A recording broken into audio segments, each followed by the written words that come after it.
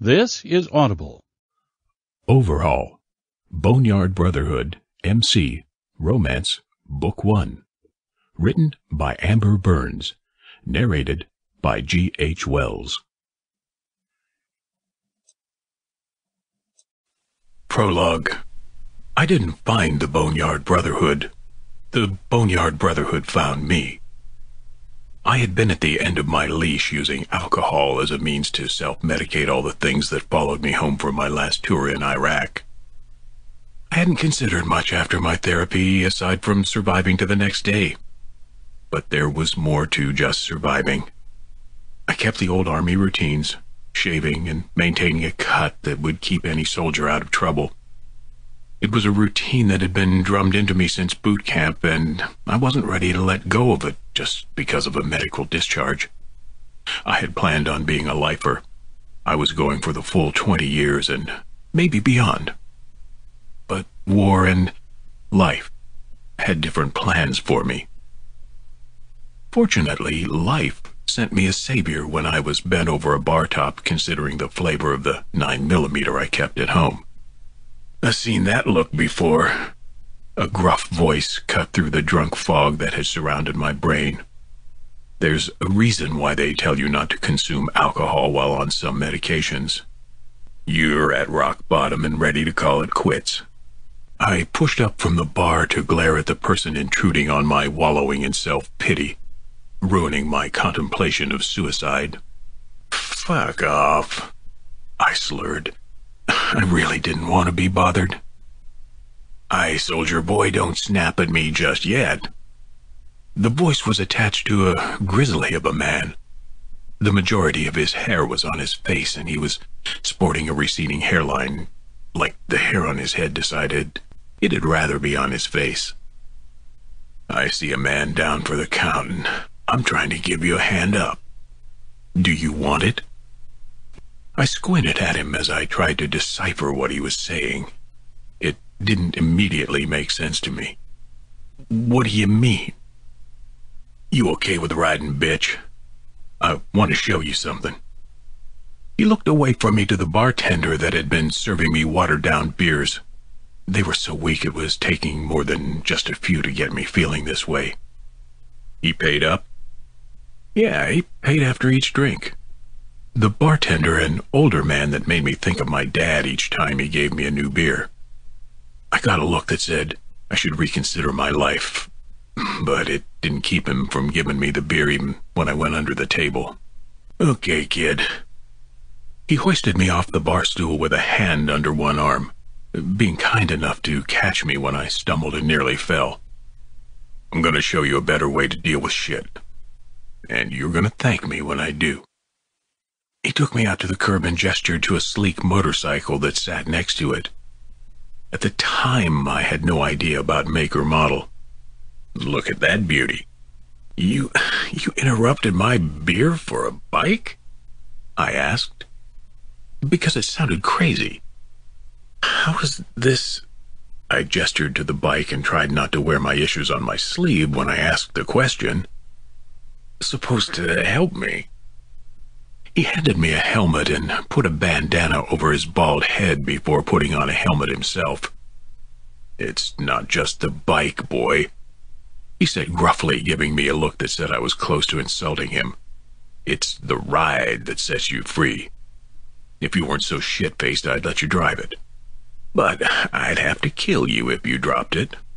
I like you. I, I don't want to have to kill you. He straddled the bike and gave the seat behind him a pat, grinning at me. So, you get to ride bitch.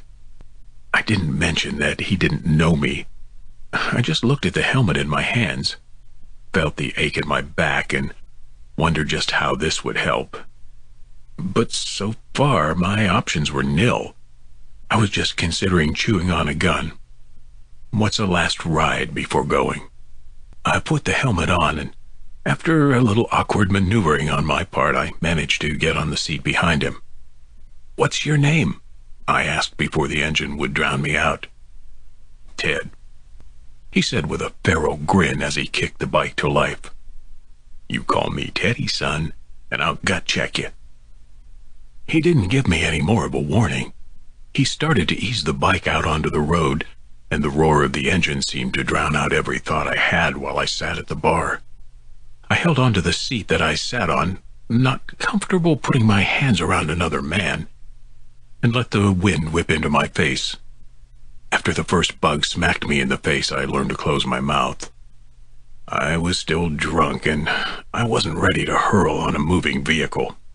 Fortunately, six years of MREs gave me a gut of steel, and nausea didn't rear its ugly head. I surrendered to the sound of the roaring bike and the whistling wind. The lingering effects of the alcohol drifted away from me, and I became drunk on the free feeling that was created by riding down the road. I had no clue how fast he was going. Didn't care either. I didn't realize how much I was enjoying the ride until he eased us to a stop outside a little cinder block building that was surrounded by motorcycles. Why stop? I asked, feeling like I got gypped. I wasn't ready to face the reality that was ready to come back to me. We got where we were going, kid. He shot me a grin over his shoulder like he knew this would be my reaction. So, he shifted a little so he could get a better look at me. This the hand up you needed? Yeah, I gotta get me one of these. I assured him, purposely ignoring his question. He laughed out loud, causing the bike we sat on to rock a little. He looked a little bit on the heavy side. That's the reaction I thought I'd get. Come on, get off the bike and I'll introduce you to the rest of the Brotherhood. Then we'll see what we can do about getting you a bike and getting you on your feet for good. He helped me off the bike and walked it to a spot that he intended to park it. So, fresh meat, what's your name? I didn't even question it when he called me fresh meat. I accepted it wholeheartedly. And I had an idea of what it meant. He had said the Brotherhood. It must mean I was about to become a part of it. Private Second Class Sidney Redding. I said like the drunk shit that I was. I might have even saluted him. I'm honestly surprised he didn't slap me. He let out a heavy laugh, clearly amused by my introduction. Shit, you are fresh. Drop the army ranks, kid. I ain't been in since Desert Storm. If you ever blurt that shit out once again, I'll be sure to knock a knot in your head. He took a breath, shot me a grin, and jerked the door open. Welcome home, Sid. Chapter 1 Four years later, and I hadn't looked back or thought about chewing on my gun since. Teddy had been right. Yeah, he told me not to call him that, but the man was like a teddy bear, despite the huff and the puff front that he put on. Riding on a motorcycle had been the best way to get free of all the problems. I was to the point that I was comfortable with letting go of the antidepressants and the anti-anxiety medications that didn't seem to work for me. They only made me a drooling zombie anyway. I was embraced by a band of brothers, each from a different branch and each retired or discharged for various reasons. I think the reason why Teddy picked me up off that bar stool was because he saw the mess that I was, saw me struggling, and gave me purpose, purpose I hadn't had since I was discharged. I was taught how to be a civilian by men who had been where I was. It was a sweet relief, a relief that I needed. I spent the majority of my days working on bikes. Someone learned that I was a mechanic while I was in the Army, and that I was pretty good with engines, so I got put to work to an extent. I was back to living with grease and oil on my hands. It was something that I was good with and nothing I was going to complain about. My dues got paid by the other members, Teddy being one of them, in exchange for the work that I did. I was certain that the club held the look of an innocent gathering for retired military guys, but they also dabbled in other things to raise money. Money raised paid for the building and the chicks that worked the bar and cooked the food. I got a stipend too, under the table since I did the majority of the work around the bar. Didn't really get involved in the illegal shit. Teddy said he didn't want to endanger my disability, which was essentially what I lived off of now. The injury I suffered that got me discharged had done some serious nerve damage to my back and left leg. Fucked it up good. So while I would go out on group rides through the territory and act as general muscle whenever necessary, I stayed out of anything illegal that the club did. That is, outside of hitting a smoldering joint when it was passed to me. I was satisfied with the work that I did, and I steadily got out of the routine that I'd been clinging to. I let my hair grow out, and although I didn't let it get shaggy like some of these bastards did, it, it wasn't the buzz cut that I used to sport. Along with that, I managed a respectable beard, something I enjoyed to no end. It really felt good not to have to shave anymore. As I got broken in, I started collecting tattoos. Sort of an acquired taste for the right people, one might say it became an addiction with me. An addiction to cover as much of my skin as I could. I looked less and less like a broken soldier and more like the hairy bear of a man that picked me up in a bar.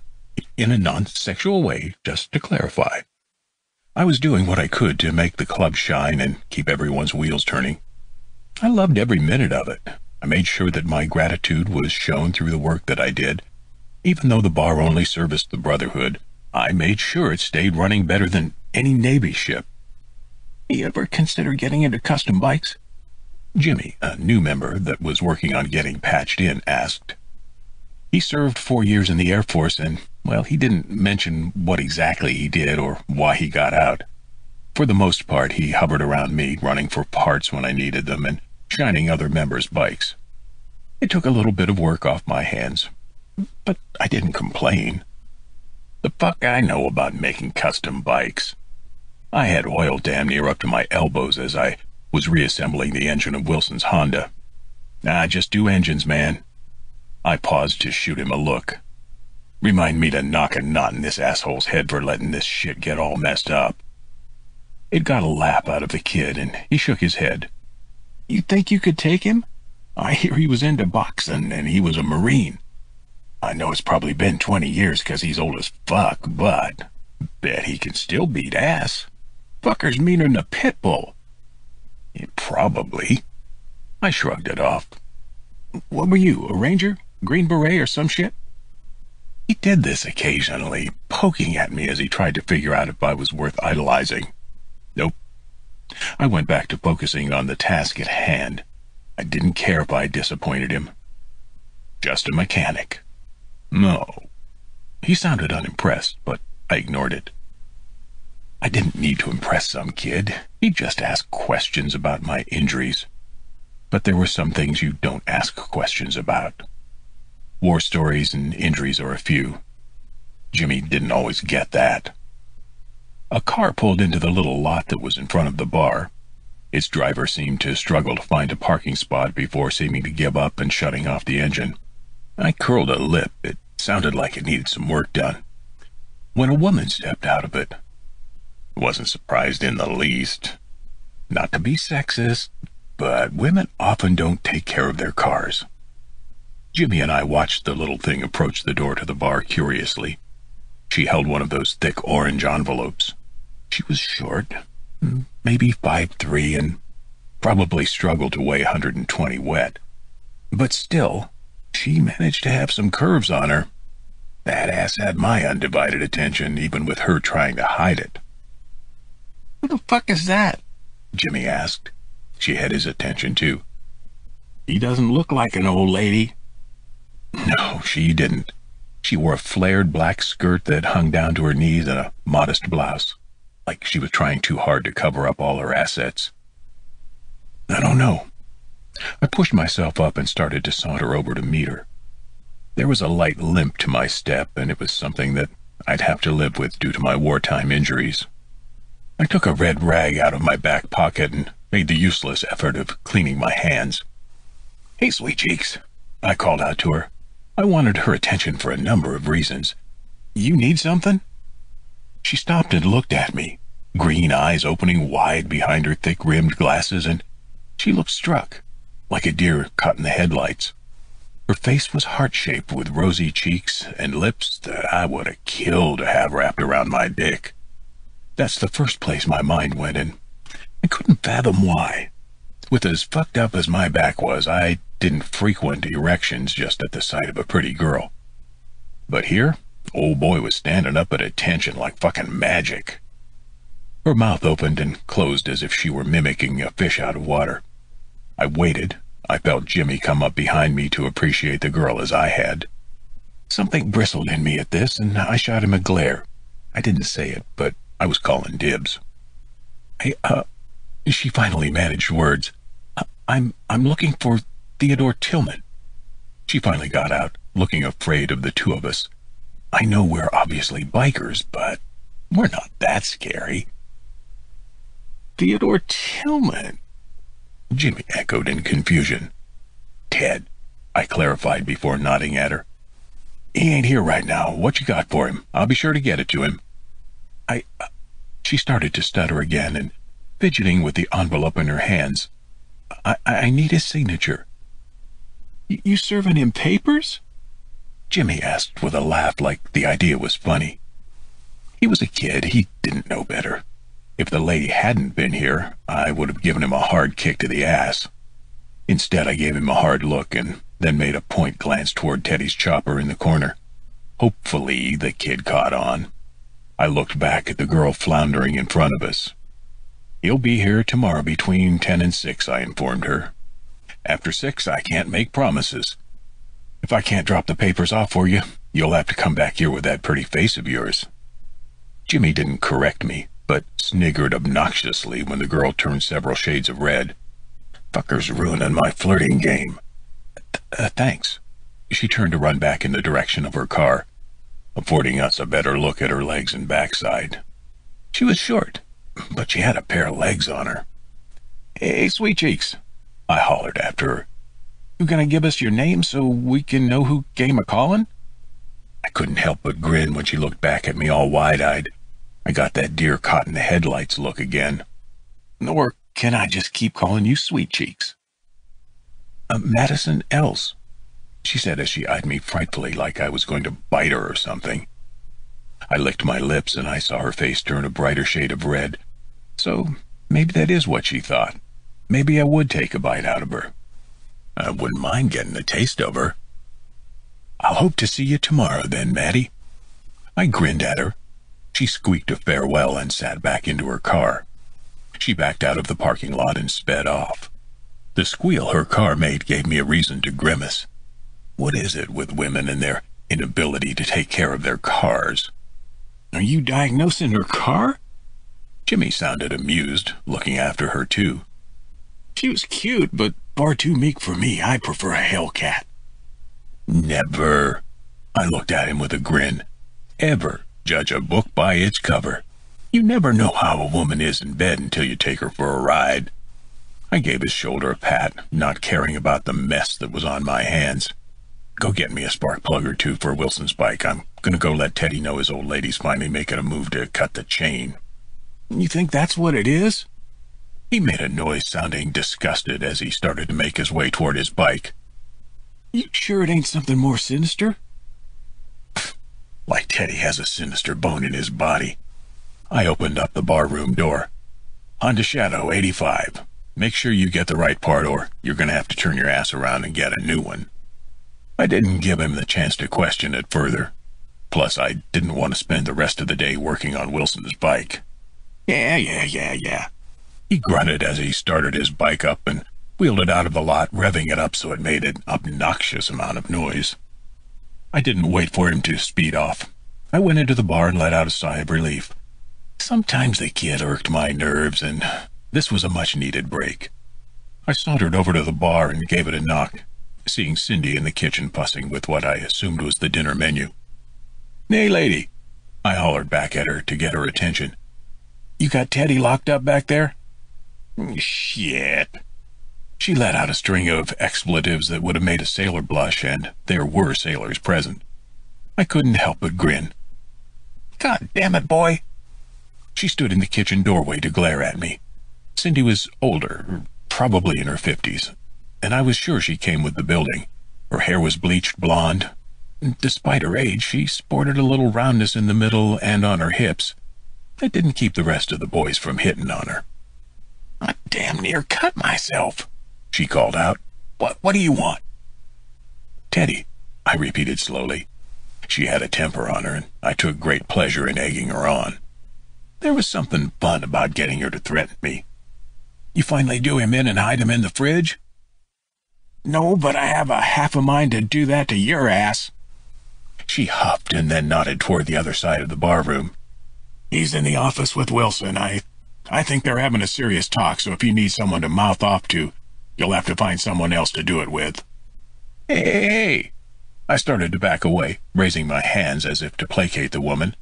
I don't mouth off to anyone but you, lady. You are my favorite. I'm buying your shit, pretty boy, she growled in return. I'll wait for you, I snickered as I ducked back to the office door. I watched as Cindy went back to the kitchen and I knocked. I played with fire and I knew it. One of these days I was betting she'd hold me up with one of her kitchen knives. But women like her were all fire and hard to resist playing with. Come in, Wilson bellowed, and I opened the door. Redden, what the hell are you doing here? My bike better be running. Wilson was a Marine sergeant at one point. He served in a war, uh, probably Nam, but I couldn't pinpoint it for sure because he looked like leather. Couldn't guess his age to save my life. Yeah, I got a heads up for Teddy. I looked at the older man that had ushered me into the club. Teddy wasn't near as old as Wilson. He had admitted to serving in Desert Storm, so I figured he was in his mid-fifties. They both looked weathered, and it was hard to guess. The military did that to you, though. Boy, he growled at me. What did I tell you about calling me that? Yeah, still waiting on that gut check, man, I admitted. I cleared my throat and sobered, though, because I wasn't sure how he was going to take the news I was about to give him. There was no easy way to break it. A girl drove up a minute ago with papers and she needed you to sign for 'em. I think she was trying to serve you. His features went blank. He put on a poker face and he gave a nod as he looked away. That, that might be it. Damn. He breathed out and grimaced. I didn't expect her to go through with it. I, I thought it was just an empty threat like all the others. I waited in the doorway, my heart going out to the guy. Though aside from the sweet-looking girl I just saw, I hadn't had a steady woman since before I went to Iraq and hadn't been interested in one. I couldn't imagine how it felt when the woman you pledged your life to suddenly wanted to call it quits. I'm sorry, man. It was all I could offer. You want me to get you a beer? Wilson reached across the desk to give Teddy a solid slap on the back. We're here for you, brother. You're not facing this shit alone. He nodded, though it was evident that he was going to get emotional. No, Sid, I, I don't need a beer, thanks. Let me get Wilson's bike back together and we'll go for a ride. I paused then, remembering the details. Uh, girl's gonna be back tomorrow with the papers. I told her you'd be here between ten and six. That cool? Why didn't you just let her bring him to me then? He asked, not sounding angry, but looking curious. I'd like you to know what's coming before it gets here, I shrugged. Plus, she was kind of hot. Oh, he gave me a shark-like smirk. I could use a hot piece of ass if I'm to be free of the old ball and chain. Mm, sorry, fucker. I started to step back. Already called dibs. That got a laugh from both of them, and I went back outside. Nothing like a night ride to get the feels off your shoulders. I had some work that I needed to finish. Chapter 2 At ten on the dot, little Miss L showed back up at the bar.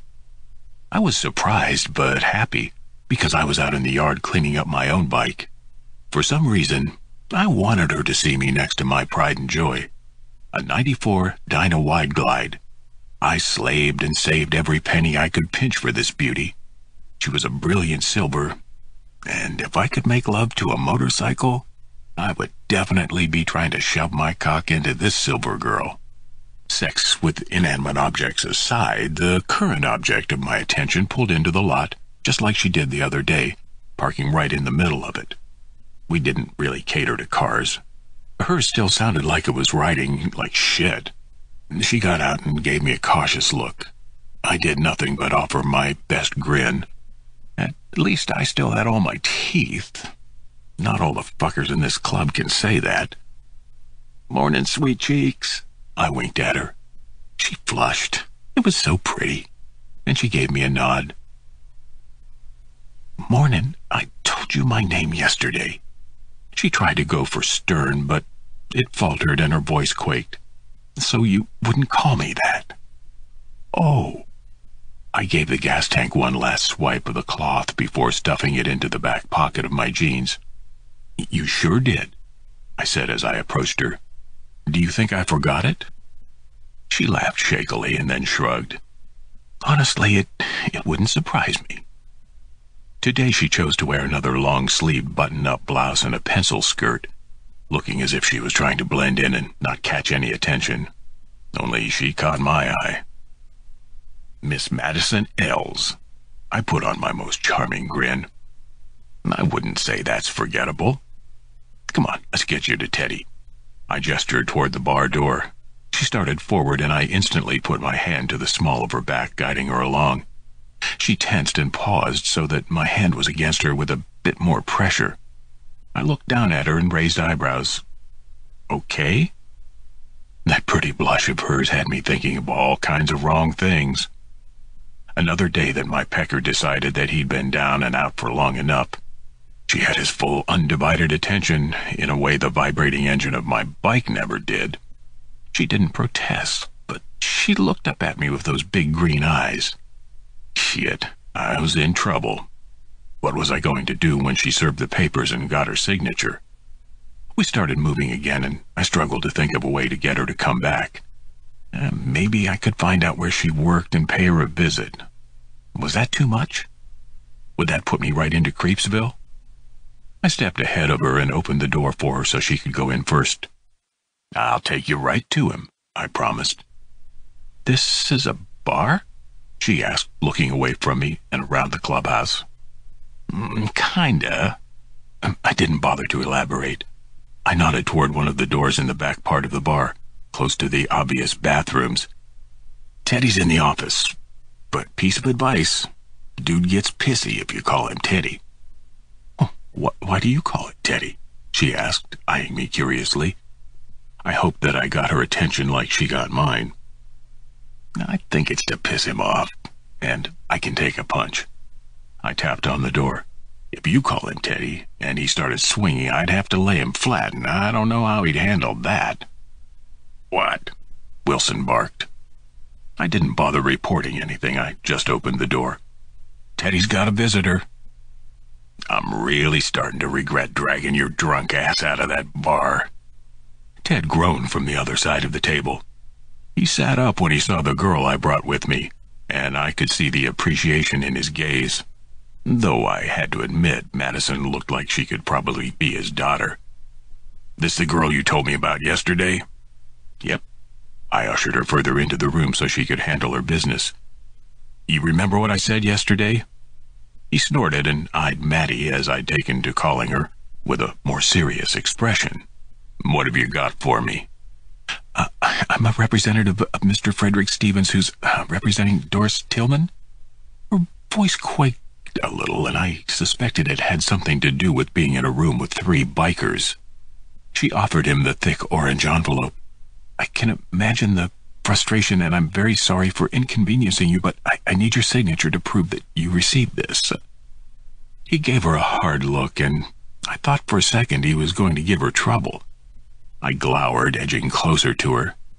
Teddy noted the movement and raised an eyebrow. You got a pen, Private? I snorted and fished one out of my back pocket before I offered it to him. I watched Mattie curiously as she waited patiently for the slip of paper that said she had done her job. Teddy handed it over before giving me a look. All right, you got your shit. You can go. Uh, uh, th thank you, she stuttered. You're such a gentleman, Teddy. I grumbled as I opened the office door. Tell that to my soon-to-be ex-wife. He gave me the one-fingered salute before he turned his back to the papers on the desk before him. I'd have to check in on him later, but first there was something more important. I ushered Mattie out of the office and closed the door. Mm, sorry about that. I apologized on Teddy's behalf. He's usually like a teddy bear and not so damn ornery. She cleared her throat and had my full attention. The reaction was appropriate. I assume you don't understand because you've never been in his position. There's nothing pleasant about getting served divorce papers. She carefully folded the paper that held Teddy's signature. She fidgeted and made no effort to meet my gaze. Her shyness appealed to me in a way I didn't understand, but I wanted to explore just how shy and innocent she was. Only I wasn't that much of an asshole that I would push her out of her comfort zone in a public place. Divorce, she began again as I walked her through the bar, is not a pleasant thing. I guess I'll find out with the way Teddy handles it. I made sure to hold the door open that led outside for her. I would be a perfect gentleman, even if I didn't look like it. Hopefully it's not something I will ever find out about firsthand. I followed her to her car, and I couldn't tell whether or not I was making her uncomfortable. Thank you, she said uneasily, speaking without stumbling over her words. I appreciate your help. I guess being outside must be helping. Maybe it was that there were less people out here. She went to her car door and opened it, getting ready to drive off, and I'd probably never see her again. Yeah, fuck that, I told myself. Not gonna have that. I stood at the front of her car and gave the hood a slight knock. Hey, this thing's running funny. You need to get it looked at. I got a deer in the headlights look from her again. She shook her head before dropping her gaze from mine. I don't have the money for a mechanic right now. She frowned, and I felt like an ass for pointing it out. I know it sounds bad. I keep putting it off in hopes it'll last me just a little bit longer. Well, I tried to give her my best grin. It's your lucky day, sweet cheeks. I just so happen to work on engines. You take me to lunch and I'll take a look at your car free of charge. Thought if I told you my name, you weren't going to call me that. She looked at me again, her brows drawing down together, and the look she gave me made me want to tug her out of her shell. There was potential here with her, and I definitely couldn't let her get away. Force of habit. I shrugged. It means you have a nice ass. If it bothers you, we're good with me calling you Maddie, right?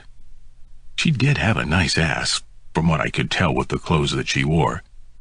They weren't tight and didn't show off her figure. I had to use my imagination. Her face flushed as I translated, and I leaned forward onto the hood of her car. M M Maddie's fine. Am I going to get lunch out of you to look at your car? She looked hesitant, and I was afraid that I lost my chance with her. She pulled out her phone from her bag and looked at it. I take lunch at one. I took the opportunity to pull my own phone from a pocket and offered it to her. Give me your number and we can arrange for me to give your car the once-over and see what it takes to get it fixed. She looked uncertain, but took my phone and swiped it to her contacts. I watched as she programmed her name and number into it before she offered it back to me. Do you have any idea what it is? She asked. Mm, could be your transmission, I said honestly as I took my phone and gave the number she put there in a text. I kept it simple. Uh, hi, beautiful. Seemed to be just enough. Have you had any problems shifting gears or anything like that? She jumped a little, her phone vibrating. It let me know she got my message, especially when she turned pink. Not that I've noticed. The only thing I've noticed is that funny noise. Well, that didn't say a lot. Sometimes when it came to cars, women tended to ignore a lot. Okay, we'll see when I get the chance to look at it. Text me. I said seriously as I put my phone away. I'm holding you to this lunch thing. I'd like to look at this. I tapped the hood of her car. Today, if you don't mind. I get off work at five. She shifted from foot to foot. I need to get back. Thank you. I guess I'll see you at lunch. Yep. I watched her sit and I stepped away from her car. She pulled out and I checked my phone for the time. Had a couple of hours to wait before I saw her again. I was going to be antsy, I went back to the building with my phone in my hand, pulling up a website on the make of her car. I was hoping that it wasn't the transmission. Maybe it just needed to be flushed.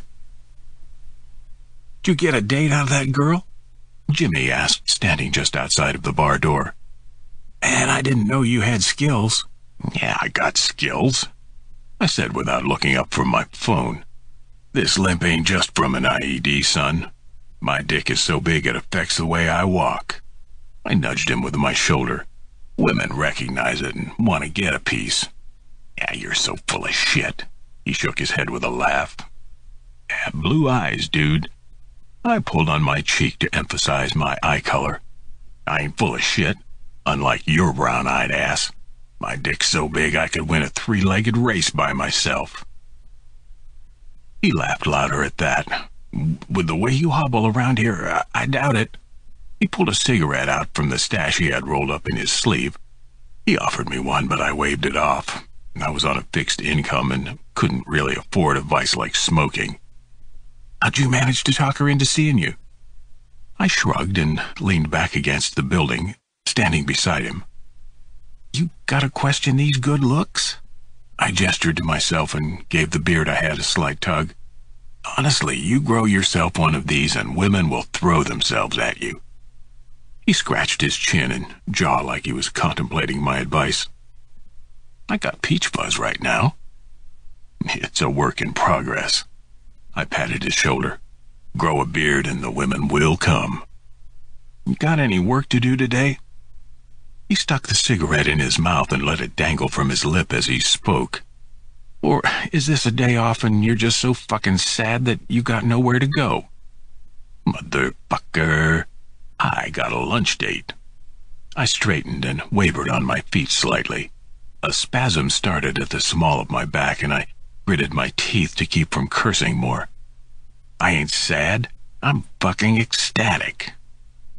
Yeah, I got a friend that just picked up a piece of shit bike that needs work. He cut in, apparently not seeing me falter or he didn't care. He's willing to pay.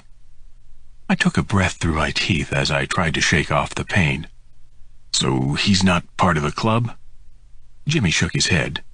He's never served, unless Ted and Wilson are considering taking his civvies. Then I definitely vouch for the guy.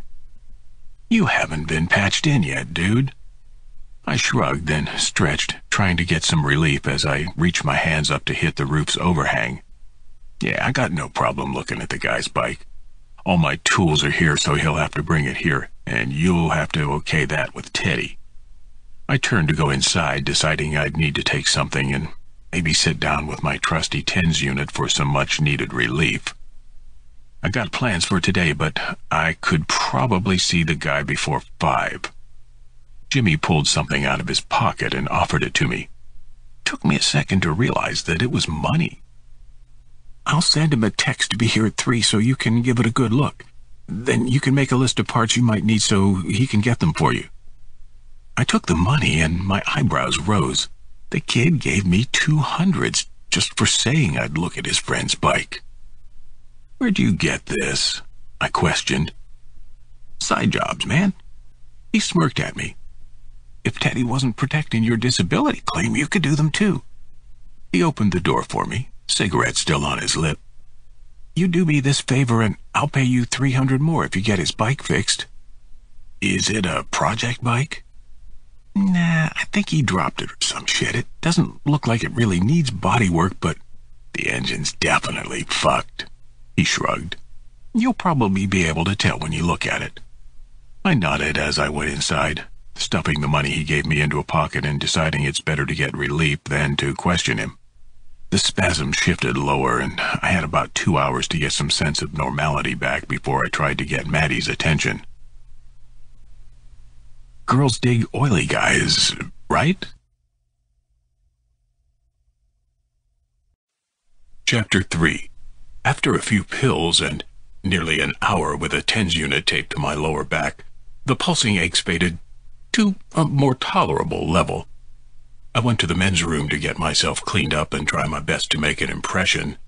I combed out the beard and did my best to make my growing mop of hair settle down. I couldn't keep it too long, but it was getting shaggy. Luckily, I didn't look beastly like some of the guys that rolled through here. Covered in tattoos, I was definitely the exact opposite of Maddie. She looked the picture of innocence, and the way she stuttered and fidgeted, I had to wonder if she'd ever had a man's attention before. I, I, would figure it out. I got a text from her that gave me about 30 minutes to get to her. It was an address, and that's about it. No hi, how are you, or any kind of small talk. Damn, she knew how to shoot a guy's ego down a notch. Uh, but I didn't let it get to me. I saddled up on my bike, put my helmet on, and kicked my baby into a roar. The ride to the address she gave me was a short 15 minutes, but the rumble and vibrations of the motorcycle between my legs was enough to help with the achiness. By the time I got there, I was high on the breeze that I had rode through, and I was just basking in the fact that it had been such a great day to go for a ride. Wonder what the chances were that I could talk Maddie onto the back of my bike. It was a tempting thought that I would definitely be taking a shot at. I pulled up to a curb about a block from the address she gave me. I lugged my helmet off and stowed it into a saddlebag and stretched my legs. I walked the rest of the way, letting my phone direct me until I spotted Maddie sitting on the outside under a building canopy in a little area that had a wrought iron fence. I made a beeline for her, not even caring about the restaurant that she's picked out. She was sitting by herself at a little metal dinette set, looking a picture of innocence. She looked like she did the last two times I'd seen her. Someone that tried to blend in and downplay their beauty. Her brown hair was pulled back from her face, which was covered by thick glasses, and she wore neutral colors. She was someone that was used to being in the background. I stood outside the little gate for maybe five minutes, just looking at her, before she finally noticed me. She had a book with her. Instead of doing what everyone else was doing, looking at their phones, she was looking at a book. Do they even make books anymore? I asked myself. I took a breath as I tried to think past the throbbing pain. I didn't even pay attention to this place. Uh, what kind of food does it offer? It's kind of an upscale deli, and, well, they have great sandwiches and wraps. She eyed me curiously, as if she could see me suffering. Awesome. I nodded and tried to focus on her. Uh, your car still running? She nodded and offered me her menu. I took it and pretended to scope it out as I tried to think of something to say to this girl. So, my occupation's pretty obvious. What do you do? Are you a lawyer? No. She shook her head as she spoke, her hair not shifting a bit as she did. That was impressive. It was either wound tight or she had a heavy coat of hairspray. I'm a paralegal. I, I work for a law firm that's about two blocks from here. Oh, so you walked here for lunch? She shrugged, looking awkward as she nodded. It's a pretty day. That sure as hell is. I grinned as I spotted a waitress coming our way. It's a perfect day for a bike ride. And despite the fact that I was in pain, slowly edging into agony, I kept on. Hey, if you'd like to go for a ride after work, I would love to take you around town on my bike. Her eyes went wide and her mouth dropped open for a second. I didn't know if she was even thinking about the idea. I shifted forward to lean against the table, waiting for her to say something. Well, the waitress didn't give us the chance to explore the conversation. Hey there, the waitress said as she gave me the once-over. You guys know what you want? I nodded toward Maddie. Ladies first. Mm, that wasn't just a matter of being polite, it was more along the lines of not having a clue as to what I wanted. So I'd it cool and order what Maddie ordered. She didn't bat an eye when I did. As soon as the waitress left us, I shifted around in the metal chair again. So, about this ride, I grinned at her to see if she'd bite. Motorcycles are dangerous. She looked away from me and seemed to struggle with an excuse. I knew at the first look that she wasn't that kind of girl, but most chicks had a wild side. Maybe this one did too. Hey, over 4,000 people die in motorcycle accidents each year. She looked at me, then a seriousness in her green eyes, and it almost looked like she was worried about me. You're, you're not going to turn into a statistic, are you? Are you part of a motorcycle gang? Does that explain all the tattoos? Now I got the feeling she was talking less to me and more to herself. I can't get caught up with someone that does illegal things. I cleared my throat to get her attention. Well, key to avoiding a wreck is paying attention because nine times out of ten, the guy driving a car isn't. Wear a helmet, have a good life insurance policy, and, well, that's the best I can do. I shrugged, not trying to make it noticeable, but being in an accident wasn't something I worried about. Hey, I'm not in a gang. And by the way, they're called clubs, just so you know.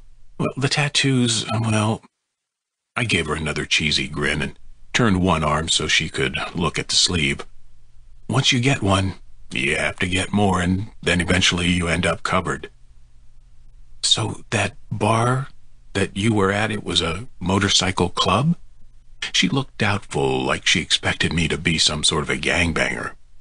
I never really thought I looked the part. I shook my head, amused.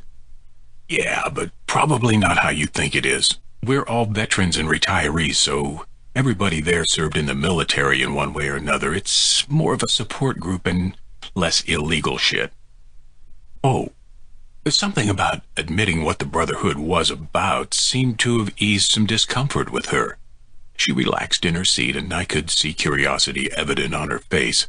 I had her full attention now. So you served? Yep. I did a mock salute, hoping that it wouldn't make this a serious conversation. Nine years, two combat tours in Iraq as an Army engine mechanic. Ah, that's why you want to look at my car. Clarity was on her expression as she studied me. Well, it was more along the lines of there being a pretty girl driving a car that sounded rough. I didn't see a reason to beat around the bush. Maybe if I made my interest obvious, I it might help my chances. I figured if I did some work on your car, maybe that would give you a reason enough to want to hang around with me. Maybe one day I might talk you onto the back of my bike and get you for keeps. I gave her a wink. She flushed and cupped one cheek as if she could cover it. I'm not pretty, and I'm definitely not the kind of girl to get on the back of a motorcycle. She looked away, I hoped she was flattered. As long as that's not a deciding factor, I don't see why we couldn't hang out, as you put it. Nope, not a deciding factor, I assured her. But I gotta say, you don't know what you're missing. There's something special about being on a bike. The waitress came back with our lunch, rudely interrupting my pitch. We both ordered wraps, which was something I wouldn't usually go for, but I'm a man that would eat just about anything you'd put in front of him. Something the Army teaches you. You don't turn your nose up at unfamiliar food because it could always be worse. I'll take that into consideration, she said lightly, before she began to eat. I followed suit, and while our talking had cooled, we managed to get a little more small talk between bites. Maddie was my opposite, to an extreme. She was quiet and shy, while I was a man that didn't have a problem saying what was on his mind. She worked hard, but it was from behind a desk. The last time I sat at a desk was in boot camp, and I was far from quiet and shy. But there was something about her that drew me to her like a moth to a flame. So, there's not a lot of room for parking a car in the lot, but I can do some arranging and fit you in enough so that I can get a good look under the hood. I wiped my hands off and then went about making sure I didn't make a mess on my face. Just ride on over after you get off. She nodded and sat down the rest of her wrap. Well, how do I pay you for the work you're doing for me? Normally, if someone out of the club was going to get me to do work on their car or, or shit, I'd ask for payment. Ask for money or get taken advantage of is my usual motto. However, this girl didn't really strike me as the type to take advantage, so I just shrugged. Uh, cook me dinner. Let me take you for a ride. Give me a call or a text here and there. Well, you're making it sound like you want to date me in exchange for fixing my car? She raised an eyebrow. I chuckled. I said that before. Only instead of saying date, I said hang out. Oh. She faltered a little, looking confused. I thought that meant you wanted to be friends. I saw her swallow as she considered something. do you really think we'll have enough in common to be able to actually date? Like a relationship would work between us? Ever heard the saying opposites attract? So you're attracted to me? You called me pretty and sweet cheeks. She glared at me now. But appearance isn't everything. You can't expect a relationship to work just because you find each other attractive. Nah. I waved a hand. It's more than that. It's not the deciding factor, but if you're going to give me a chance simply because I find you attractive, it seems kind of unfair. Are you trying to brush me off because you have a boyfriend? No. Her voice sounded small, and she looked down into her lap. It's been a long time since I actually dated someone. Really? I raised both my eyebrows. Well, that aside, don't you want to see what it could be like between us? Have a little fun, maybe? Well, you look like the kind of guy that takes advantage of women and breaks their hearts. She looked up at me now. I, I didn't know if she was serious or not. If I agree to date you, how do I know you're not just going to use me and then dump me when you're done? I, uh, is that a compliment? Uh, I huffed. I folded my arms onto the table and leaned forward. How about we make a deal here? I promise not to break your heart if you promise not to break mine. How would that work? She looked intrigued. Well, I'm a one-woman kind of man. I tilted my head a little. You agree to be a one-man kind of woman, and I think it could work out. That's something that goes without saying, she said with a frown. I mean, how else does this work? I shrugged a shoulder. How about you let me come over to your house this Saturday and I'll show you. We just met. I'm not having sex with you, she said with a sense of finality. I chuckled. If I was trying to arrange something like that, it would take some work and effort to make sure I could get it up and ready for that. I knew it would take some planning. I shook my head. She didn't know that, though. Not what I'm implying, we're out here in the open for all to see. You're not going to cuddle up to me in a restaurant. Let me come over and we can watch a movie. Let me get close to you and we'll figure it out together. I'll be a good boy and keep it in my pants. I raised a hand like I was a Boy Scout. I promise. You mentioned earlier that you wanted me to cook you dinner. She seemed to be caving. I had her interested now. I guess I could do that Saturday. Do you, uh, do you want anything in particular? I spent a long time eating crap food provided by the military. I smiled at her. Cook whatever you want. I bet it'll be delicious. You're easy to please. Yep, I shrugged. Doesn't take that much to make me happy. What about you? She shrugged too, pulling out her wallet after the check was brought to the table. A good book and a cup of coffee, and I'm happy. Hmm, I'll remember that. I picked up the check the waitress had dropped and eyed it with a grimace. It, well, it wasn't too bad. The food was all right, but I would not have guessed that it would have been $25 worth.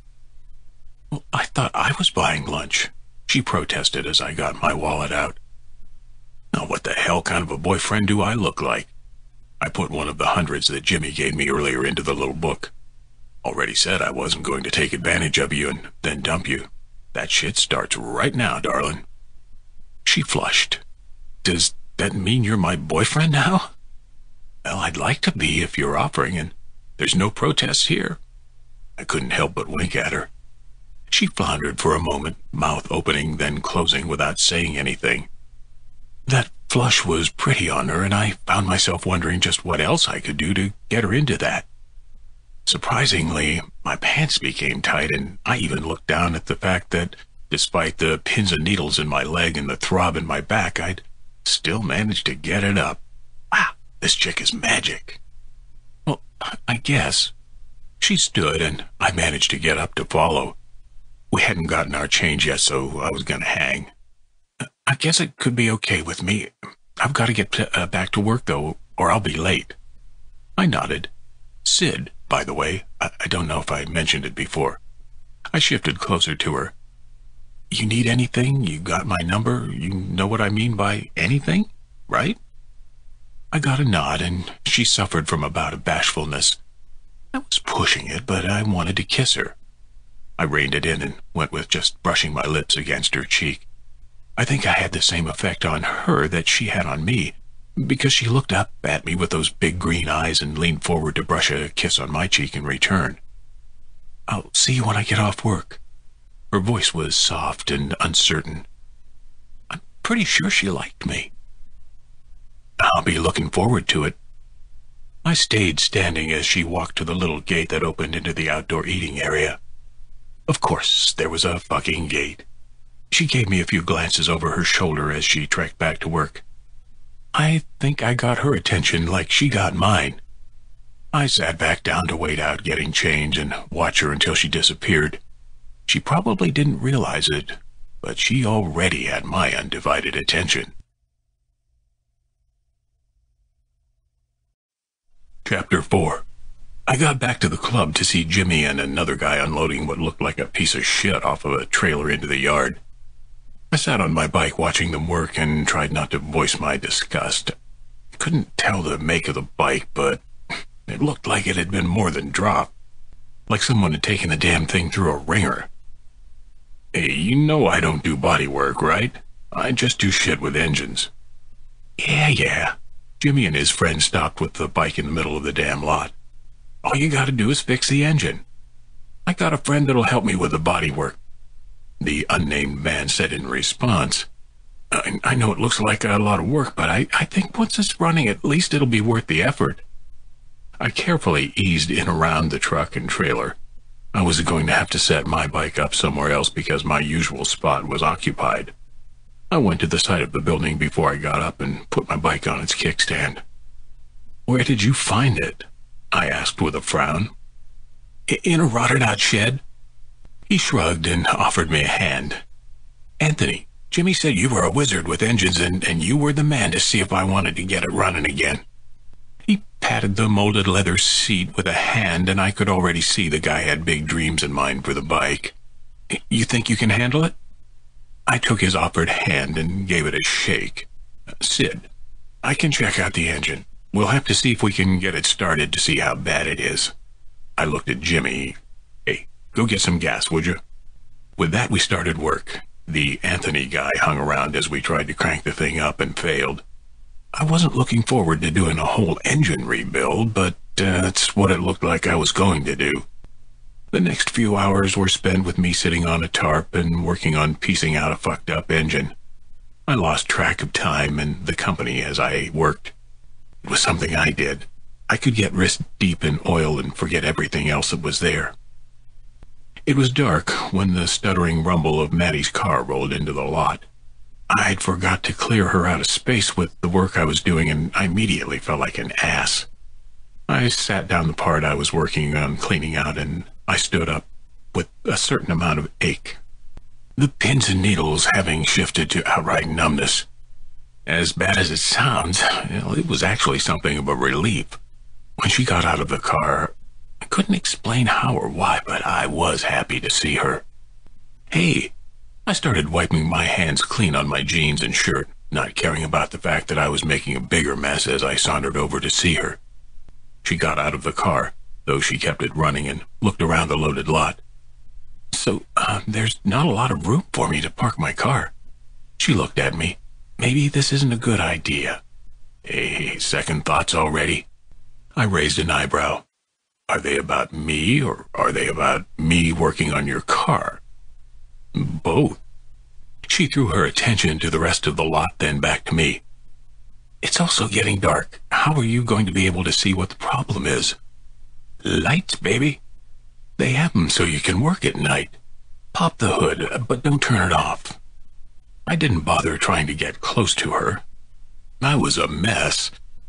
I had wanted to see if she'd let me steal some sugar, but if she was going to have second thoughts, I might not want to press my luck.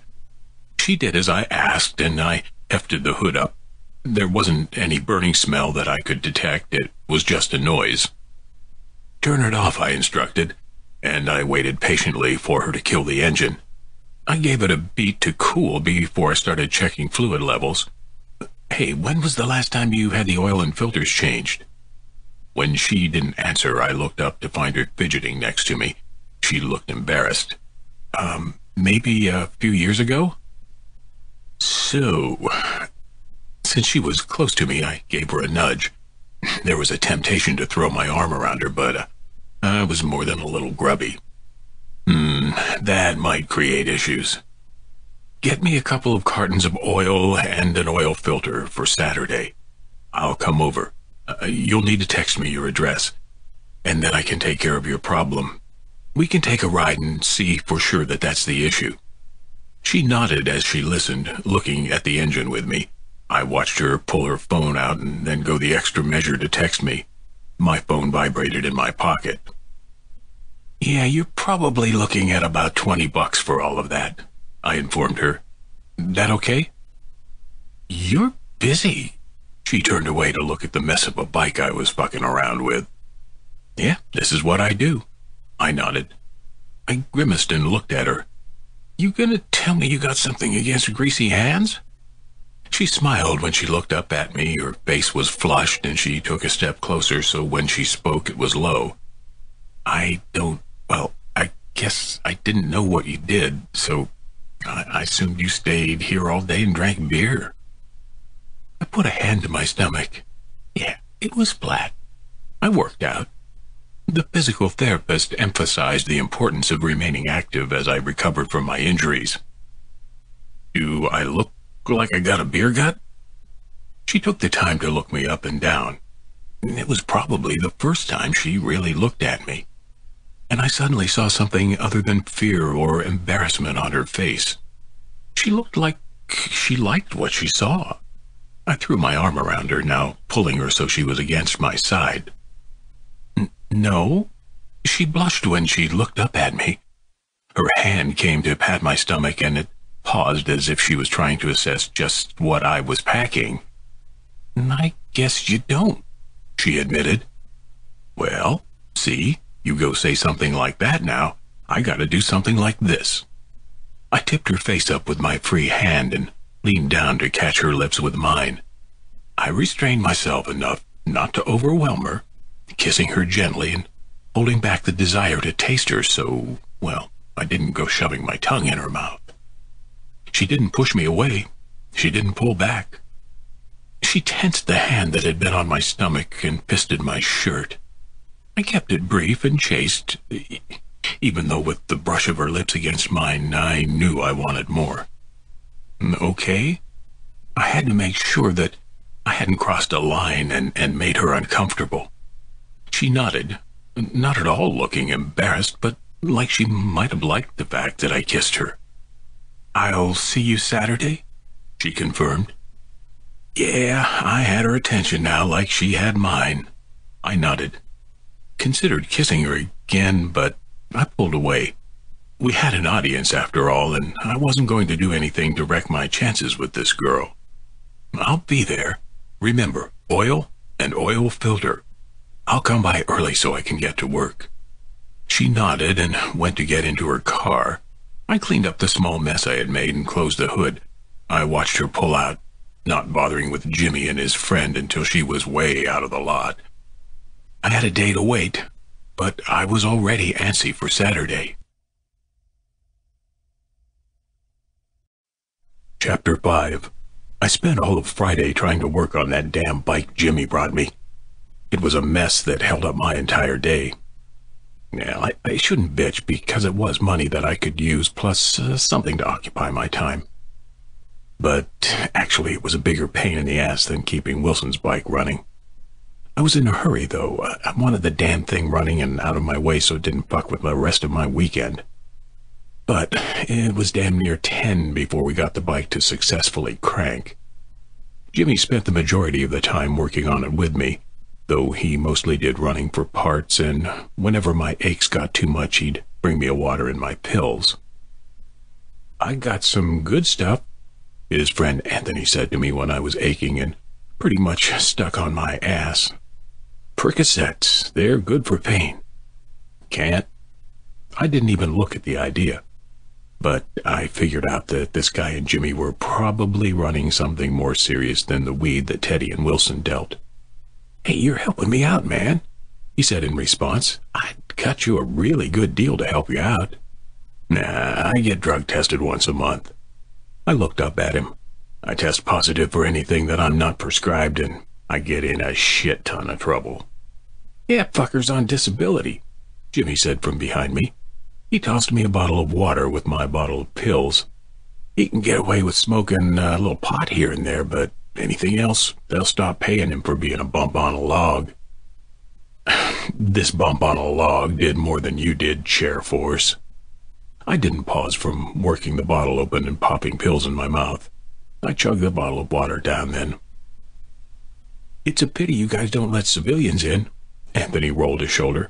I could sure help you guys out with some business. Get some serious income for guys like you. He nodded at me. I don't imagine disability pays much. Well, I got a roof over my head, food to eat, and a bike to ride. I gestured for a hand up, and with a little effort was hefted to my feet by both of them. That's really all a guy needs. Yeah, well, pl uh, plus a little pussy never hurts. Jimmy gave my arm a punch. When you're done with that girl, let me know. I'd like to give her a ride. Nah, fuck off, Chair Force. I shook out my numb leg and looked at Anthony. It'll run now. You just need to clean the rest of that shit up. You're probably going to need a whole new gas tank, though. You're going to want to get that before you try taking it for a ride. Yeah, I'll buy one and bring it in here if you'll put it on for me. I nodded. Uh, tomorrow we'll be out, though, so you'll have to wait. Thanks. He offered me his hand, and I shook it. Then he pulled me into one of those armed hugs that were always awkward from strangers. If you change your mind about the other stuff, Jimmy has my number. I'll remember to cut you a really good deal. I nodded, but didn't comment. There were red flags here. I watched as Jimmy and Anthony loaded up the piece of shit bike onto a trailer before he pulled out. When it was just me and Jimmy, I felt the need to reach out to the guy. You getting in trouble here? Fuck no. He didn't wait for me as he walked back to the bar. Yeah, I'm just making some extra money. You know, not all of us can live off the government. I stayed outside, my pills in one hand and the bottle of water in the other. I didn't think Teddy and Wilson would be keen on Jimmy making extra money, dependent on what he was dealing in. A shitstorm was brewing, and I hoped to God that guy wasn't going to bring the cops running in here. The club had its front as a way for helping vets. I was proof of that. But to make money, they also trafficked a little pot and CBD oil to people that could use it. People that needed it for treatment. Hell, I was fairly certain Cindy probably made the edibles. And while all of it would get them long prison sentences, they felt like they were helping people out.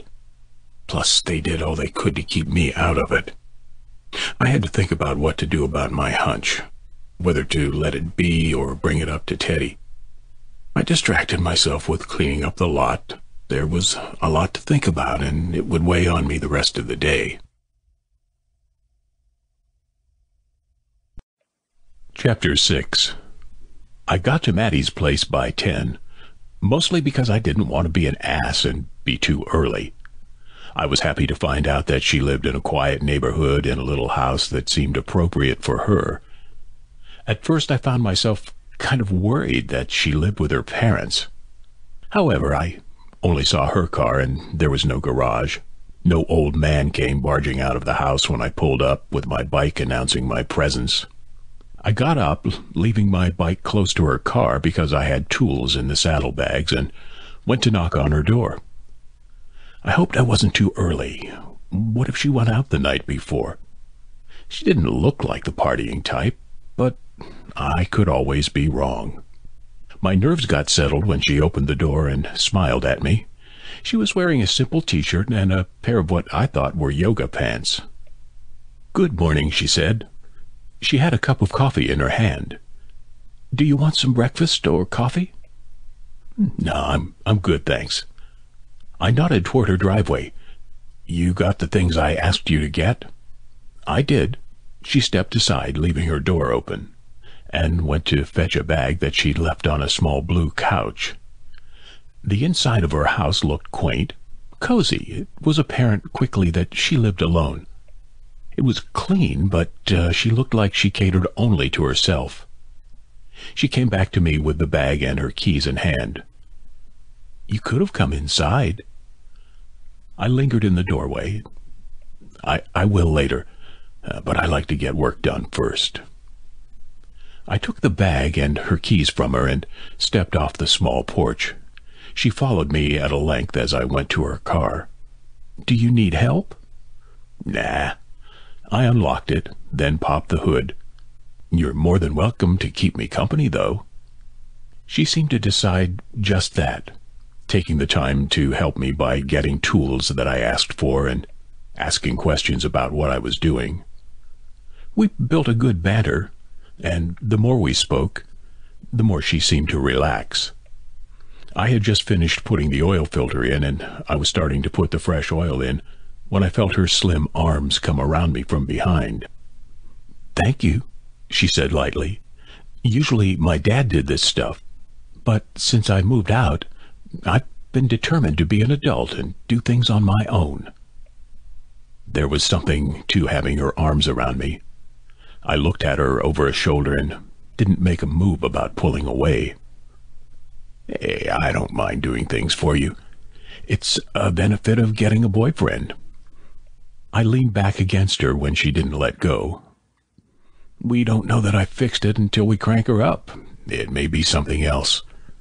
I just figured this was the place to start. Her nose was against my shoulder, and she looked at me through her glasses. I just wanted to hug you. See I'd get the same reaction that I did when you kissed me the other day. Well, that was curious honesty. Did you get your reaction? She looked away from me at some pinpoint on my hole-filled shirt. She waited a beat before she nodded, which caused her to nuzzle me. I closed my eyes for a second and just enjoyed the feel of her pressed along my back and her arms around my waist. What happens now? she asked softly. Well, I didn't move, relaxing against her. There was a pleasantness to this that just warmed right through me. I intended to get you to take me for a short ride, Maybe we can get some sandwiches for lunch and come back? What do you think? Well, that sounds like a good idea. She hesitated for a second before she let me go. Do you want to drive? I considered it for a second before shaking my head in agreement. Nah, you take the wheel. I'll focus on the sound that this thing's making. I gestured to the engine in front of me before closing the hood. She took us for a short ride, both of us listening closely to the engine. It sounded marginally better, and there didn't seem to be any grinding noises as she shifted gears. I looked into her glove box looking for the owner's manual.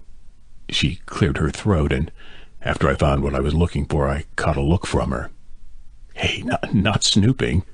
I waved the thick book at her. I was looking to see if you had this, and the first place to look is the glove box. She smirked slightly, but didn't say a word. We rode around for a while, pausing to pick up lunch, before I directed her to take us back to her place. My back had slowly begun to cramp, and I couldn't sit in the car much longer.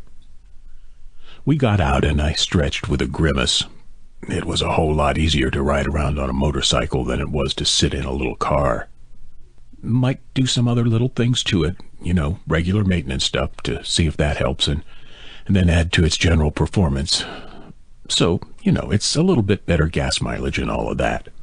Well, you only have to do what's necessary so it doesn't die on me, she said as she got out, reaching back in for her lunch bag. Well, I closed my door and used the excuse of leaning against her car as a means to stretch out the cramps. Regular maintenance stuff. Keeps you from having to go to a mechanic. Are you trying to give me an excuse not to see you? She batted her green eyes at me, and I was struck. I think I might have given her a look she'd been giving me when we first met. I shook my head as I shook off the shock. No, no. You already agreed to be the girlfriend, so if anything, that there is a reason for me to see you more often. Can it wait? Yeah, probably for a week or two. I eyed her. Why? Maybe instead of being a mechanic when you hang out with me? She blushed, but didn't look away from me. You can be a boyfriend? That warmth that I felt in my chest when she hugged me before was back, and it seemed to radiate out to my fingertips. I can do that. I smiled at her. I'd actually like to do that. Let's see about going inside and eating lunch. Then we can do some couple shit, right? I came to join her around the car, and we walked up to the porch, her blush still clinging to her cheeks. Yeah, but not sex yet. She gave me a hard look. I just met you. I didn't ask for it. I leaned against the doorframe as I looked down at her. Nowhere did I say sex. I said couple shit. That could be taking up mutual interests, like starting a book club, taking cooking classes, taking long rides on a motorcycle, that kind of shit. Not gonna let go of that motorcycle part. Nope. A spasm stopped me, and I straightened as she unlocked the door. Hey, I'll be right in in a sec, I assured her as I started hobbling to my bike. Everything okay? I nodded. I figured since we were talking couple shit and stuff, I'd go about the property and mark my territory. It was a joke. I waited to see if she'd take me seriously. Don't piss on the trees, please, she put her hands on her hips. It's bad enough I'm going to have the neighbors gossiping about the tattooed guy on a motorcycle. They don't need to add the part about him peeing on everything. I laughed a little and continued out to my bike. I got something in my saddlebag I need, I explained. I promised to keep it in my pants unless I gotta go to the bathroom. I got my pills from my bag and shoved the oversized bottles into a pocket. I looked up to see her watching me with a worried look on her face. I guess it was a good idea to throw all the shit on the table on a first date. Let's eat and I'll tell you about 'em. She nodded and we both went into the house. She directed us to a small dinette set that sat in her homey little kitchen. Everything was simply decorated, and it seemed to be the way she rolled. It actually made me like her more. That was a deciding factor as she laid out our lunch on the table. I pulled out the two bottles and set them next to my food. So, I told you I was in the army. I sat down and watched her do the same. She nodded for me to continue. I served two tours in Iraq. First one wasn't much to write home about.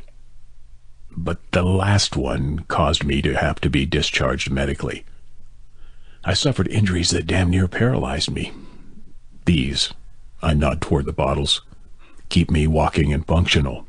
So, she said lightly, you're not a pill pusher or selling drugs for your motorcycle gang. Club, I corrected. And no, if I did illegal shit, I'd be in serious trouble. I live off disability. Doing anything illegal could take that away. Your injury was that bad. She paused, then her eyebrows coming together. When you climbed over the metal fence the other day, you didn't hurt yourself. It aggravated the injury you already have. Why did you do it? I don't know. If you notice, guys do stupid shit to get girls' attention all the time. I realized immediately it was stupid, but it was too late to abort the mission. Bet it didn't impress you at all. I huffed and picked up the sandwich to take a bite. You're just letting me hang on to fix your car. She snorted out a laugh and an actual snort. Oh, that was impressive. Color me impressed. She followed my lead to unwrap her own sandwich. I was surprised that you didn't fall. You had this extreme look of pain on your face. It, it was impressive that you managed to get to the table and sit down. She sobered, then watching me as I ate. How'd you manage that? Well, I've lived with this for four years, uh, going on five. I swallowed hard. You get used to the throbbing pain. It doesn't mean that it hurts less. Like if I didn't take this shit. I pointed at the two pill bottles. I'd be a useless pile on the floor. Four years. She looked at me hard, then, How old are you? Do I look old? I put my sandwich down to drag my fingers through my beard, getting crumbs out as I did. "Mm, I'm thirty. How about you? Quid pro quo? She asked, her eyes twinkling now. I'm twenty-six. That's from a movie. She was a little younger than I thought. That's okay. The age difference didn't bother me. That the kind of movies you're into? We went back to eating, our small talk giving some insight into our tastes in movies and literature. I don't really read a whole lot, I admitted as an answer to a question. I try not to spend too much time in my head. Books usually cause you to do a lot of introspective stuff, don't they? Yes, some can. She was cleaning up the mess we made for lunch, and I got up to help. But there's also reading for entertainment. You're in your head, but envisioning the story like a movie. A movie, and you're the director. Huh? I picked up a sponge at the sink and went to wipe down the table. Well, you know, that's an idea I didn't consider. You got a book you could recommend for me? I finished up and dusted off my hands and looked at her. Maddie had an intent look on her face as if she was trying to figure out what to suggest, and then she ended up shrugging. You'd have to do that on your own. I'll read just about anything. But you, you need to figure out what you would be into. Fantasy, science fiction, horror, suspense? She suddenly grinned at me. Romance? I guess I'll have to find a bookstore then. I went to her, just not today. It takes a lot of effort to keep me out of the bookstore, she admitted. Why not today? I, I could go with you. She actually looked excited at the prospect. It was endearing. But I had other things I wanted to do, and reading wasn't one of them. Nah, not today. There's this pretty girl I want, and I want her undivided attention like she's got mine. I drifted close to her, breathing in her clean scent and wanting to wrap her up. She seemed to get where I was going, backing up as I got closer and pressing against the wall. I've had a very good time today. You said I should cook dinner for you for working on my car, she started to argue. You're not going to leave now, are you? Butterflies kicked up in my stomach. She wanted me to stay. Nope, not going anywhere. I leaned down a little, hovering over her. I just had something I wanted to do. What? Her eyes were shifting between mine and my mouth. That was an open invitation enough, right? I used one hand to tip her head back, and I closed the distance between us to give her a slow, gentle kiss. It had to be slow. I wanted her to grow on me. If I kissed her like I was desperate to get into her pants, I wouldn't get anywhere. She wasn't ready for that shit yet. When she started kissing me like that, then I'd be able to throw restraint aside. Now, though, I had to be careful because this was new. I didn't want this to go anywhere. I wanted her to trust the fact that I wasn't going to hurt her or her feelings. I gave her a slow, open-mouthed kiss, pulling her bottom lip between mine and sucking lightly before tracing it with my tongue. I didn't prompt her to open for me. She did so on her own. Her hands found my waist, and she held on as she reached out to taste me. Her little tongue passed my lips, and she took control of the kiss quicker than I was prepared for. I tangled my hand into her ponytail, holding on to the back of her head to keep her close. Was a trade in dominance. I didn't want to overpower her, and there was something about just letting her explore. Give and take, if you will.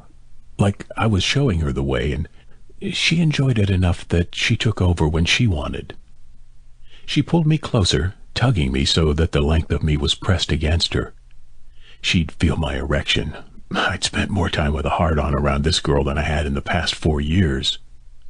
Reason enough to be intrigued. I pulled back for a breath and felt her panting against me. Didn't expect it to go like that, I had to admit. She shook her head. Why'd you stop? Well, that had me snickering, and I opened my eyes to meet her gaze. We gotta breathe at some point, baby. If you want more, all you got to do is say so. I want more, she breathed, and was arching up onto her tiptoes to kiss me again. The kisses were becoming more heated, and she seemed to have the desire to touch and explore me. Her hands tracing up my chest and toying with my beard.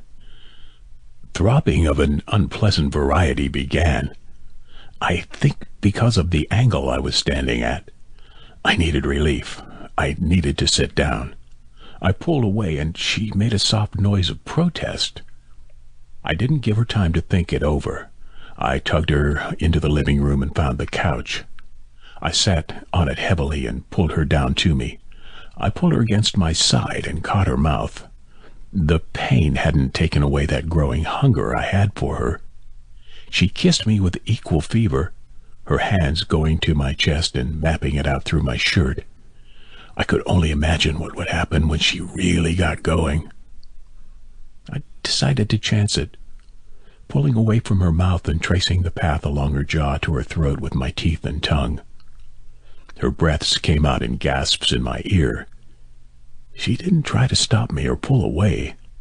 If anything, she encouraged me. Her hands went up to my shoulders and into my hair.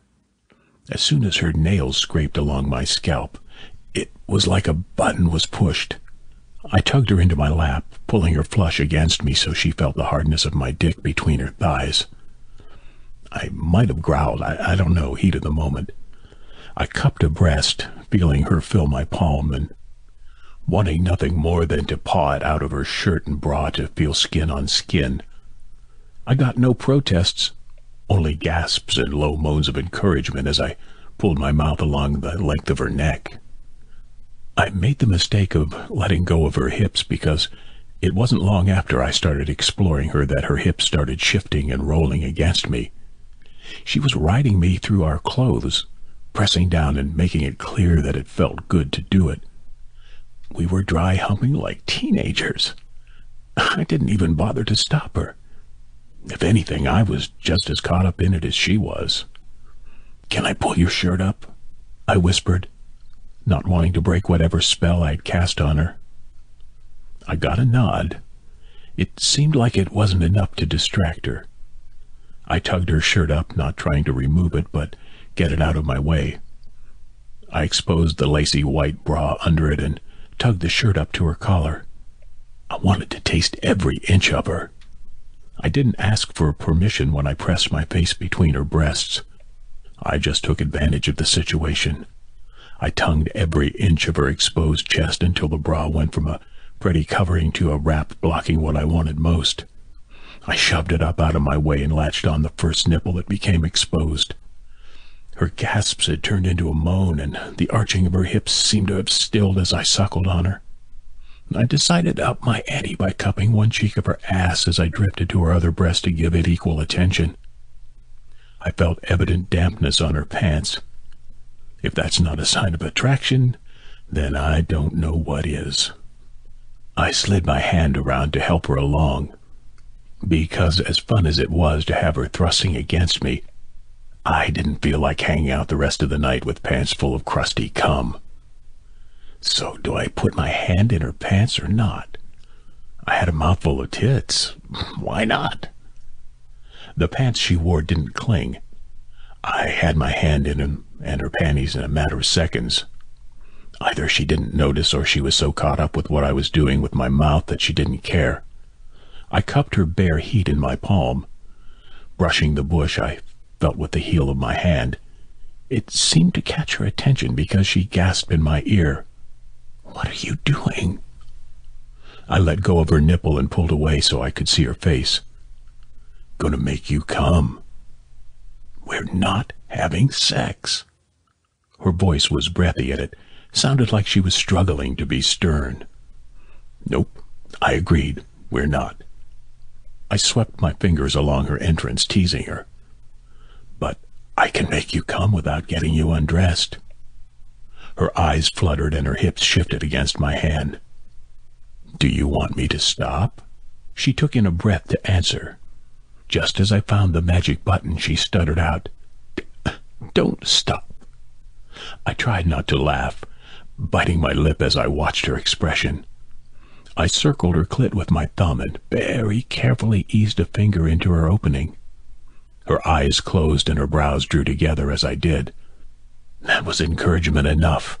I fucked her shallowly with my fingers, feeling her muscles clench around me each time I pressed into her. Do you like that?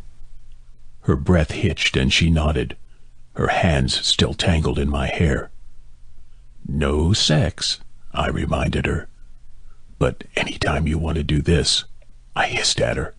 I worked another finger into her. I will until you're ready for full-on sex. She let out a low whine and I could feel her cunt throbbing in my hand. She was so close.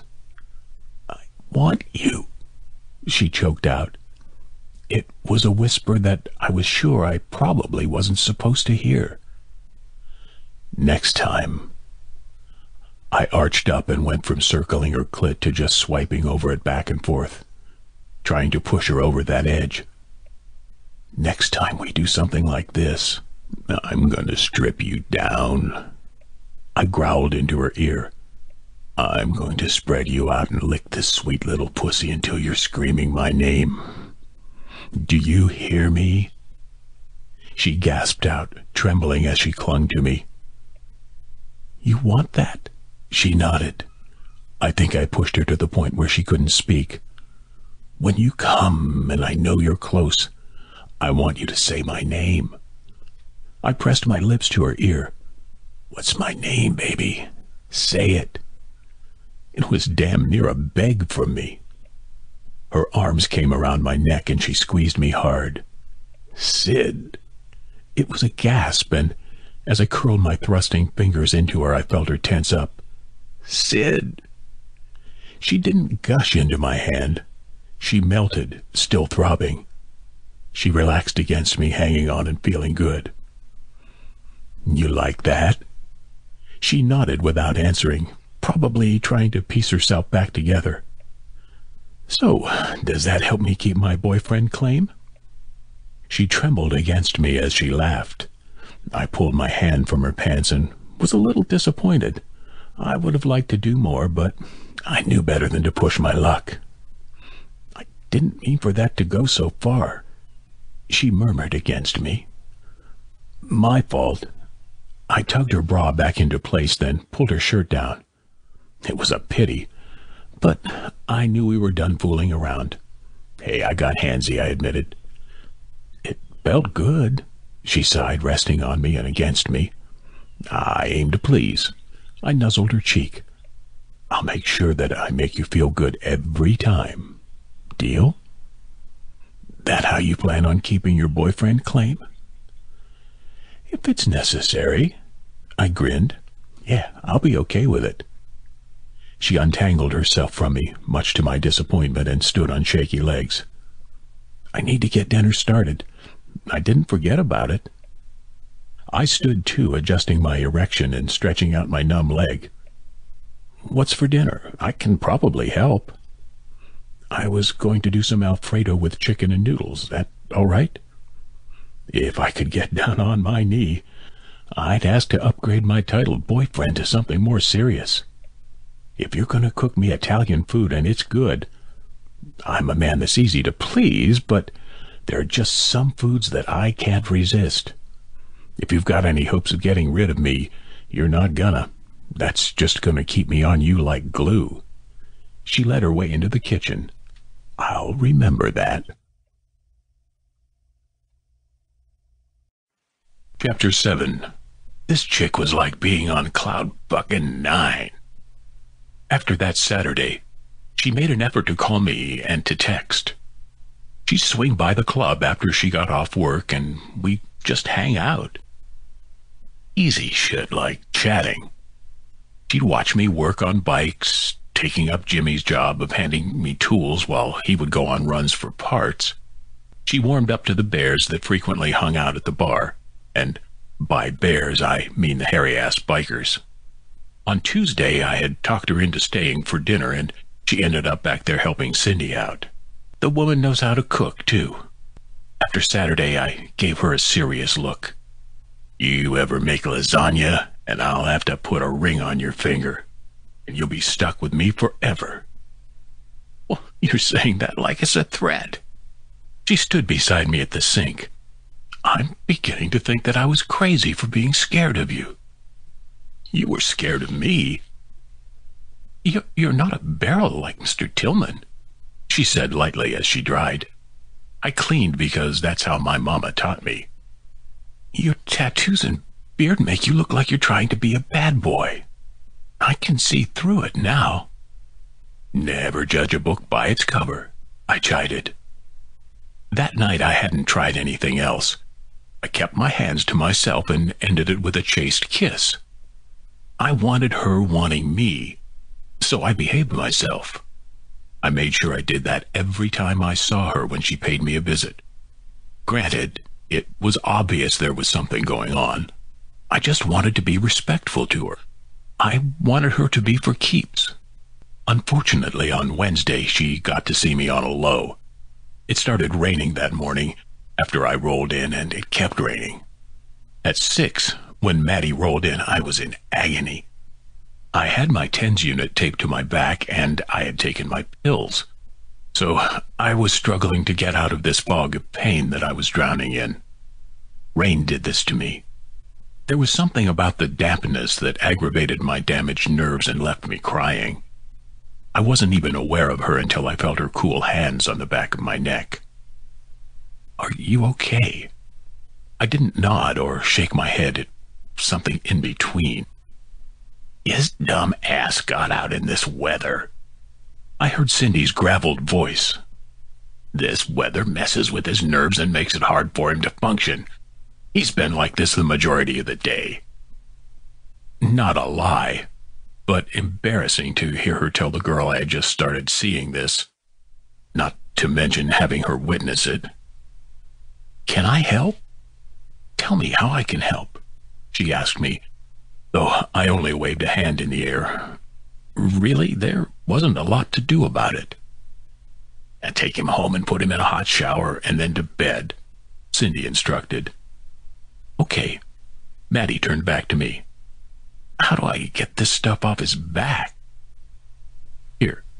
The TENS unit was switched off and they pulled the sticky patches off. Someone help her get him out to the car. Cindy belted out like a drill sergeant I don't even think the woman served, but the way she shoved these men around it made me question it. Thick arms hefted me up, and I was set on my feet. Hey, can you walk? It was Teddy. I gave a nod and walked with his support. My left leg felt like it had a bit of a drag to it. There was a downpour outside that no biker in his right mind would try to ride in. The lot was empty, and Maddie had actually been able to park in what one might consider a parking space. We went out in it, getting soaked, and I was eased slowly into her front seat. You need to call your doctor about this shit. Teddy growled at me. You being an invalid every time it rains is ridiculous. I could only shrug my shoulders. I managed to get her seat shoved as far back as it would go. It was bearable enough that the queasiness that had been turning my stomach when I sat in the bar had stilled. She got in and gave me a look before pulling out of the lot. The ride was kind of a blur. I think drugs had finally begun to ease in. Valium was an emergency prescription I managed to get from my PCM for times like this. Things still hurt, but it put me into a frame of mind where I didn't care. I was told to use it when things made it hard to function. It left me feeling drunk, but not really drunk. Had Maddie not shown up, I would have crashed on a cot that was stashed in the bar for guys to sleep themselves sober. The car eventually stopped, and I looked around. Hey, I, I, I didn't tell you where I lived. I brought you to my house. was all I got. She helped me out of the car, picking up my bag of pills and my TENS unit, and we both stumbled to her front door.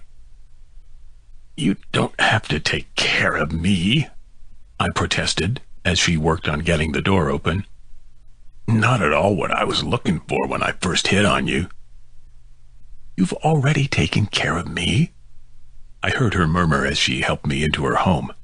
She closed and locked the door behind us. She kept us moving.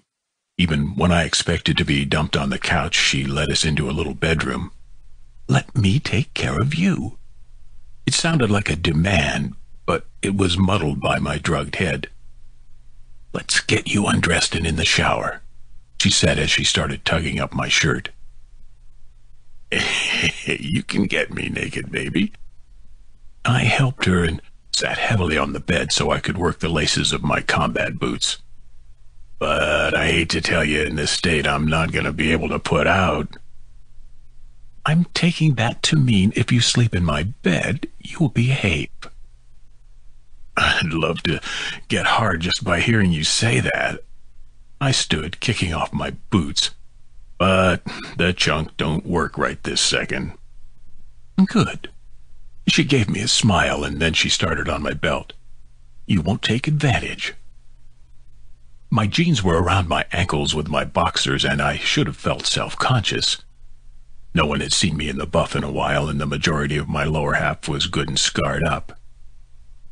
She didn't give me the chance to cover up. Aside from her sexy blush, she had a professionalism that would do a nurse proud. I'll help you get in the shower. The shower was cut on, and without direction, I put the heat on full blast. She had a walk-in shower that was big enough to fit both of us. I propped my hands up and turned my back to the shower head so that my skin and aching muscles would absorb the heat. I felt the relief, even if the drugs fogged my perception of the pain. I groaned quite a bit, actually.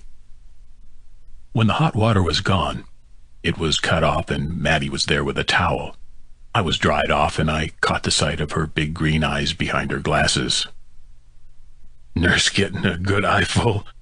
I asked, and her blush spread down to her neck. I put my brow next to hers as she was helping me back into my boxers. Just so you know, I said as evenly as I could. I'll kick myself later for not copping a feel or something. She laughed and cupped my face. If your stuff worked, I'd probably let you take advantage, Sid. I had no idea you looked so good. Hardly. She walked me to the bed.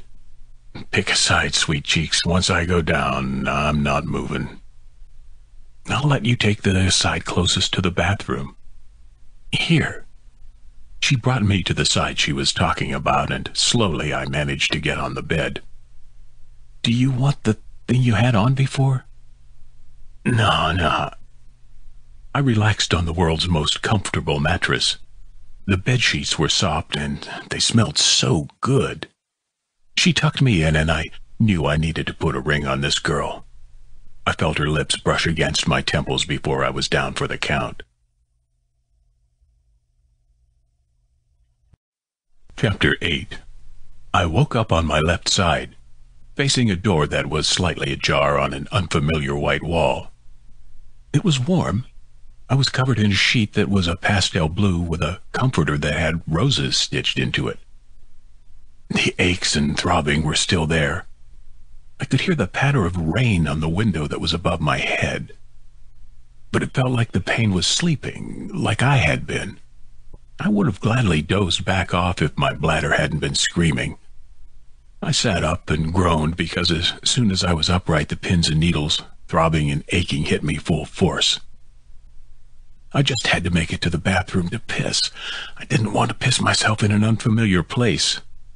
I managed to get to my feet and hobbled into the bathroom. I did my business and noticed the state of the bathroom. It was obviously a woman's house. I definitely wasn't home. Did Maddie really bring me to her place? I wandered back into the bedroom to see her stretched out on the other side of the bed. She wore a t-shirt and as far as I could tell, that was it save a pair of white lace panties. I didn't wake up with morning wood, but the picture before me was enough to get my old friend's attention, despite the aches I had. I glanced down. Must really like her to stand up despite all this shit. She made a noise, bringing my attention back to her, and I hobbled to slip back into bed next to her. I watched her stretch, giving me a great view of her lethal little form. Yeah, I had to admit it. I liked her as much as my cock did. She shifted closer and curled up against my side. I wouldn't have pegged her as a cuddler, but here she was getting all snug against me. I curled my fingers through the tangled hair that obscured her face, then traced a line down her cheek. She took care of me while I was having a bad day. I had joked about putting a ring on it before, but if she brought me to her bed without an afterthought about me overstepping boundaries that she wasn't ready to cross, well, there was something here. Something that was more than sexual attraction. My chest felt tight as I continued to look at her. I didn't want to think about the L word. You know, the big L word. But it was there, on the tip of my tongue, just looking at her. Oh, fuck. I'd fallen head over heels for her in just this short amount of time. I looked up at the ceiling, watching the slow spin of the fan. So, what do I do about this? Do I say something? Do I swallow it and wait? Would it scare her off? The thought scared the shit out of me.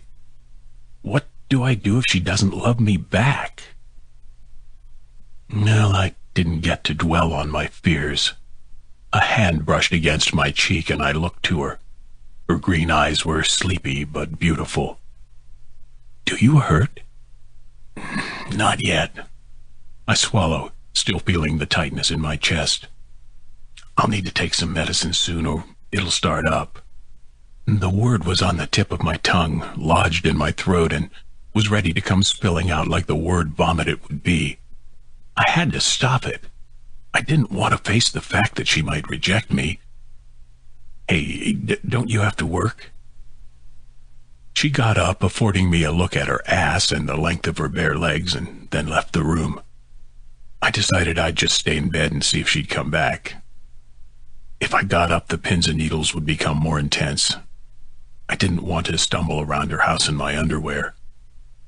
I called in sick. She came back with my medicine bag, my TENS unit, and a glass of water. I was considering calling in tomorrow, too. I want to look at the forecast first before I do something like that. She offered me my bag and sat beside me on the bed, a glass of water in hand and the TENS unit on her lap. Someone was on nurse duty. Began to dig into my bag. Nerve pills first. I popped two in my mouth without a thought and took the glass of water to drink them down. Don't get yourself fired on my account. I look at her, that word still hovering in the forefront of my mind. I'm not worth you losing your job for. I haven't taken a vacation since I started the job, she smiled at me. I've been sick maybe two days over the last three years. Nobody can get mad at me for calling in today and tomorrow. I sat the bag on the bedside table and she did the same with the glass of water in the TENS unit. Before I met you, she started, I would go to work and come home. I didn't do anything outside of my routine. I didn't have fun. I didn't think about men outside of fantasizing about some celebrities that I would never meet. She paused, looking away from me as she seemed to think about what she was going to say next. Well, I met you and I want to go out. I have fun with you, even if it's just hanging out at that bar or if we come back here to watch a movie. I feel like you've given me the desire and motivation to live. Motivation to take a ride on the back of my bike? I playfully prodded. She let out a laugh and her eyes connected with mine again. Not yet, but I imagine you'll probably wear me down eventually. I picked up her hand from where it rested on her thigh. How do I repay you for looking after me? Don't break my heart.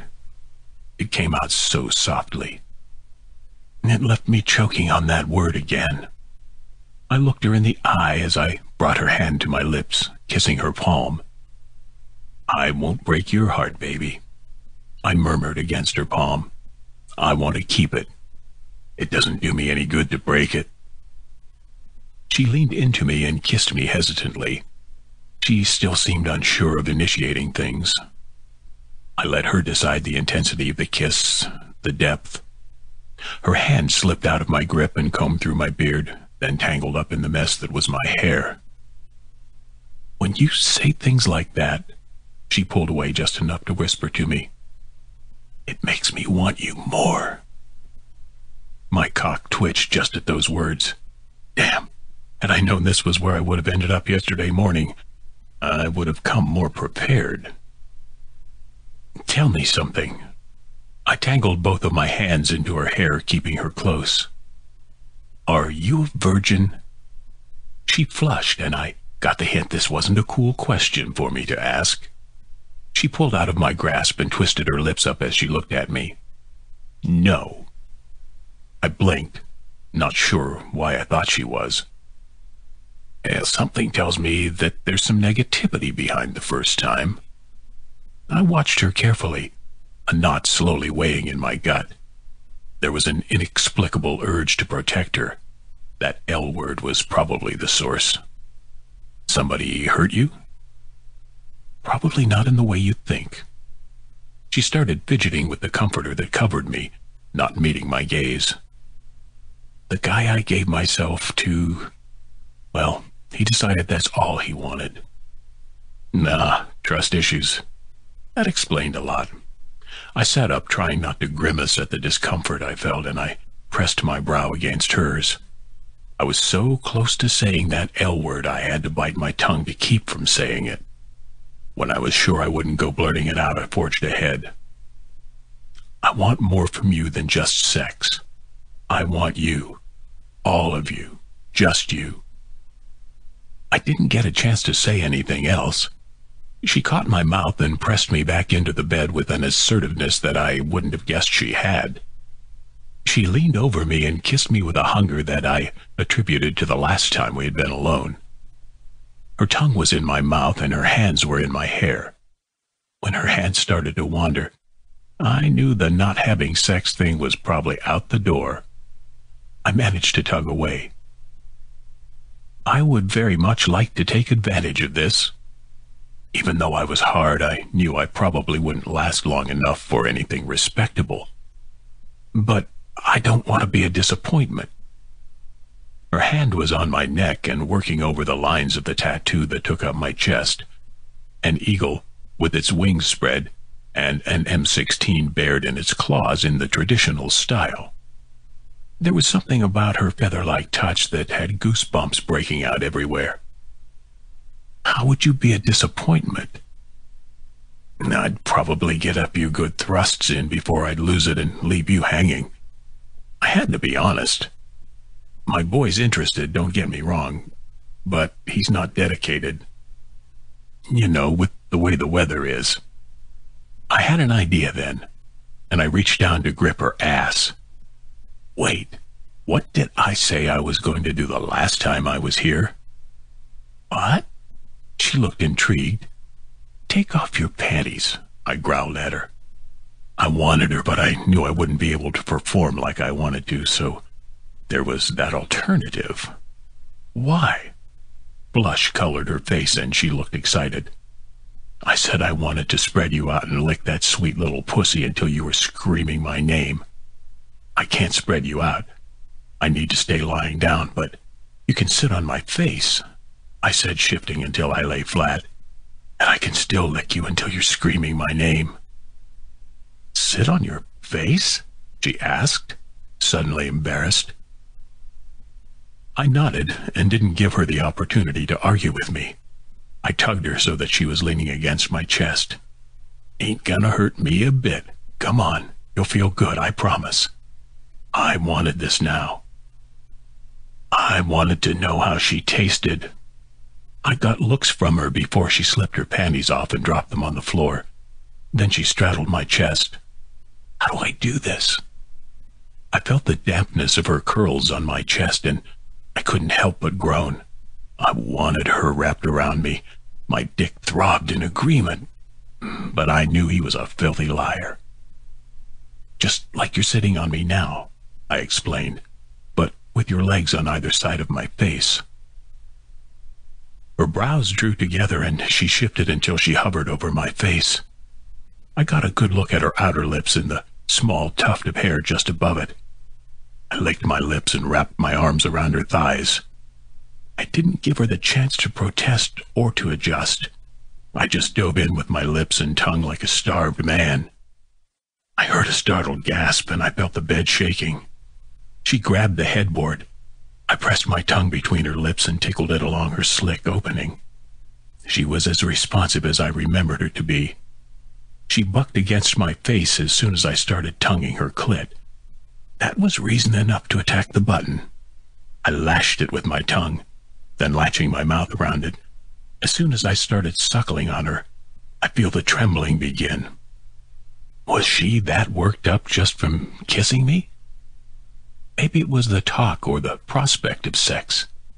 If she wants me that much, I better give her something. I released one thigh and found a way to ease a finger into her dampness. She moaned, her hips rolling against my mouth and her muscles clenching around my finger. I released her clit for a breath. You taste so good. I could eat you all day. I worked another finger into her, curling the fingers as I thrust them into her. I can't wait to feel this around my dick. I latched back onto her again, hearing a whine as I seemed to be driving her closer. It was a whole lot quicker than the last time we were together. This time there was a whole lot less clothing involved. One of her hands dug into my hair, and I heard a short string of don't stop coming from her like a prayer. I pressed my fingers against the upper wall inside her, swirling her clit as I stuck in hard. She cried out. It started like a shriek and ended as a drawn-out moan. Before she clenched around my fingers hard enough for it to hurt, I looked up to see her face. Eyes were closed and her brows drawn up. Her mouth was opened as if she was caught off guard, her lips forming a small O. Probably the sexiest expression I've ever seen her have. I eased my fingers from her and gave her tentative licks while I watched her face. Her flavor matched her scent, musky with a slightly salty tang. It wasn't something I minded having on my tongue. I was going to clean every bit of that dampness from her. But she began to twitch and carefully eased her way off my face. She melted onto the bed beside me, panting lightly as she seemed to come down from the euphoric high I had put her on. That was fantastic, I heard her say. I'm happy to please. I assured her as I rolled on my side to face her, though her head was down by my thighs. So, since you called in, what do you intend to do with your day? Just stay in bed? We could take a shower, brush our teeth, and all that. He raised an eyebrow at me. If you're achy, we could watch a movie or something. Could take me back to my place, I offered. I found it hard not to touch her. I stroked my hand up her thigh and cupped her bare ass. Damn the rain. All that was between her and me was a pair of day-old boxer shorts. Are you saying you don't want to stay the night again? No, but unless you like the idea of me hanging around here naked, I'll need some clean clothes. I pointed out, kissing her knee. She seemed to catch a better look at me because she sat up and started dragging her fingers through my beard. You're a mess. That blush came back, and I gathered what had her embarrassed. Let's get a shower and get cleaned up, and then we'll go get you some clean clothes. She helped me out of bed. The stiffness wasn't just in my pants. You gonna take a shower with me? I asked with a groan. I was thinking I'd do that. She directed me into the shower, and I had the pleasure of finally seeing her naked. I had felt her breasts in my hands. I had my mouth latched onto them about a week ago. But touching and tasting were totally different from seeing. I wanted to bury my face between them as I thrust into her. But we wouldn't be able to do that. At least not today. She turned on the hot and turned me into the spray so that my hair and beard were wet. It bother you that you had my beard all soaked? I asked as she picked up her shampoo and started to lather up my hair. I stooped to offer her a better angle. Her fingers tangling in my hair and massaging my scalp was enough to make me want to throw all my cares about embarrassing myself with a poor performance down the drain. Her hands drifted down and she went about shampooing my damn beard. I didn't, she assured me. I just never had someone do that to me. I didn't expect to see so much, um, uh, me left on your face. Means I did a good job. I smirked at her. We traded places so she could rinse me. Liking the idea of cleaning each other, I picked up her shampoo and started lathering up her hair. I didn't get too far. She slipped down to her knees and caught a hold of my erection. I'd been sporting it for a short while now, something that frequently happened around her. It hadn't got painful yet, but with the way she was stroking me, that surprised me. Hey, what are you doing down there? Showing you my appreciation, she said before closing her lips around the tip of my cock. She was giving me the vision I had when I first saw her, her sweet lips wrapped around me. I kept my hands tangled in her hair as she swallowed me. You don't have to, I swore, but I made no move to stop her. Her hand kept working me as she bobbed her head along the length of me. She kept up the work until my hips were thrusting forward of their own accord. God, that feels so good. I tilted my head back into the spray as she brought me closer and closer. I wanted to hold out, feel the deliciousness of her mouth as long as I could. But there was a tightening in my balls and a throb in my dick that was quickly becoming too much.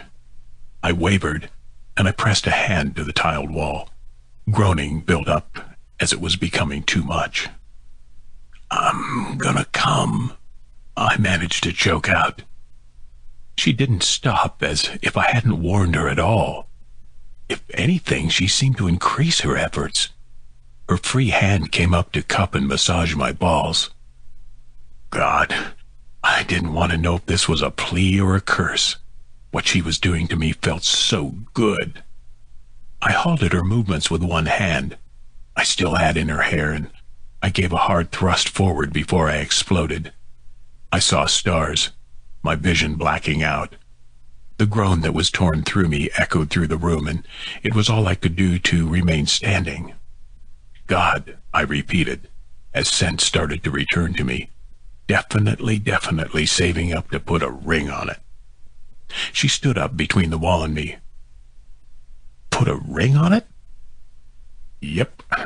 When I was sure I wasn't going to fall, I tugged her under the spray before it got too cold so I could rinse her hair.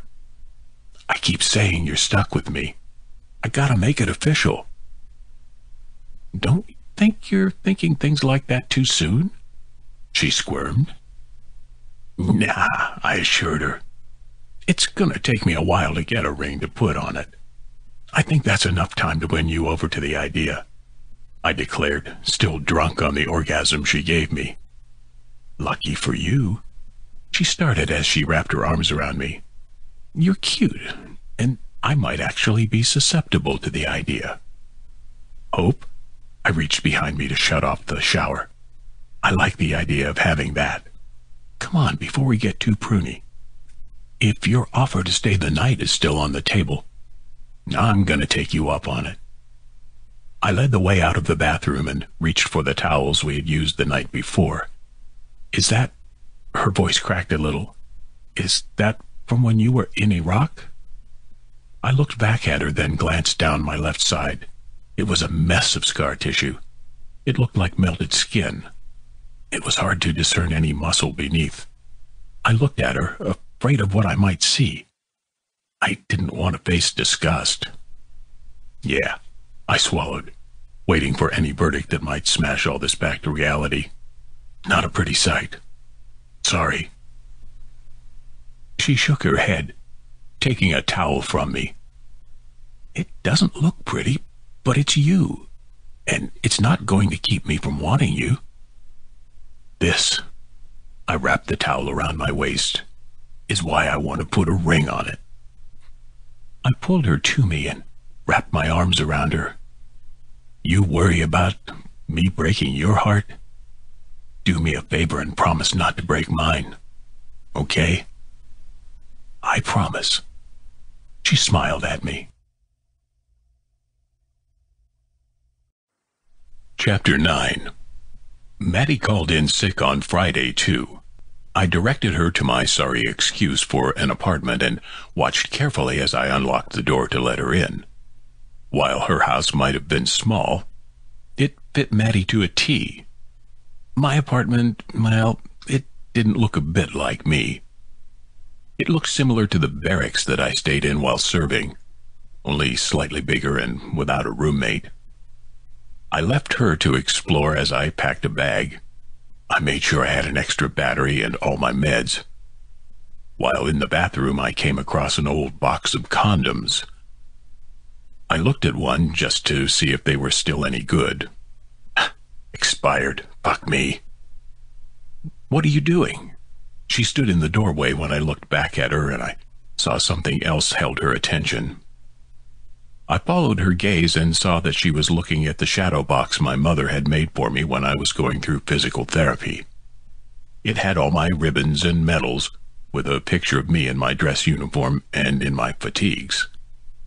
Is that you?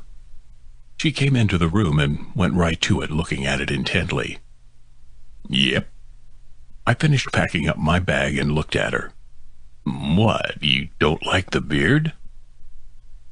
Sidney Joseph Redding, she murmured, instead of seeming to test out the quality of my name. You got a purple heart, she said, looking at me in awe as she pointed at the medal in the shadow box. Yep, I confirmed, not wanting to expand on the circumstances. Wow, I didn't realize. She shook her head and looked back at me with her full attention. This is all that disability will pay for you? Mom and Dad helped with the furniture. Disability keeps the roof over my head and the lights on. Fortunately, water's included in the rent. I folded my arms over my chest. Are you judging me? No, no. God, if it seemed like I, I was, I'm sorry. She started fidgeting with the hem of her skirt like I was giving her a real hard time. I snorted and came over to her. That shit was over four years ago. It's been a while since I even looked at it. If anything, the only time it occurs to me is when I'm down for the count hurting or waiting in line at the VA to get a refill on my pills or to see my PCM. Don't worry about it, sweet cheeks. I'm taken care of. You lived with someone, would it affect the amount you got? No, but I'm not really looking for a roomie. Let's get going, though. I went to get my bag, throwing it over a shoulder. I'm ready to get back to our slumber party when you are. If our party's going to include sex of the real kind, I'll need to make a stop by a gas station at least to get some rubbers. Her face went pink, and it was hard for me not to smirk at her. The last bit was said with the intent to embarrass. That's kind of an asshole thing to do, but her poking me around the edges a little. Would you consider moving in with me? She squeaked, almost a whisper. I nearly dropped my bag. I stood there staring at her for what felt like hours, but it could have been five minutes. You said earlier that it was too soon for me to think about putting a ring on it. Isn't it too soon to ask this question? Mm, it was something I was considering while we were lying in bed earlier, she admitted. and she walked past me like she hadn't just said something important. I want you to stay the entire weekend with me, even if we don't do anything, and, well, if it's just couple shit, you know, like we talked about a week ago. And then, if we're in agreement to not breaking each other's hearts, we can talk about being roommates. Seriously. Uh-huh. I followed her out, watching her closely. Yeah, I was growing on her like she was growing on me. If she was talking about me moving in seriously, then I wasn't the only one playing for keeps. Chapter 10 Rain came late Thursday night while we were sleeping. I had the great pleasure of waking up with only a slight drug-induced haze and Maddie wrapped around me like a blanket. Morning wood was up and loaded too. I twisted and rolled, so we were lying chest to chest. Sleeping next to her definitely made the idea of moving in with her appealing. She kept her pajamas simple, a t-shirt and whatever panties she had been wearing that day. It gave me the opportunity to feel the silkiness of her thighs and follow them up to the curve of her ass. Heaven. This was where I was. It couldn't get any better than this. I could stay like this all day if I didn't have to piss. That's actually what got me up. I slid out from under her and hurried to the bathroom. After getting finished with business, I went ahead and brushed my teeth. The question here was, do I wake her up or do I just assume and, and do breakfast myself? It's been a day. I think I can manage something, I told myself. I wandered into the kitchen and raided the fridge.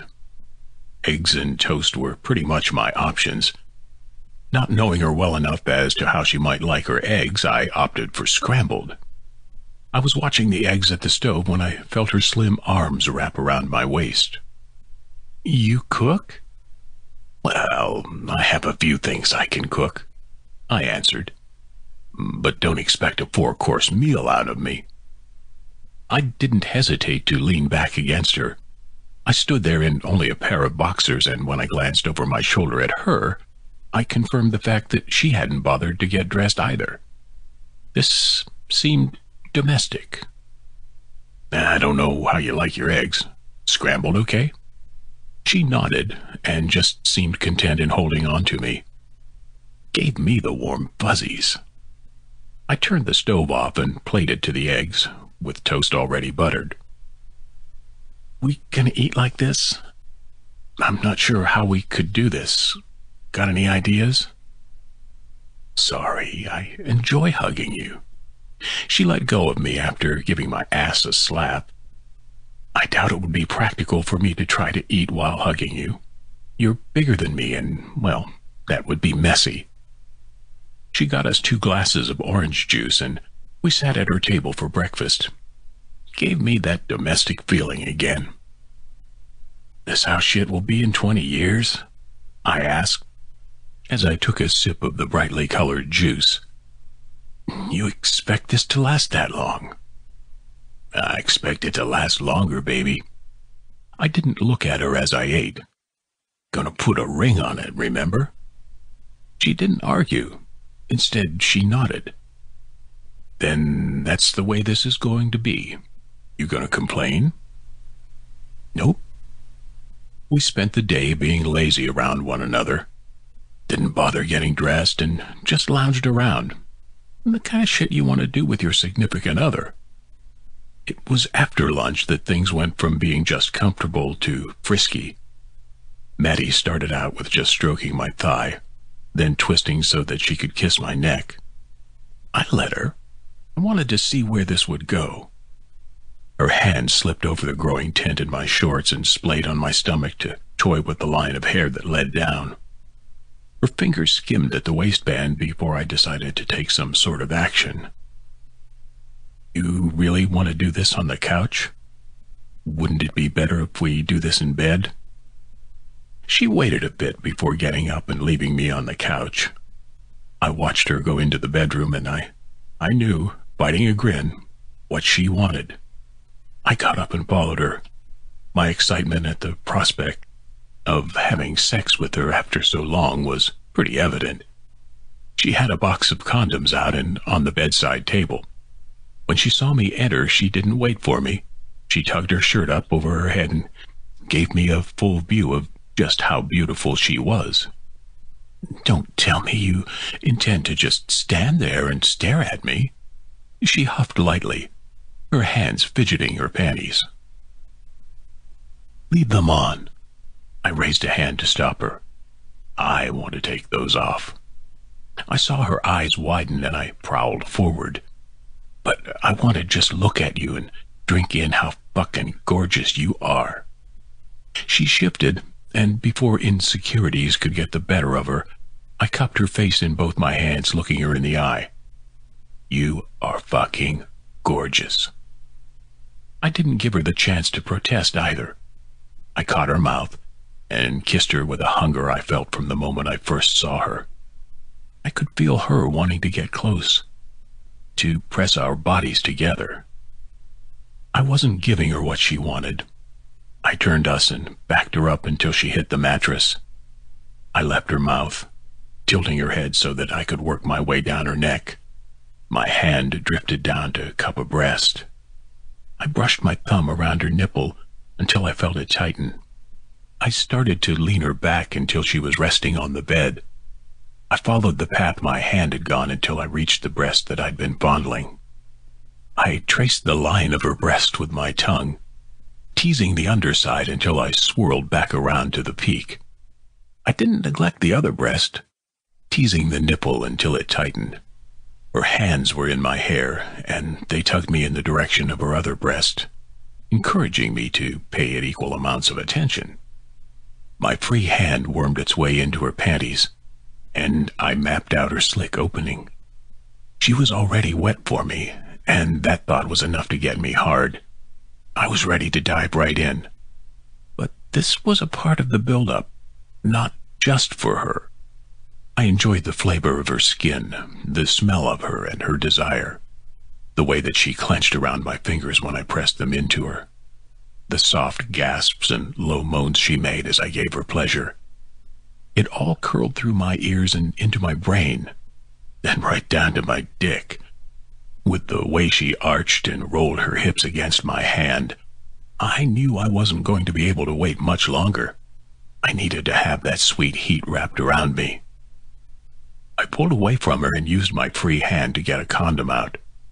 Ripping it open with my teeth, I gave the rubber a hard look to make sure it was good to go before I shucked off my boxers and rolled that bad boy on. I pulled my hand from between her thighs and tugged her panties away as I did. I had originally wanted to spread her out and have her cooing like she was while I tasted her, but that plan was out the door. I had wanted this girl so long that I couldn't wait any more now that she'd given me the go-ahead. Come on, baby. Let's get on the bed, right? She nodded, her face flushed and her eyes dilated. As soon as she was settled in the middle of the bed, I prowled over her and settled down between her thighs. Her breasts pressed against my chest and her arms immediately went around my neck as I went to kiss her. The connection that existed between us seemed to intensify as soon as my cock pressed against her outer lips. Words bubbled up in me as I started to press into her. All the thoughts that circulated seemed to well up like a pot ready to boil over. I thrust forward slowly, and the sweet hold started to envelop me, giving under the pressure until I was fully seethed in her hold. God, I hissed out against her lips. You feel so good, baby. So good. I'm a babbler, I, I won't lie. Each time I pulled back, then thrust back into her was accompanied by me telling her how beautiful she was and how much I loved the feel of her on my cock, not counting the barrier of the condom. I reached down to hitch one thigh over my hip. She didn't need a lot of prompting after that. Her legs wrapped around my waist. I tilted her back so that each thrust I made into her brought me deeper and deeper into her. Muscle spasms started, because, of course, They would assault me when I was in the middle of fucking a beautiful girl. I grimaced and managed to open my eyes so that I could see her expression. Not going to be able to go as long as I wanted. I had to break it to her because I either speed this up for us both to have a happy ending or I'd go soft and that would be embarrassing. I've had it happen before, part of the reason why it's been a while. Her eyes fluttered open, connected with mine. She nodded, though it seemed like she was at a loss for words. I slipped a hand between us and started brushing my thumb over her clit, trying to press her along to that orgasm that I could feel squeezing me tighter. Don't hold out, I begged. I, can't much longer. She cried out, her fingernails digging into my back and her cunt clenching around me so that I choked out a groan in response. I clenched my eyes closed as my vision started to swim, like I was actually being choked. I saw stars and tensed up as I exploded inside her. Well, close enough to inside her. Fuck. I curled my arms around her. I managed a few short thrusts before I was milked dry. Fuck. It was like a plea being ripped from me. I buried my face against her neck as the feeling shuddered through me. I fucking love you. Of course. Reality didn't crash back into me and let me know how fucking dumb I was. Not yet. We were both still drunk from sex, and it probably hadn't occurred to her what I said, much less me realizing it. The fact that I had managed to stay hard through the entire thing was saying something. I wanted to stay buried between her thighs, just to live here. I felt so good, and it seemed to take so little effort. But I was sure she wouldn't be able to take my full weight on her for too much longer. Not that I'm fat. 200 pounds, mostly muscle. Thank you. I turned us on our sides, unhooking her ankles so that I wasn't putting unpleasant pressure on her. Then I relaxed and breathed in the musk that seemed to accompany a good fucking. And that was when reality hit me like a ton of bricks. I tensed and waited for her to react. Maybe she would ignore it. Did I want her to ignore it? Did I want her to acknowledge it? Oh, fuck me. I told this girl I loved her. I knew I did. Love her, that is. I realized it Thursday night when she was nursing me back to health. But I hadn't planned on blurting it out like that, or so soon. She rested against me, and for a second I thought she might have fallen asleep. I felt for a moment like I dodged a bullet. I wasn't sure if I should be relieved or disappointed, though. Regardless, I was still fucking scared. Was I so much of a bitch that I'd tell her I loved her during sex all the time? I couldn't imagine a chick complaining, but if she wasn't ready to hear the words, it might derail our short-lived relationship. You love me? She questioned quietly. So much for her being asleep. Did you mean that? I pulled away from her, swallowing hard as I met her big green eyes. I, I, I really didn't mean to say that. I released a shaky breath. But it was said. No point in trying to take it back. Yeah. I nodded and started to relax and accept my fate. I love you. If her eyes could have gotten any bigger, I would have been surprised. I wasn't sure if I should have been afraid or not. My heart was thundering in my chest, and I could barely hear anything past the rush of blood in my ears. I'm not ready to say it back to you, she admitted. That wasn't rejection, was it? I'm not going to kick you out she said slowly, sensing my fear. I just didn't expect you to get here so soon. I never thought I'd hear a man say that to me. Why not? It didn't make sense to me why she hadn't heard those words before. She was beautiful. She was loving to me, even though she hadn't admitted to loving me. She seemed caring, had been open with me.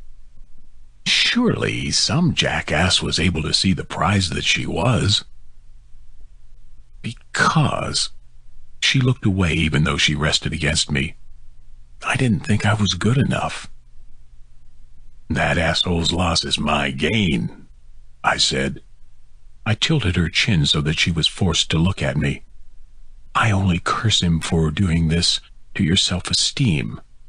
If you were still with him, you wouldn't be here with me. Then where would I be? I didn't give her the chance to dwell on it. I kissed her slowly to distract her and hoped I hadn't royally fucked myself. Chapter 11 Despite my ill-timed admission of love, I hadn't completely tanked my chances with Maddie. She didn't send me home, which would have been hard to do seeing how my bike was still parked at the bar. She didn't put me on the couch either. I still had the pleasure of being in her bed, wrapped around her. The first time we had sex wasn't the last time either. On Saturday, while we watched a movie, I'd mention the name, but I forget it. She started giving me the signals. She managed to get me up on two occasions, a record I hadn't been able to get back to in four years. I was glad to experiment with how responsive she would be in different positions and seeing how long I could last while thrusting into her from behind and then with her riding me from the top. I don't know which she enjoyed more, but the latter seemed to make her more vocal. I could get used to waking up to her curled into me and being surrounded by her scent. I wanted to wake up like this every day. Come Sunday, though, we had to get back to the real world. She had work to get back to, and I couldn't keep her with me forever. She took me back to the bar for my bike, and we spent the rest of the day around people. People are overrated. Having sex in her bed is a much better idea, if you ask me. Whipped, Jimmy sang out when I saw her off. Pussy whipped in under a month. God damn, I need to revoke your man card. Man, if you had the opportunity to get good pussy, you'd be whipped too. I didn't even pay him any mind. I wasn't actually offended by what he said. I ain't seen you in days. He pulled his wallet out and counted out a few bills. Ted said you were damn near dead on Wednesday. You telling me you've spent the weekend being balls deep in that? Not giving you details. Though there was some definite satisfaction that I was feeling after my long weekend in Maddie's arms and bed. That's enough for me. He offered me the money. From Anthony. I was real happy with the work you did on that bike he was talking about seeing about making arrangements to start bringing his friends' bikes here. If you're interested in the extra money. I ain't getting into illegal shit, I said, without looking at him. And if you're into shit without Teddy or Wilson knowing about it, you could get into serious deep shit. Take the money, he snapped, and worry about your own broke ass. I took the offered money from him and met his glare with one of my own. Mind your own goddamn business and you ain't got nothing to worry about. I stuffed the money into my pocket and nodded, even with the sour taste in my mouth. I gave him a dark look before going into the bar. I didn't know what he was dealing in, but the answer was enough to confirm the fact that Teddy and Wilson weren't involved. What kept me from going to them, though, was the fact that I had nothing. I had a hunch, and that was really it. Well, maybe a little more than a hunch with what Anthony said to me. Hey, Cindy. I wandered into the kitchen, watching her as she cleaned up the mess from dinner. Hey, pretty boy, she said without even looking at me. You got a minute? She stopped to look at me, her brows drawn down and her expression telling me I better have some good shit for interrupting her. Hey, I have a hunch that shit's gonna go down. Do I follow it? Do I tell Teddy about it? Or do I keep my nose clean? You're asking me for advice? She looked surprised, like she didn't expect me to do something like that. This is on the basis that you're smarter than me. I figured buttering her up was the best idea. Man, there were a few different ways to take this, and I hadn't figured out the best way to go about it. Her lips twisted up to one side, and she gave me a hard look like she didn't take me seriously. If you're serious, she started, then went back to work at cleaning up the kitchen. I helped by drying whatever she handed me since I was distracted. You need to ask yourself a few questions. Does it concern the club? If it does, then you need to talk to Teddy. She didn't even hesitate with that. If it doesn't concern the club, and this is some kind of shit that you've gotten into with that girl, like done something stupid and knocked her up, I'm gonna cut your balls off and serve them for dinner tomorrow. Madison is too good for you to ruin. First, I couldn't keep from sounding insulted. I, I wrapped shit up. Second, I don't want to buck up shit with Maddie. That's gold, and I know it. I'm not that fucking stupid. Well, good. She handed me a heavy skillet that I nearly dropped. I like her. It's not every day one of you brats brings something good in here. She's not an old lady. So you're telling me not to make her my old lady? Are you in that deep, boy? I grimaced. If there was anyone that could give me solid advice, it was probably Cindy. Oh, I told her I loved her. I admitted, and I couldn't look at her. I knew how much of an ass I sounded like. I'd only been with the girl for two weeks and had already dropped the L word. Wow. She stopped what she was doing, and I knew she was staring at me. You meant it too, didn't you? I still couldn't look at her, but I nodded. What was the point in denying it? And the look on your face, boy. I guess I can see it. She's a sweetheart. She went back to cleaning. Hold on to her, buddy. If she didn't kick your ass out when you said that, well, she probably feels the same. Can't just be that I'm good at throwing dick? I doubt it. She took the towel from me.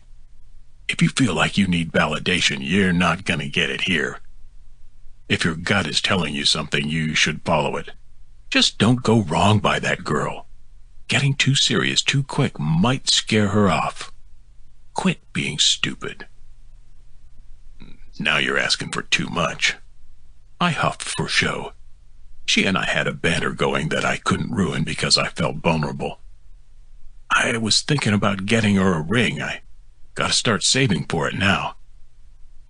Get your ass out of here if you're not going to listen to me. At first, I didn't think she gave me anything that I could use. My gut was telling me something, though. It was time I followed it. Chapter 12 I decided that from then on, I'd be keeping a closer eye on Jimmy.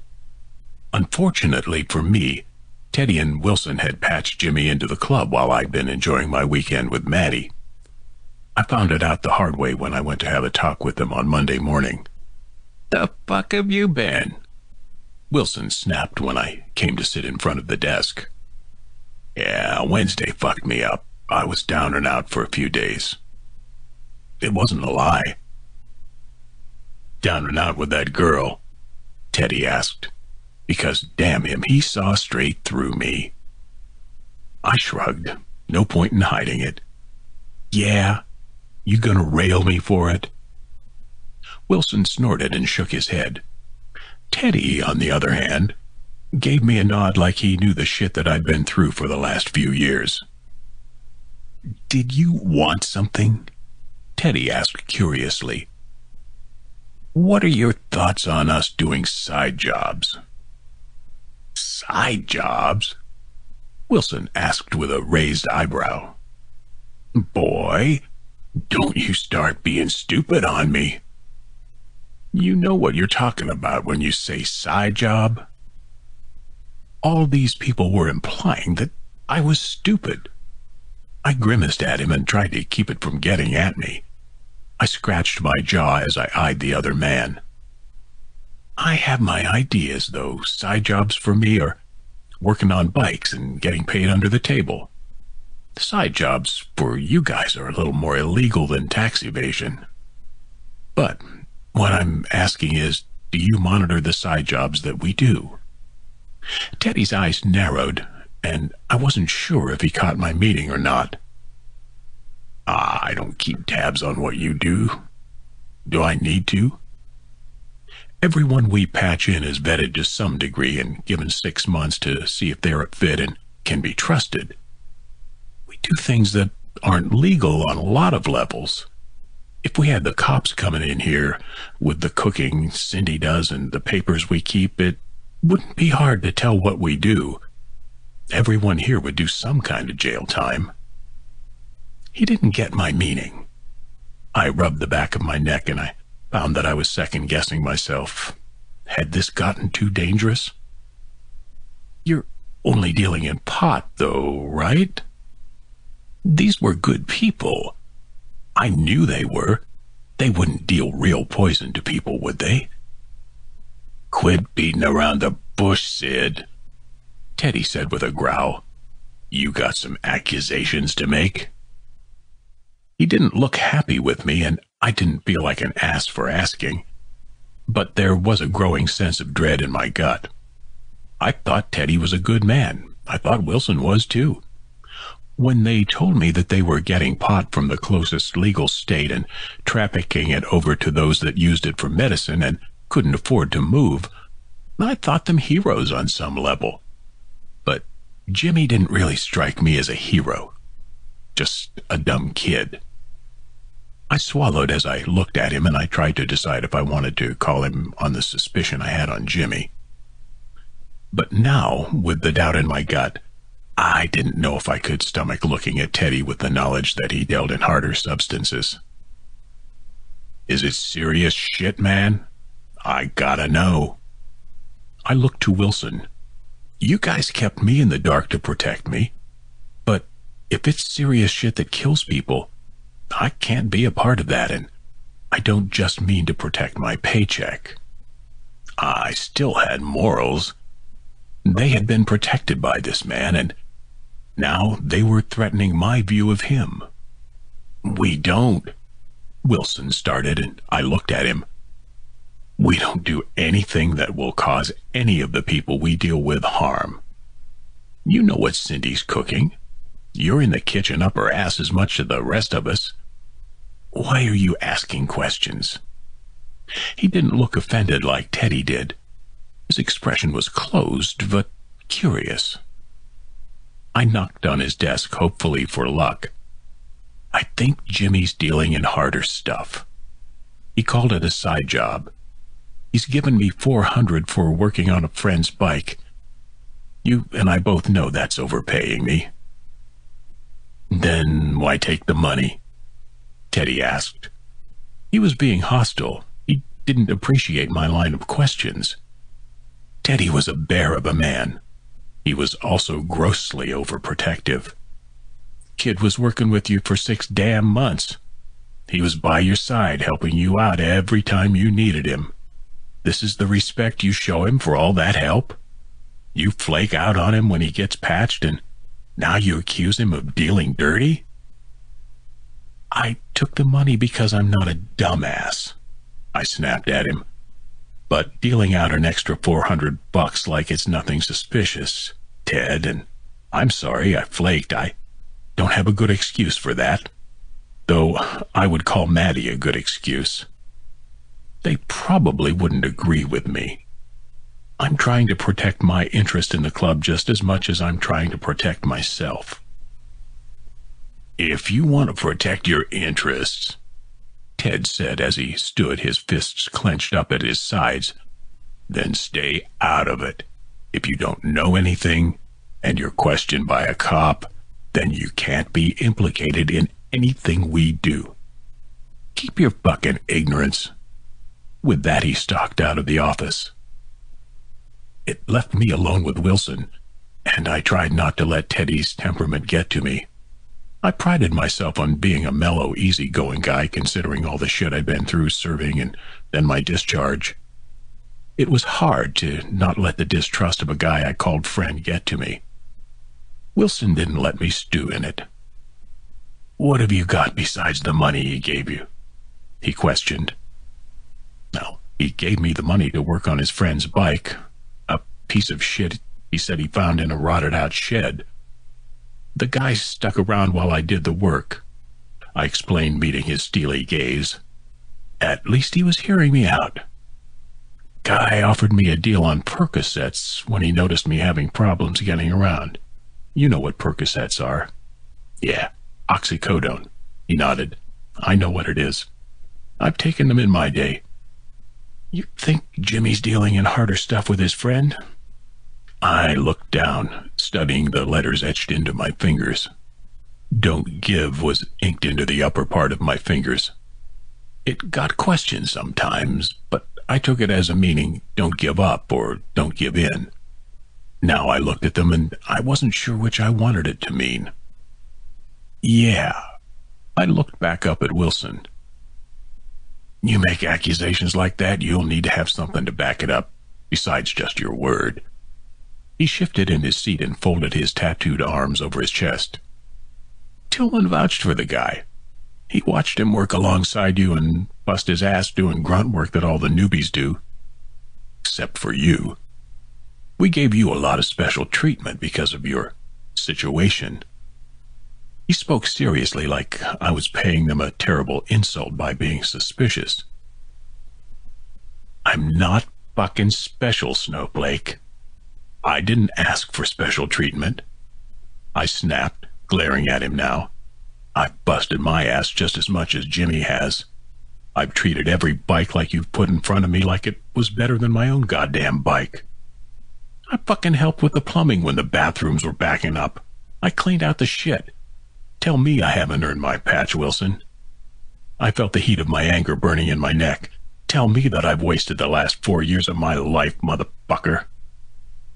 He raised his hands as if to ward me off, though he still looked the picture of calm, like my words hadn't affected him in the least. Not all what I said, he said plainly. What I'm saying is you see what the kid does around here, and that's all. When we do runs, things you aren't involved in, we see how the kid is. If you're going to accuse him of doing something that'll give us a bad name, I want you to supply me with something I can work with besides your word and your gut. He must have sensed that I was about to argue. That's the fire of my anger still simmering on my face. Ah, I trust you. I know that you wouldn't come to me if you didn't think something was up. But for me to do anything about it, I would need something more than your word.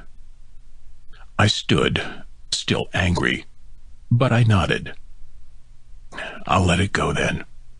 I growled as I started to the door. I just had to get out of there. Don't, he stopped me. Don't let it go. Be vigilant. Keep your eyes and ears open. When you can give me something to back up your word, you come back with it. Don't mind Tillman. Let him be sore. I looked back at him. But if your gut's telling you something's up, you follow your gut. Well, that's something. He was telling me he trusted me in a roundabout way. I guess that was something for my bruised ego. Chapter 13 I made a point to make myself scarce after that. Maddie was still at work, and I had a few hours before I could get any sort of comfort from her. I opted to go for a long overdue ride. The last time I'd gotten on my bike was Wednesday. and then after suffering for a day or two, I spent the rest of the time with Maddie. I didn't regret it. I'd been accused enough of being stupid in the last day that I wasn't going to be actively stupid by wishing I hadn't been with a beautiful girl. It was enough to have me watching the clock and waiting for the word that she was off work. What do you do when your friends are pissed at you and your girl's working? I didn't have any money that I could play with, even with the couple of hundred bucks that Jimmy gave me. I felt like a sulking kid, and I didn't want to let it affect how my attitude was when I met with Maddie. My options were simple. Go to the gym and work the anger out. This was how I kept myself mellow. I lifted weights and jogged until my muscles screamed and throbbed. I had to stop short, my ego still smarting. But by the time I hobbled out of the base's gym, I had a text from Maddie, letting me know that she was off and headed home. I have the option of going home for a shower or coming over your house for a shower. If I come over your house, will you take a shower with me? I sent the text to her and tried to sop up the sweat that was sure to make me stink. I could be talked into a shower. Good. I'm on my way. Get naked. I didn't wait for a response. I packed up my shit into my saddlebags and threw on my sweat-soaked shirt. I got on my bike, and I made my way to the girl that was sure to soothe my rattled nerves. I pulled my medicine bag and fresh clothes from my saddlebags as soon as I got to her house. It took me maybe thirty minutes, and I had hoped she was naked when I knocked on the door. I knew better. She let me in with her sweet smile, and I already felt better. I left my figurative baggage at her door and let her lead me to the bathroom. We undressed one another. The water was turned on, and I tugged her into the shower with the intent of doing something more than showering. I pressed her into the wall and silenced any sort of protest she might have had with a kiss. She didn't bite me. Instead, she held me close and touched me to the point that I forgot I needed an actual shower. She pulled her mouth from mine long enough to gasp out, Need condom.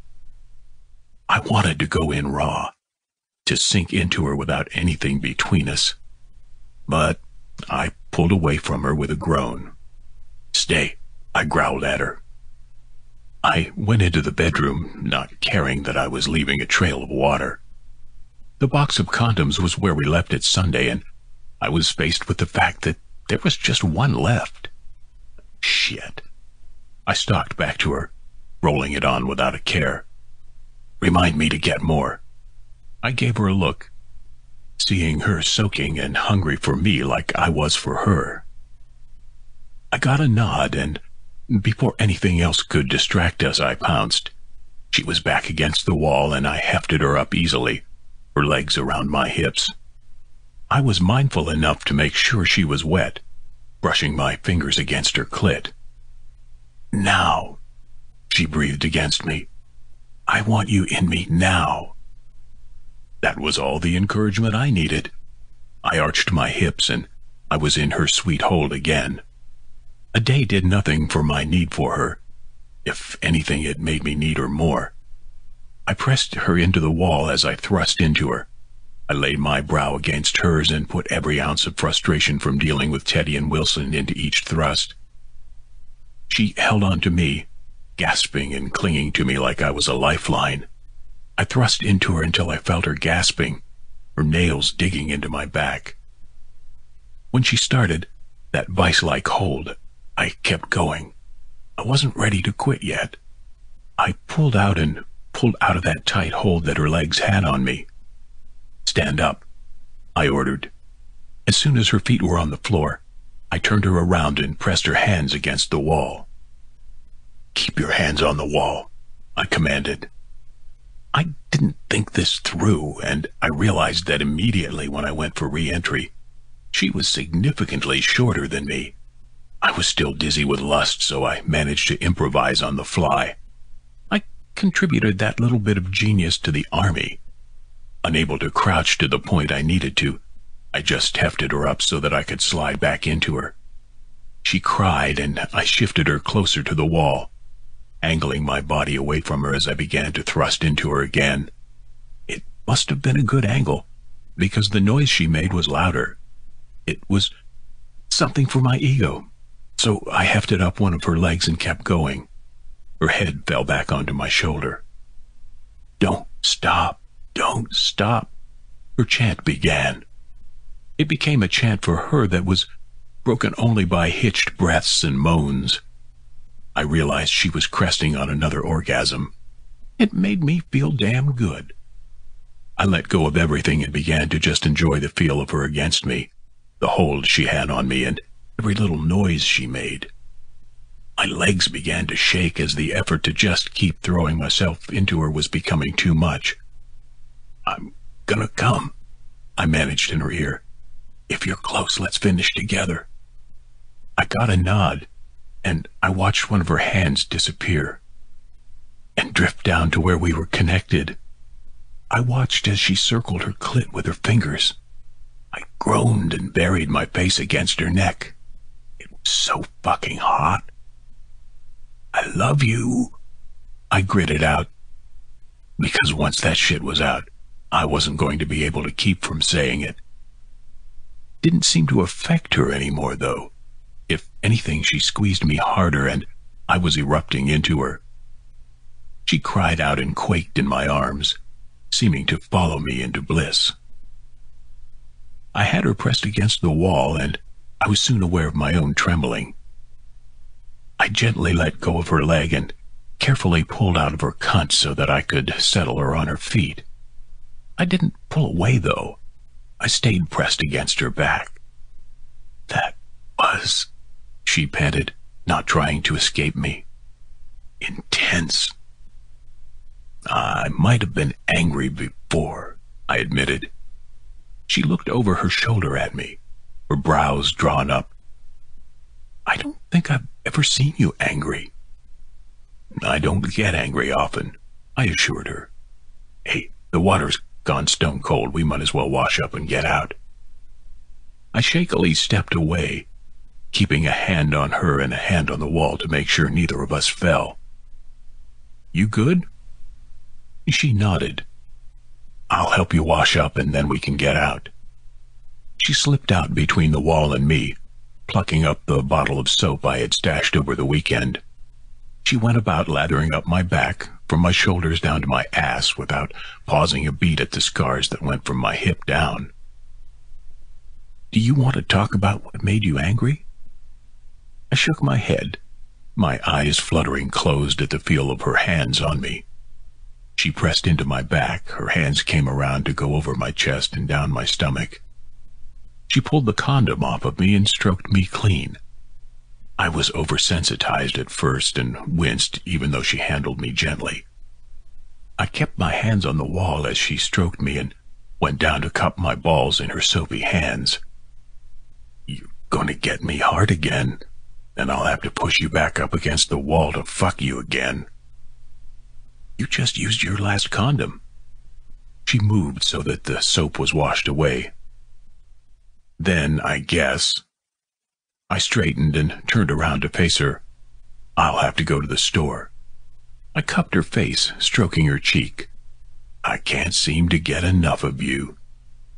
She didn't turn from me, but she reached behind her to turn off the cold stream of water. She gave me a smile that made me ache. I can't say that's a reason for me to complain. She pulled away from me and then her face still flushed. Let's get dried off. We need to talk. Oh.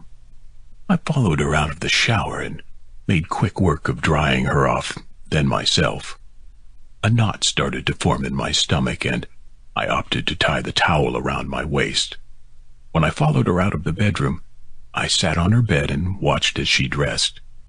Then I watched her pull out clothing for me a pair of boxers, a shirt, and jeans. They got left here over the weekend, she said as she handed them to me. I washed them and figured I'd give them right back to you. She sat beside me. Offer you a little room to bring things over if you wanted to stay the night? if I wanted to stay. She didn't look at me, but she shrugged. You say all these sweet things to me. She brushed her hands through her wet hair. Tell me you love me and you want me for keeps? That you won't break my heart? She looked at me. Maybe we could see what it's like to make things more serious. I liked waking up with you beside me. It seemed that at least one thing could go right for me today. Not moving in, but staying over more frequently. You said it was too soon for moving in the last time I mentioned it. I shrugged, unable to keep from grinning. Did you already clear out a drawer for me or something? She rolled her eyes and finally looked at me. I didn't clear out a whole drawer. I could if you would need it. She sounded nervous. If you would want it. I hadn't gotten the L word out of her. Not yet, anyway. But from talks like this, I imagined she was close to admitting it. I nudged her with my shoulder. Do I get a key, too? Are you making fun of me? No, no. I stood up and started getting dressed, slipping on my jeans and pulling on a shirt. But this conversation just made things worse. You're probably going to just resign yourself to spending the rest of the day in bed. Oh. She tried to give me an aloof look that I saw right through. Well, I guess that's just something I can live with if you're planning on making it worth my while. I took a second to pull on my combat boots before I turned back to give her a good long look. If I get a key, baby, you can look forward to walking funny in the morning, I said to her as I walked out of her room and headed out the door. Chapter 14 I hadn't moved in with her, but after she gave me a key to her house, I spent more time at her house than my own apartment. I'd get a text here and there from her asking me to stay the night with her. It was maybe a night a week that I'd spend the night at my own place. I didn't ask her to stay the night at my place, though if she were to ask, I wouldn't protest it. Maybe it had something to do with the fact that her place was definitely better than mine. That said, things at the bar were pretty much the same though it was clear that I had rubbed Teddy raw. I made sure to give him space and paid attention to the shit that I had to get done. And I kept an eye on Jimmy, though he hadn't made himself scarce. If anything, he hung around me more, flaunting his patched cut and bringing his friend Anthony around more frequently. They also brought me another bike to work on. This one in better shape than the first, they overpaid me for the work again. But who was I to complain? On the second day of work on the damn thing, I heard them talking. Yeah, Greg's got an order cooking. How quickly do you think you can move it?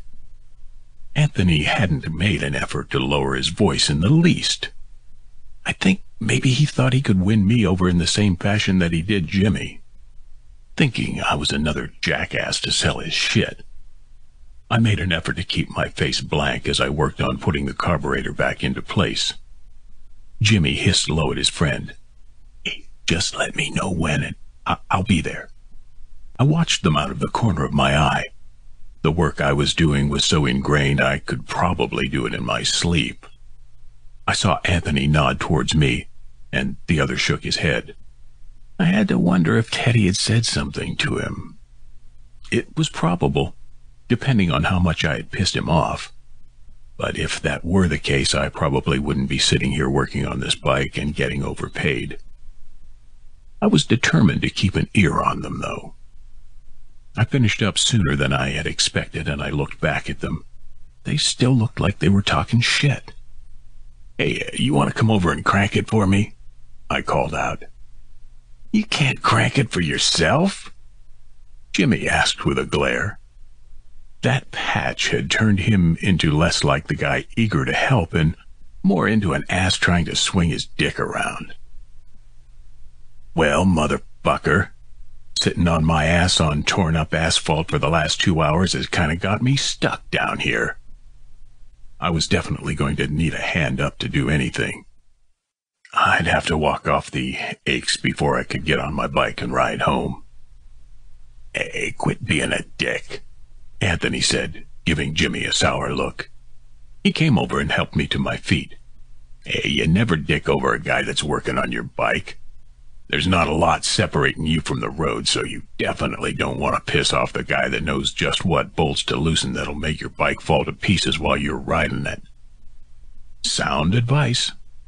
I hobbled around to get feeling back into my good foot. Hey, Sid's got morals.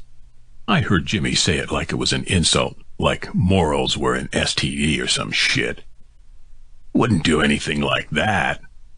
He came to stand beside me as I was shaking out my left leg. Would you? Sorry, dude. I shrugged my shoulders. Not gonna implicate myself in anything. It wasn't something I would do, but I wasn't going to deny it, though. I felt suspicious looks from the younger man, but I didn't meet his gaze. Right now, I didn't really care what he thought. Jimmy shook his head at me and sat on the bike.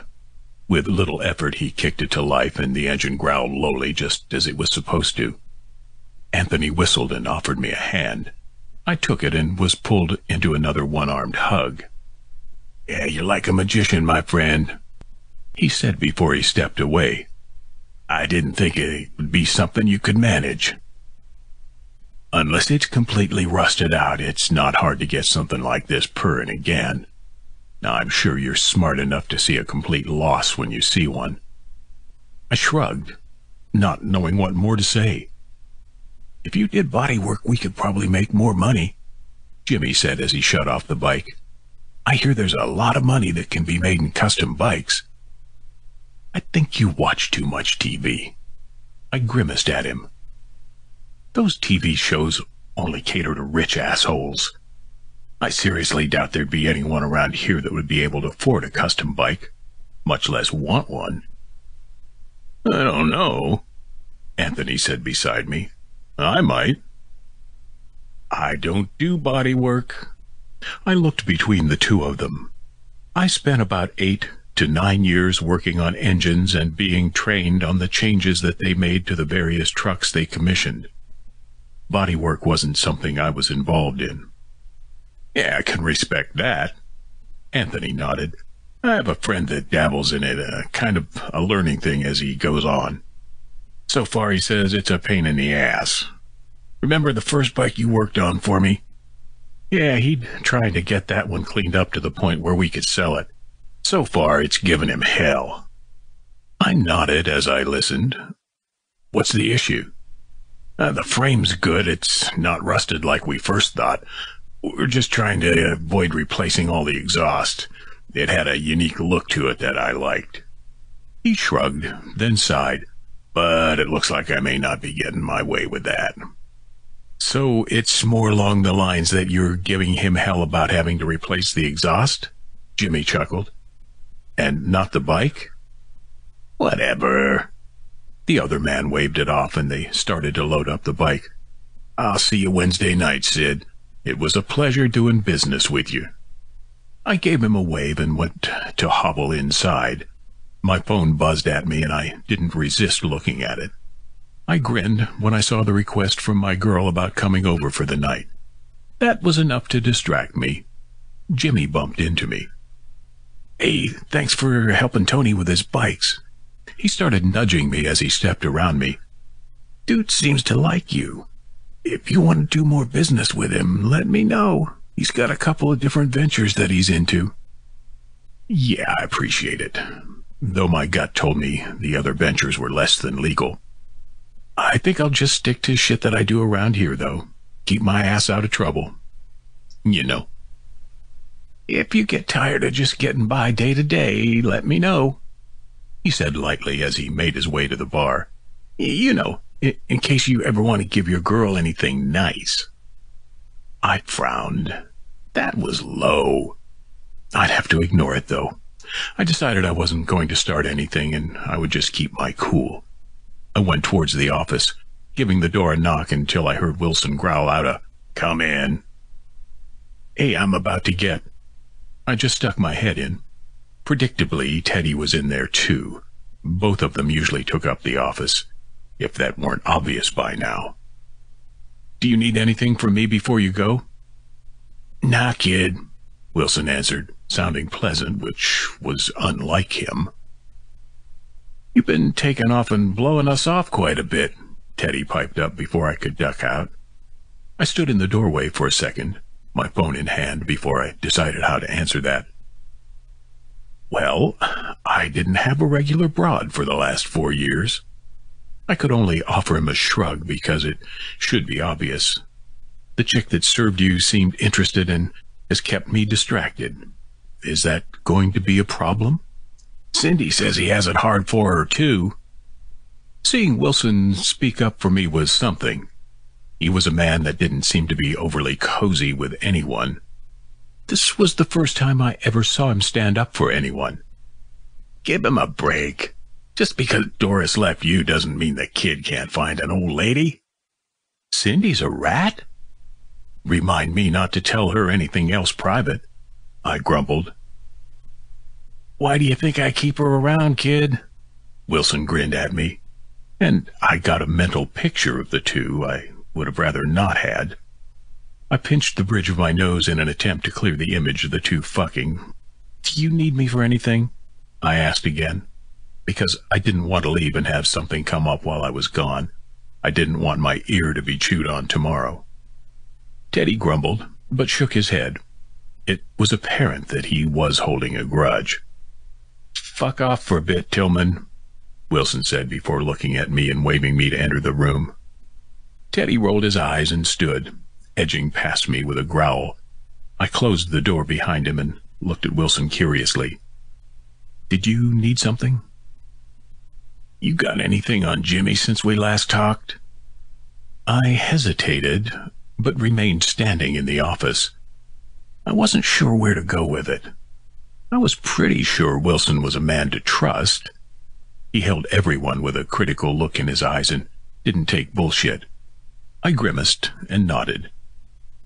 Well, his friend brought me another bike. He seems to think whatever they're running, I'll get in on it too. I shrugged and rubbed the back of my neck. There was something about a guy named Greg cooking up something and Jimmy moving in and they're going to meet Wednesday night. I watched as Wilson scratched at his beard, seeming to think on what I told him. Can you follow him? The older man finally asked. I'd be pretty obvious on my bike. I didn't like where this was going. Your old lady got a car? Take that. He sniffed as if it were no big deal. If Jimmy's getting into meth, like this suggests, then he isn't the right fit for us and he needs to be taken care of. Hey, I can't mess up my chances with this girl, I argued. It's still too new for me to be asking favors like that. I, I don't want to fuck things up. He raised a hand as if he sensed I could keep going. He waved around my worries and went back to petting the beast of a beard that hung from his chin. I'll get you a car. I'll put the key in your saddlebag and you'll find it parked across the street. If you're willing to back up your word with proof, I'll handle it from there. And I'll handle Tillman, too. I stared at him for a moment, trying to decide whether or not I wanted to threaten my chances with Maddie. She was important to me. But if Jimmy got too careless with what he was doing, it could threaten everything I held dear. I nodded. I'll keep tabs on him. Chapter 15 I'm taking Wednesday off, Maddie said to me as we got ready for bed.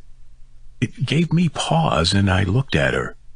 I waited for her to supply me for a reason, and I stood there with my jeans hanging around my ass, just looking at her. I have a doctor's appointment. I opened my mouth to speak, but her explanation hit me like a ton of bricks. Is it that soon for you to suspect you're knocked up? We've been careful. I gave her a hard look, trying to figure out if she looked pregnant. She flushed at me, and I realized that I probably didn't ask in the nicest way. But other than that, she looked normal. She was still beautiful, but I couldn't tell if there was this mystical glow that pregnant chicks supposedly get. Not what I have a doctor's appointment for. She huffed, but didn't look too angry. Does the idea of having a kid scare you that much? I haven't put a ring on it yet, so yeah. I looked away from her as I pulled my jeans the rest of the way off and sat on her bed. I want to do this right by you and knocking you up before I made this, well, you know, permanent. Kind of knocked the wind out of me. I sat in just my boxers, looking, taking her in as she pulled a t-shirt over her head. Seeing the bike across her breasts made me realize she was wearing one of my shirts. Would you let me make it permanent? Or would you throw me out on my ass if I knocked you up? She shrugged and came to sit next to me. I don't know, kids weren't something I was thinking about right now. She looked nervous and glanced away. A shot of fear went through me and I wrapped an arm around her shoulders. Now it wasn't a matter of her being knocked up, but that something could be wrong. So, what's wrong? I watched her for any sign or tick that there was something going on, that I had a reason to be afraid. I thought maybe I could save us a buck. She shrugged. I'm going to try to get on birth control. I blinked, trying to process what she was saying. Thought maybe we could enjoy each other without something between us. It, it'll take a week or so to be sure that it's working, but maybe we could make a special night and just... She turned and leaned against me, her lips brushing against my cheek. Be together? I groaned, knowing what she was getting at. I really need to put a ring on this girl. I flopped back, letting the stress that had suddenly coiled up in my gut go. I can't let her go. I tugged her down to me. Thought you were stuck with me before, baby? I tilted her chin up so that I could kiss her. You're definitely not going to get rid of me now. She kissed me before I could manage. Maybe I don't want to be rid of you. She broke away from me for a beat. Her eyes were dilated and the little bit of green I could see was so dark. If I ever doubted this girl wanted me before, I knew better now. Chapter 16 When Wednesday rolled around, I was kept busy. Wilson had fucked up his shit on purpose, it felt like, and I was piecing it out like I hadn't done so damn near a month ago. Either he didn't give a shit about it, or he was just fucking with me. Sometimes I couldn't tell, Jimmy helped me at some point before Teddy put him out on some sort of an errand. I couldn't piece together if he knew what Wilson was having me do. I found the key that Wilson had promised in my saddlebag when I took a break from my work for lunch. I'd already taken the extra measure to let Maddie know I wouldn't be staying with her for the night. When she inquired as to why, I hesitated to answer. I didn't want to tell her the truth especially after I'd made an effort to make her believe that the Brotherhood and the guys I rode with were just all good guys, that we didn't do anything illegal. I opted to let her know that I had a job that was going to take me longer than I thought to finish. It wasn't far from the truth, I told myself as I gave Wilson's bike a hard look. This fucker usually made sure I spent the majority of my day working on his damn bike. Well, I managed to piece it back together before Jimmy headed out. When I heard him cry out to someone inside that he had shit to do, I booked it to the sedan that Wilson had parked in the lot across the street. Fucker had me running, and I did not manage to look good running with the limp that I had going. When I got in, I made sure that shit had gas. Fortunately, Wilson's sense of humor wasn't that vicious. I waited until I saw Jimmy slide out of the lot on his bike before I cranked up. I had to be cool with the length that I followed him. There was this awful temptation to go without lights. and I did before he turned onto a well-lit road. I made sure my lights were on before I pulled back behind him. He rode out into the country, seeming without noticing me behind him. I was surprised to see him take his bike down a dirt road. I avoided dirt roads simply because I didn't want to get shit all over my bike. His always looked clean, so I gathered he either cleaned it after these visits or he didn't usually take his bike. I doubted that it was the latter. He was kind of like me in the sense that his bike was the only vehicle he needed. It only made a difference when it rained. For him, because he was fortunate enough to serve and get out without injury, it just meant that he could get a wet if he had to get out. For me, I was stuck indoors and usually in a cloud of drugs and pain. I went straight to not draw attention to myself and I cut the headlights, then did a U-turn. I swung around and went up the dirt road. Jimmy already had a good distance on me, but as far as I could tell, the dirt road didn't have any houses running alongside it. I didn't know if it was fortunate or unfortunate that the moon was bright enough for me to see a trailer in a wooded lot. I rolled the car to a stop. It was evident people were home in the trailer, but I didn't see anyone outside. I opened the door and didn't bother closing it. I tried to stay low and use the darkness to hide me as much as I could. Only I didn't get very far into the yard. There was a roar of engines coming from behind me. I thought for a second I was fucked and Jimmy's friends had caught me. When I heard the sirens, I wished that had been the case. Two police cruisers tore around the car I had used to get here and thrashed the yard as they pulled up closer to the trailer. Another set of cruisers pulled up behind my car and I knew I was trapped. I didn't even bother put my hands on my head and waited for further instructions as I watched the cops swarm the trailer. They ran past me, and at first I thought I'd gone unnoticed, but a sharp voice soon barked for me to get on the ground. I sigh. All right, but I have to warn you, I'm a wounded vet and I will require assistance getting up. I said get on the ground, was barked back at me, and with an effort I refrained from rolling my eyes. Getting on the ground wasn't easy. It was late, and it had been a long day, so the knee of my left leg decides not to cooperate. I end up flopping forward into the grass and groaning when things got aggravated. I put my hands back on my head and just waited. I heard the doors to the trailer thrown open, followed immediately by yelling and cussing. I looked up to see if Jimmy was forced out, but so far I had only seen the lit doorway. A shot was fired, though I could only hope the kid wasn't that stupid. There were sounds of a struggle, but soon it ended and I saw Jimmy being walked out in cuffs, as well as Anthony and another guy that I can only assume was Greg. Jimmy's eyes connected with mine and he bared his teeth at me. Did you fucking rat on us, Redding? Did you call the fucking cops? Nope, I hollered from the ground. Otherwise I wouldn't be laying on my ass on the ground getting arrested too, dipshit. My side was nudged, and I didn't bother to look and see who did it. I just watched as they struggled to get the other three men into the back of their vehicles. A knee was pressed into my back, and I grunted. The pain suddenly intensified, and I gritted my teeth as the guy on me brought my hands down to be cupped. Cooperating, no need to get rough, I winced.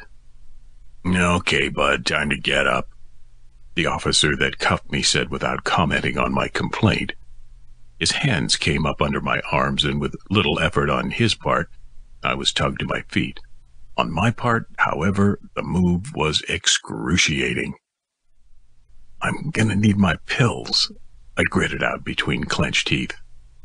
That what you were coming here for, junkie? He actually chuckled at me. You're gonna have to wait to get your next fix there, man. Wounded vet, I said again as I was shoved toward a car. My limp became more pronounced as my left leg got stiffer. You keep this rough treatment up, man, and you're to have me an incoherent mess. I got the Miranda Act read to me as they forced me into the car. My left knee bent under the force of the hand on my shoulder. I couldn't help but cry out in pain as the act of bending shot through my nerves. Yeah, I was looking at a night of being an incoherent mess of pain. I had one fleeting before the throbbing started to take over. Did I get fucked over out here? Chapter 17 When the cops did a search on me, they found my earlier warnings were true and then managed to fish out my identification. I'd started sweating in the cop car, and at first the guy thought I was overdosing or something. I managed to hike up my jean leg enough to give him a glimpse of the mangled burnt skin. Normally I didn't try to play the sympathy card, but I was fucking hurting, and I needed some relief. If they'd let me cook in a holding cell, the pain would only escalate, and soon I'd be hugging the metal shitter and throwing up all that I'd eaten that day. It's not a pretty sight when the pain gets too much. I hoped they didn't let it get to that level where it was too much. Make your call to someone that can get your medication. The officer that was checking me in commanded. Get your shit here because if you puke up in my holding cell, you'll be the one cleaning it up. I grunted in acknowledgement and picked up the phone that was offered to me. I punched in Teddy's number because his was the first that came to mind. I didn't remember anyone else's, and he'd picked me up on more than one occasion. It was after midnight, and I honestly didn't care if I woke him up.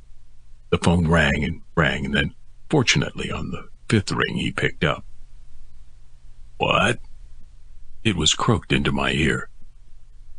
I was arrested. I, I don't know Wilson's number. I need my drugs.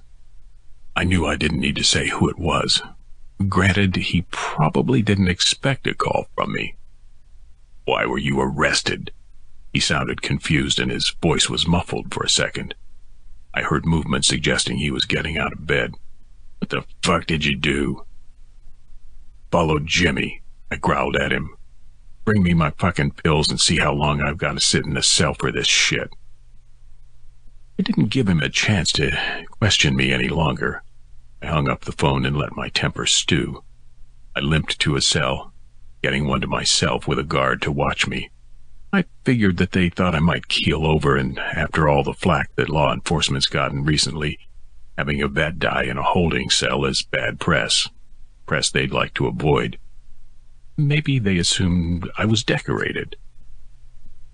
The holding cell was just a cement box with bars closing off one end. There was a cement bench with a thin pad on it. I guess that was as good as I was going to get for a bed. I hobbled to it and sat with my back to the wall and my left leg stretched out. Didn't get any relief since I was stuck waiting for Teddy. I tried to focus on breathing. I tried to massage my leg through my jeans. I tried every single pain management technique the cute little physical therapist tried to teach me as a means to get through the pain without pills. I lost grasp on time. When I did this, it felt like hours had gone by when it really was only a few minutes before a cop came in with my medicine bag. He and my guard went through it carefully, studying the contents of each bottle to make sure each was prescribed by a doctor. All my medications were VA approved, and I struggled to stand as I watched them. I needed my nerve pill and my anti-inflammatory pronto. I doubted they'd be nice enough to give me a Valium to get me through the night. I stumbled and nearly fell, which under any other circumstances would have been embarrassing. Now it would have been inconvenient in the fact that I wouldn't have been able to get back up on my own. I got to the bars, and I waited anxiously for them to offer me something. I found myself leaning against the bars because the longer I was left standing, the shakier my stance got. What do you need right now? The officer that had my bag eyed me. I guess it was apparent how bad off I was. Nerve pill and anti-inflammatory. I rubbed at my face, trying to get some clarity. If you're cool, the Valium will take the edge off. There's so many pills in here, man. They complained, but took the time to feed me the ones I asked for. Why the hell are there so many? You're only thirty. It's kind of messed up to be on this many. I swallowed the pills dry, choking on the nerve pill. I didn't care. It meant I would get relief soon. I had a paper cup filled with water offered to me and I downed it in a single gulp. Caravan found an IED, I explained. Assholes like to bury bombs in roads that we frequented. Yeah, you got all your limbs, though. The officer holding my bag argued. I've seen some guys come home less an arm and a leg after that. And my truck was on the far side of the blast. I patted my left leg. Far enough away to offer me some protection, but I still got burned up when the engine of the truck went off. The doctor wanted to take this leg, cut me off below the knee, but it wouldn't have helped the sciatic nerve pain. I would have had to live with it, so I declined the option to be a pirate. I pressed my forehead against the cold bar. How long am I stuck here? Well, for the night at least, the guard said. You have to wait until eight tomorrow morning for the judge to get in and set bail. Fuck me. I sighed and turned to go back to what would be my bunk. Can I ask, with all the good shit you got here, why would you be going to a trailer for more drugs? If I was smart, I would have said I wasn't talking without a lawyer. But I got to where I was, so obviously I wasn't that smart. Wasn't there for drugs, had no clue what was going on in the trailer. I sat down heavily. I was following my friend there to see what kind of dumb shit he got into. So you're telling us you just got dragged into the dumb shit too? My guard asked. Yep. I settled in, going back to the drug-free pain management methods that didn't work. Be glad to offer to do a drug test. You'll see everything I'm on's in the bag. I saw the dash cam footage. The officer with my bag said to the guard. Dude just stood there and waited when he saw the cars come flying in. Didn't try to resist us or run. That shit hardly happens with people whether they're innocent or guilty. Well, aside from the fact that it's dumb as shit to run, I offer up. I can't run for shit. Man, you could barely walk right now. He held up the bag. We're gonna go through these and get your next round ready. Try to sleep. Easier said than done. Chapter 18 Sleep was fleeting, and when the Valium kicked in, I stopped caring about both the pain and my situation. So I managed a light doze. I got maybe four hours. The problem with pain is it fucks up my grasp of time. The guards eventually got me up and gave me my pills.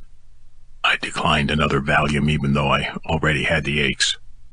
I wanted to be sober for what was going on.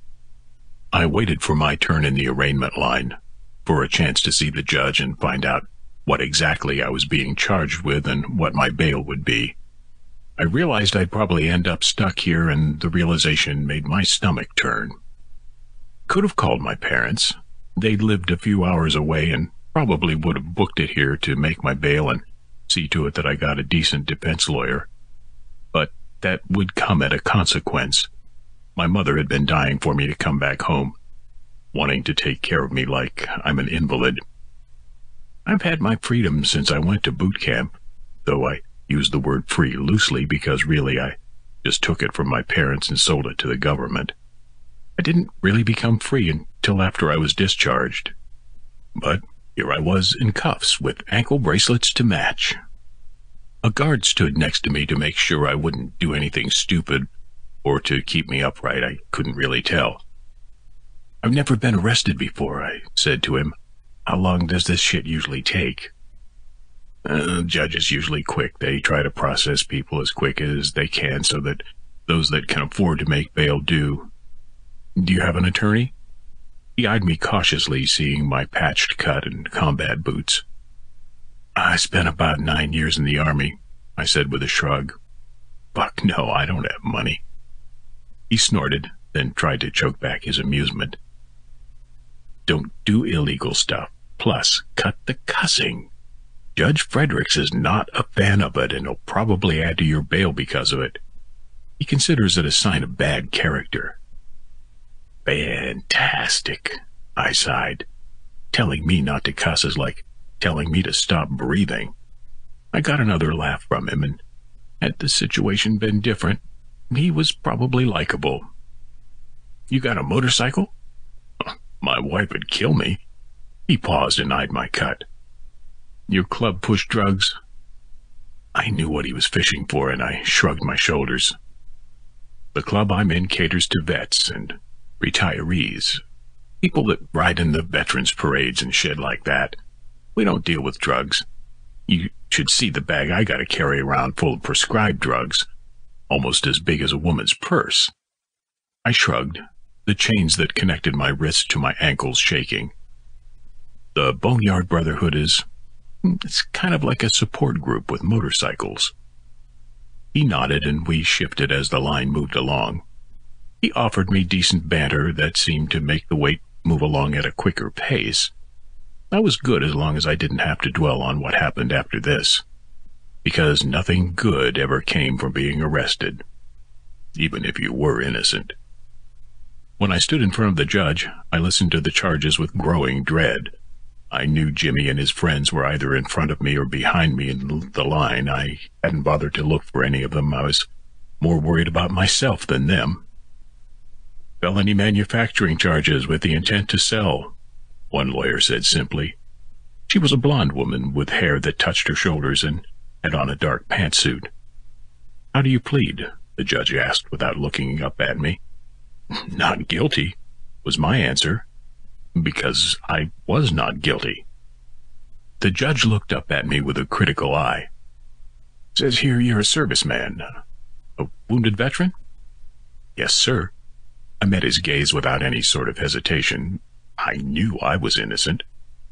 Served two tours in Iraq and, well, the last one ended my career with the Army. I would like to know the outcome of the trial that comes after this. He tapped the gavel, Bail set for 2000. I grimaced and was moved along the line. My bail was set, but I was sure that I would probably be stuck because I sure as shit didn't have the money. I was taken back to the cell that I had spent the night in, and I expected to sit there until my trial date. I tried not to think about what would happen from there, but it was near lunch and I could only imagine with her work. Madison's found out by now. I rubbed at my face as I tried to figure out her reaction to it. It was hard to guess. I wouldn't know until I talked to her, and the not knowing just tore me up. I spent the remainder of my day letting the worry eat me. At six, a guard came to get me. Somebody made bail, he said simply, and walked me to get my shit.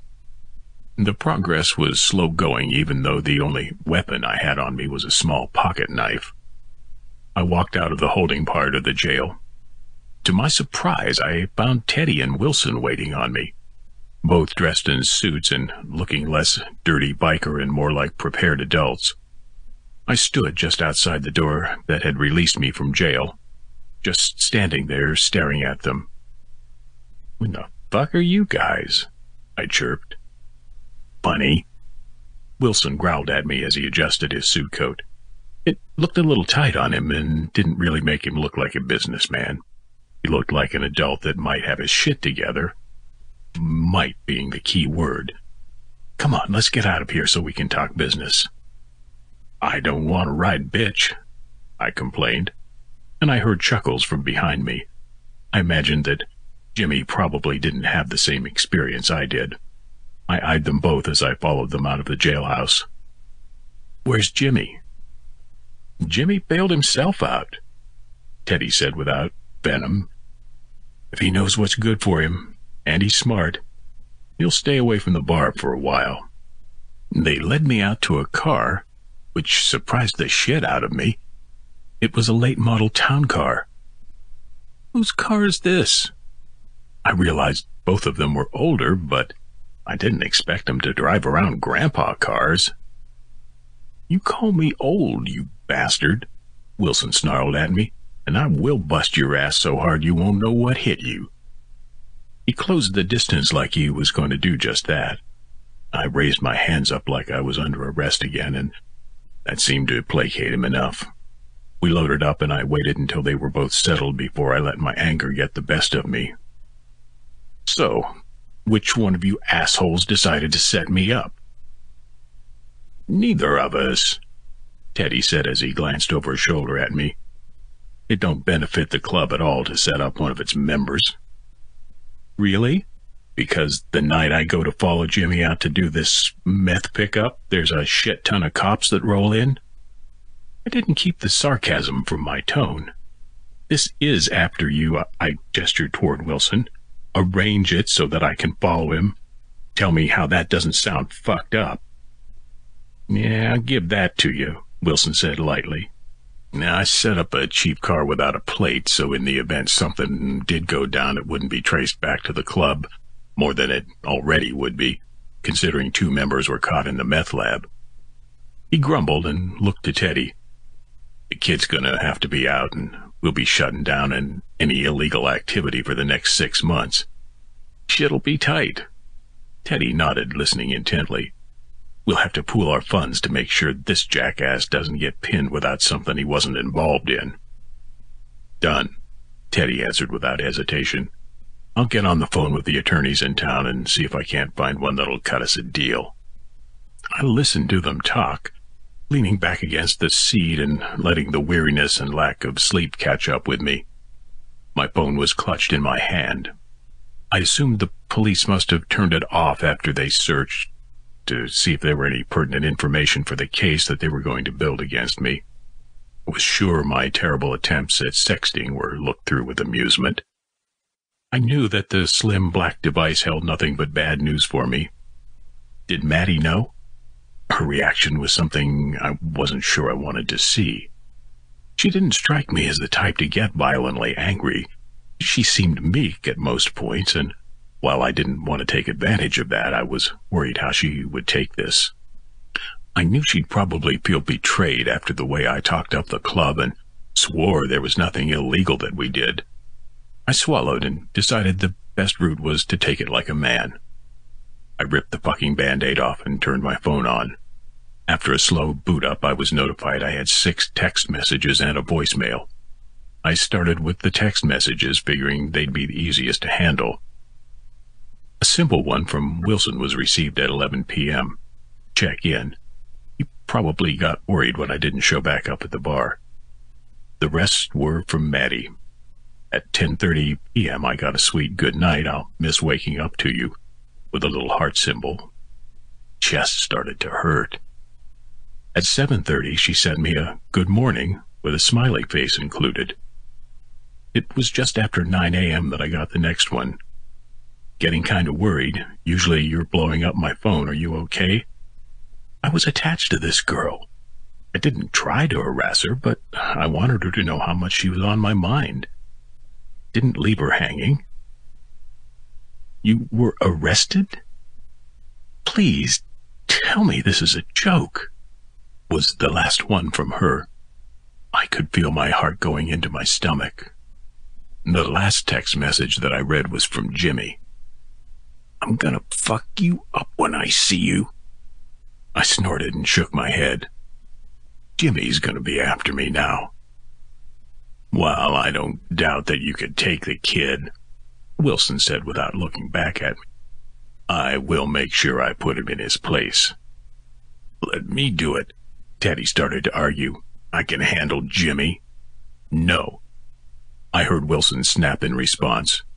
If you would have listened to Redding in the first place, we wouldn't be out the money it's going to cost to get his ass out of the fire.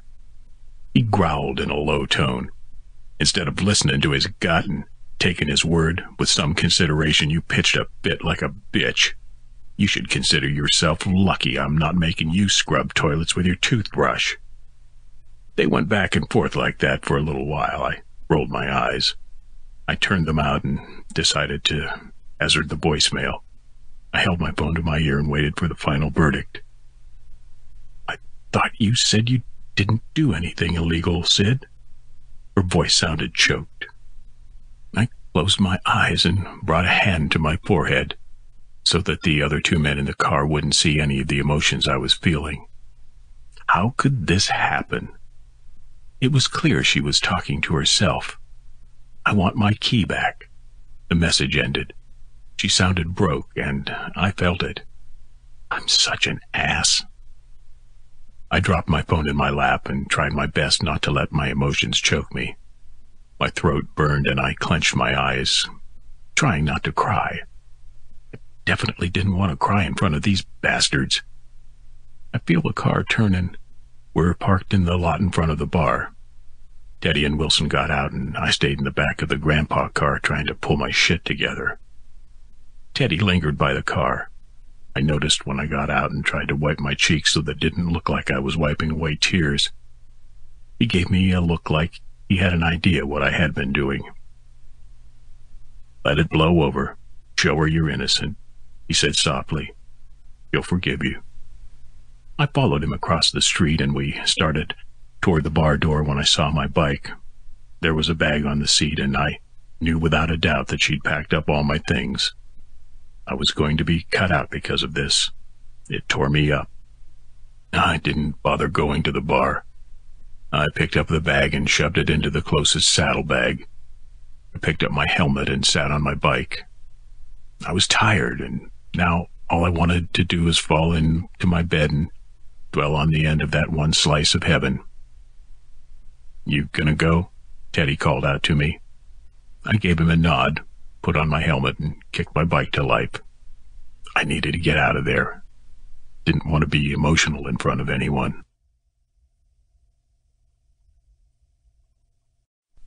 Chapter 19 I spent the majority of the day in bed, only getting up when I needed to and taking my pills when it was time to.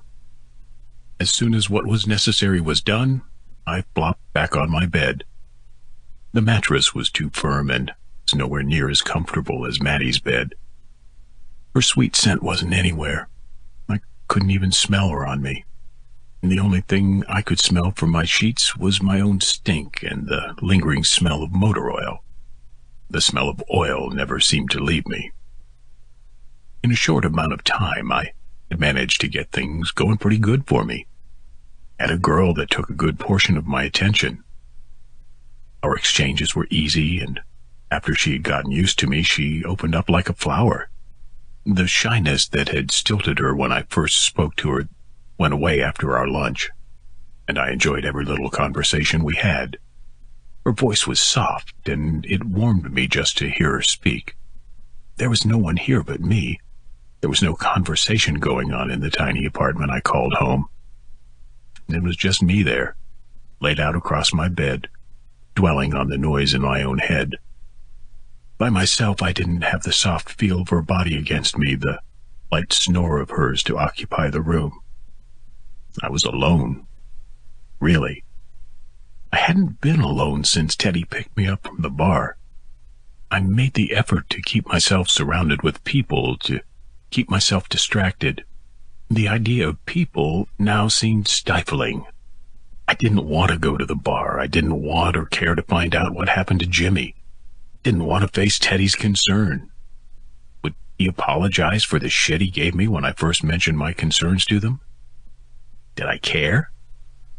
Part of the problem with being alone is that there was nothing to distract me. There was nothing to keep me out of my head. I had stopped taking the antidepressants and anti-anxiety pills, the medication that had been prescribed with the worry of PTSD. It had been a long time since I actually thought about what happened in Iraq. I spent the majority of my time in the desert working on any vehicle that was put in front of me, and I had duty like everyone else. My job had been easy, and I very rarely had to fire my gun for anything other than practice. I had been tapped to drive in the caravan that would carry supplies out from the base to the village that was closest.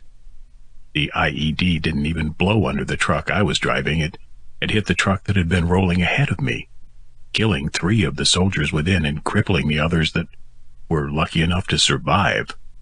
The guy that rode shotgun with me had the same kind of burns that I had, though the distance from the blast made them a little less severe.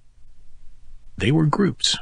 They offered support in the form of a bunch of men and women that had been in the same situation, wounded. We all struggled to figure out a way to get back into life to let go of what had been taken away from us and go back into normal society. Sometimes it was just a bunch of men and women staring at each other, doped up on the drugs that they took that was supposed to help them forget what had put them there. It was supposed to help them cope, but more often than not they decided they would have been better off biting it. so they would take the matter into their own hands for relief from the pain. It had been what I was considering when I first met Teddy, chewing on the 9 millimeter that I kept in the closet and pulling the trigger to get relief from the pain and the noise in my head. When it was quiet in my room, I wasn't numbed by alcohol. I could still hear the noise of the IED exploding and the ripping of metal. I thought that I was over this. I thought that the roar of my bike's engine had drowned out the sound of the explosion. The pain was something I was told I'd live with for the rest of my life. But the noise and the smell of death was something that had been replaced by wind whipping in my ears and the smell of the road. And all of that had been replaced in a short amount of time by the sound and the feel of a girl. I hadn't been kidding when I told her I loved her even though I had jumped the gun. I knew she felt something for me.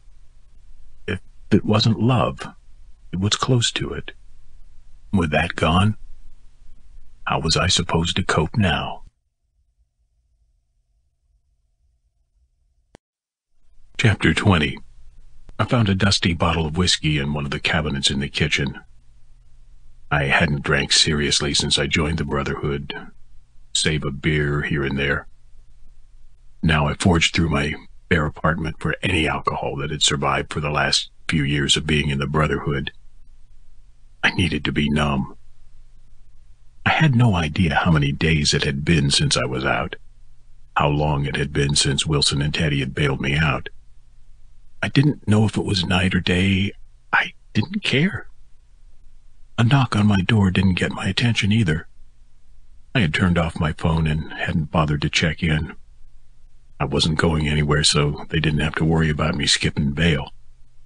Needless to say, I didn't answer the door.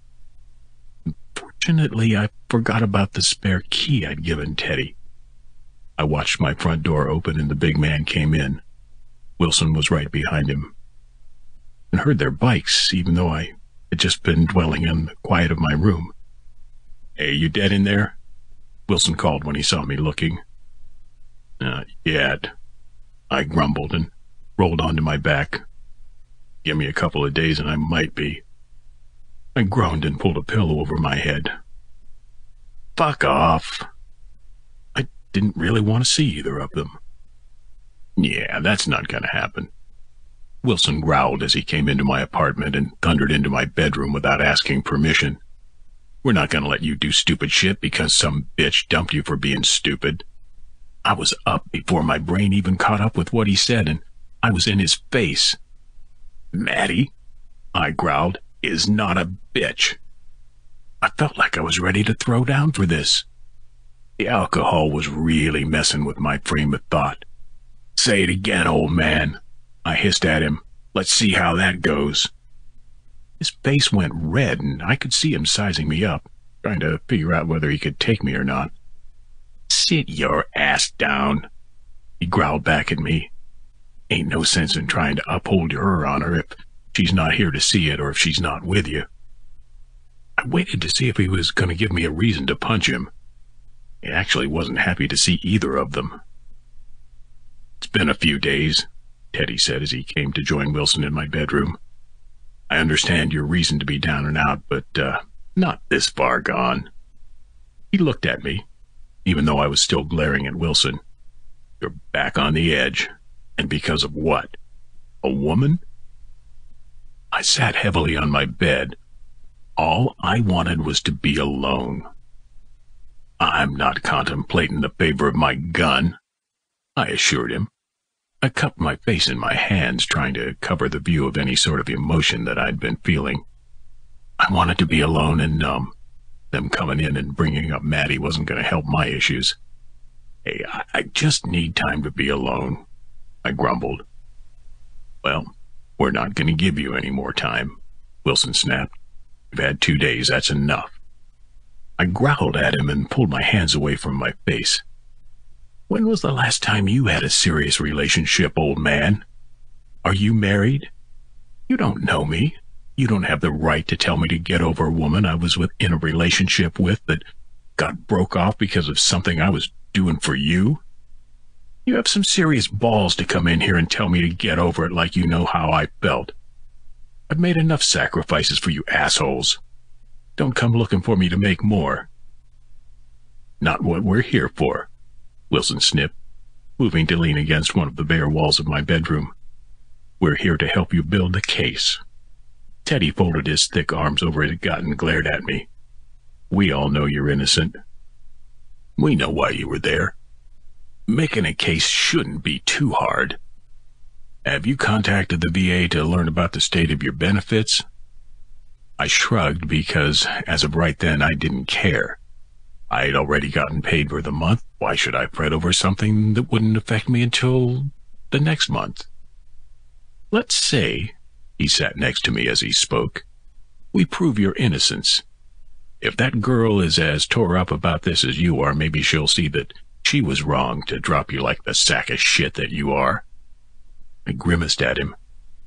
Do you think Doris would give you a second chance? He looked away, the pain of his failed marriage apparent on his face. Teddy knew how I felt. I didn't doubt that this man cared for the woman that had left him, and I'm sure that me pointing out his failed relationship was a enough to give him insight on how I felt. You won't know if you just let her go, Wilson grumbled, making it obvious that he wasn't keen on being a part of this conversation. If you just let her make up her mind and not put up any sort of fight, then you're not worth the shit on her shoes.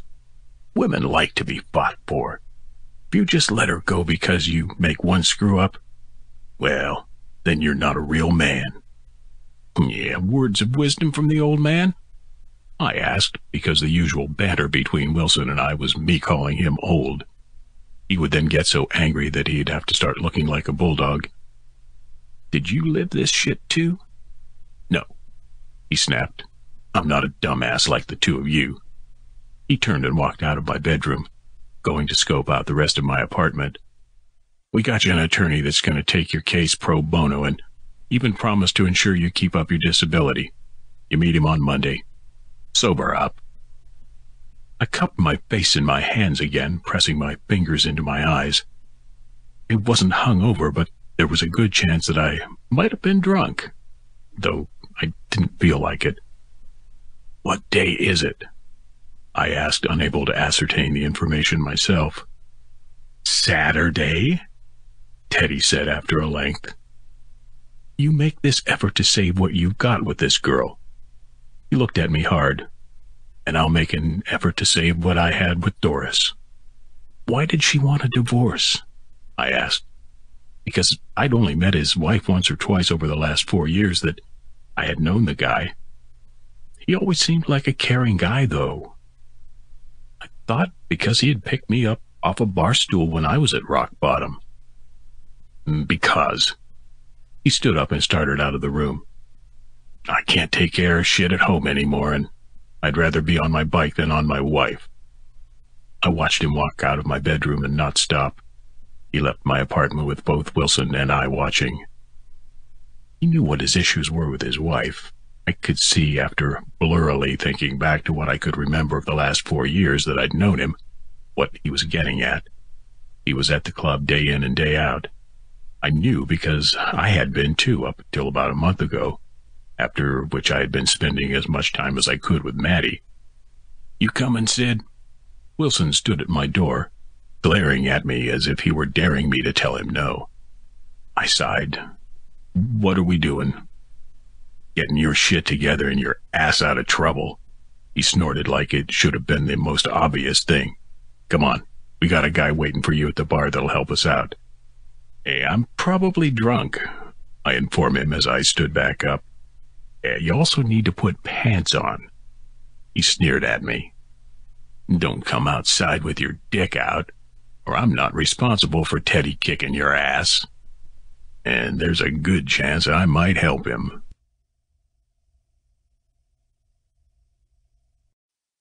Chapter 21 While I wasn't as bad off as I assumed, I was still stuck riding bitch on the back of Teddy's bike. Their excuse was they didn't want to put anything else bad on my record, like a DUI. And we gotta keep you squeaky clean to get out of these charges, so sit your ass back down on the bike and shut the fuck up. Wilson barked at me. Fine. I sounded like a petulant brat, but there was nothing like having to wrap your knees around a hairy man, especially when you thought screwed you over. On the bright side, if the ride managed to wake up the old boy downstairs, it would be my dick against Teddy's ass and not the other way around. I had to pick which one made me more uncomfortable.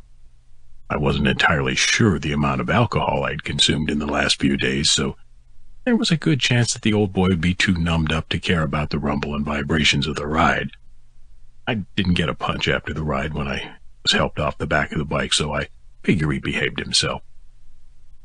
Guy was in the service, too, Wilson explained as he went to the door. He's not a criminal attorney by trade, but he's willing to throw us a bone. So listen up and be smart about this. I nodded, deciding the best way to do this was to sit and listen. A do as you're told kind of deal. When we entered, I saw a man in his late forties sitting at a table with a plate of wings in front of him. He wore a suit and looked clean cut. Didn't really seem like the type to hang out a, at a bar for fun. Wilson and Teddy went straight for him. When they filled up the table, I grabbed a chair from another and sat down. This should be good. Warren Michaels. Wilson gestured to me. Sid Redding.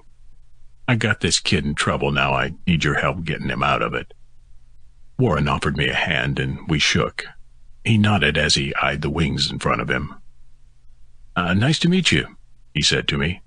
I told you before that I don't normally do criminal law, but I did some research on the case and the evidence.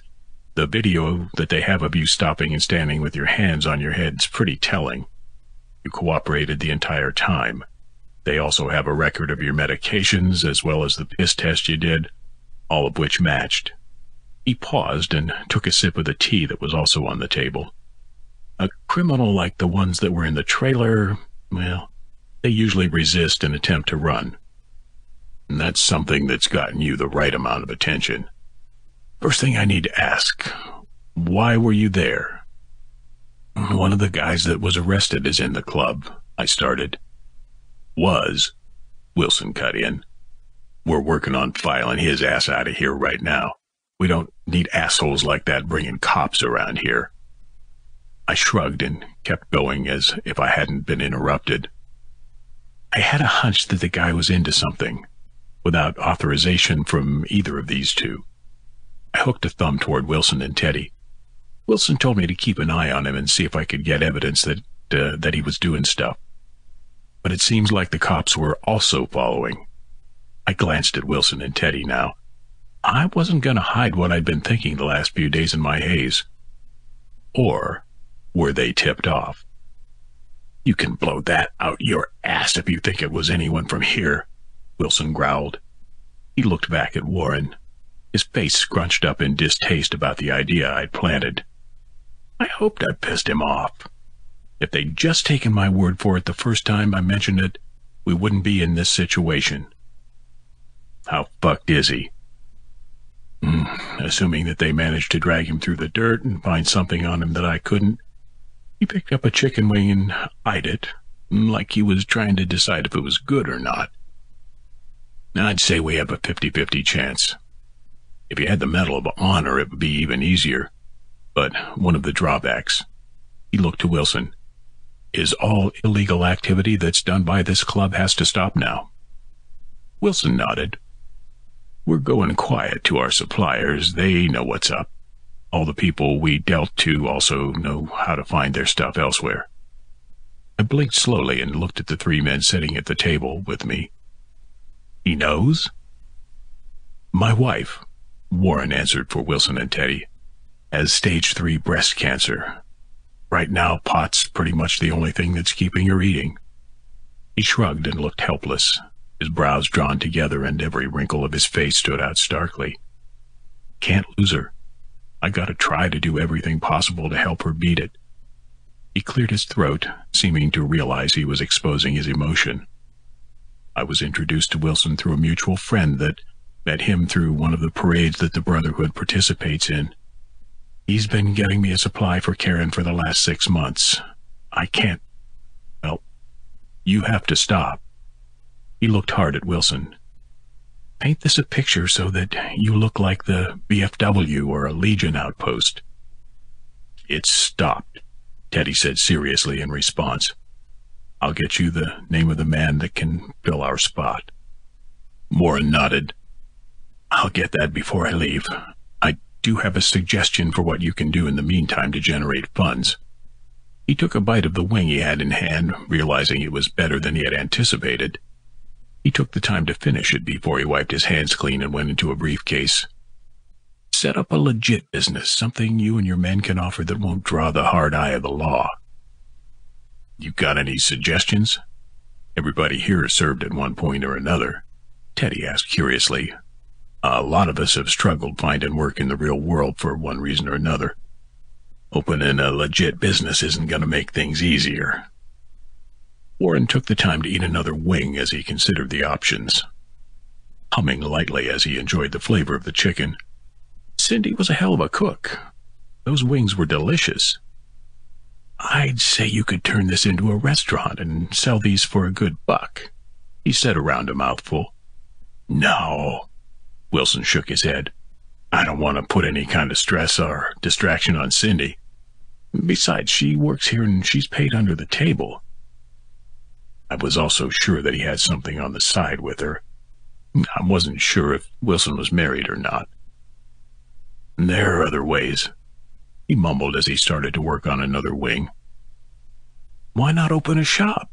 I asked, and it startled the shit out of me. Came out of nowhere. They all looked at me, eyebrow raised in question. Car shop, bike shop, a garage? I shrugged as I struggled to explain. Not a chop shop. But you bring your bike to me at least twice a month for a tune-up. There are a couple of other guys that know their way around an engine, Open up a garage. Make that a legit business. First smart thing I've ever heard you say. Wilson spoke lowly as if it were true, and gave him a one-fingered salute. Yeah, that actually could be feasibly done. Warren nodded and started wiping his hands clean. Yeah, I could actually look into some places that would work for that. I'll help you draw revenue for this while you have to stay under the radar. He looked from Teddy to Wilson. It'll take work and some money to get it started. We got enough to outright buy a place, Teddy said lightly. But it'll be in our best interest to probably take out a loan. Yeah, we can get to work on that part if you can give us some leads for a place without, uh, without distracting from Redden's case. Yeah, I got a friend that I'll get to help you out with a legitimate business plan. He assured the other man, I don't intend to get distracted from this. I listened to them chat for at least an hour before I had to get up and stretch. Pins and needles assaulted my left leg and I needed to walk it off. I wasn't being questioned anymore. It was just for them setting up a game plan. My head was still fuzzy and I wasn't really into the idea of talking mechanics about how they would get me out of the charges that were against me or how they'd make the club look like just a bunch of vets hanging out. I made my way to the bar and knocked on it. I would have called out to Cindy like I usually did, but, eh, I wasn't into it. Hey, I'm cleaning up, pretty boy.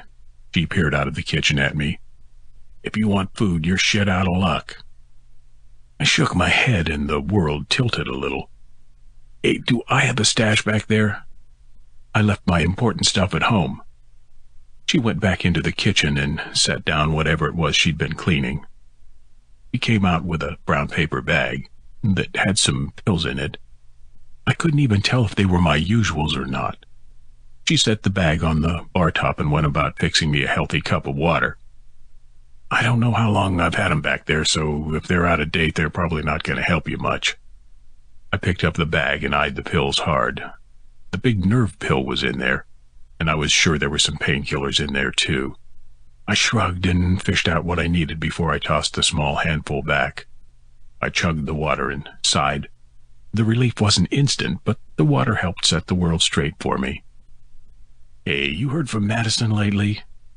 Cindy asked as she leaned down next to the baggie I left on the counter. I shook my head. No, not since I was arrested. She leaned onto the bar and studied me. You tried to get a hold of her? I shook my head again.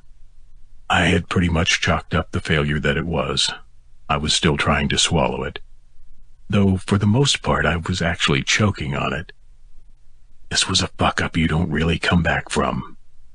There were a few select women that would tolerate something like this, and, well, with her job, I should have known that Maddie wouldn't be the type to put up with this shit.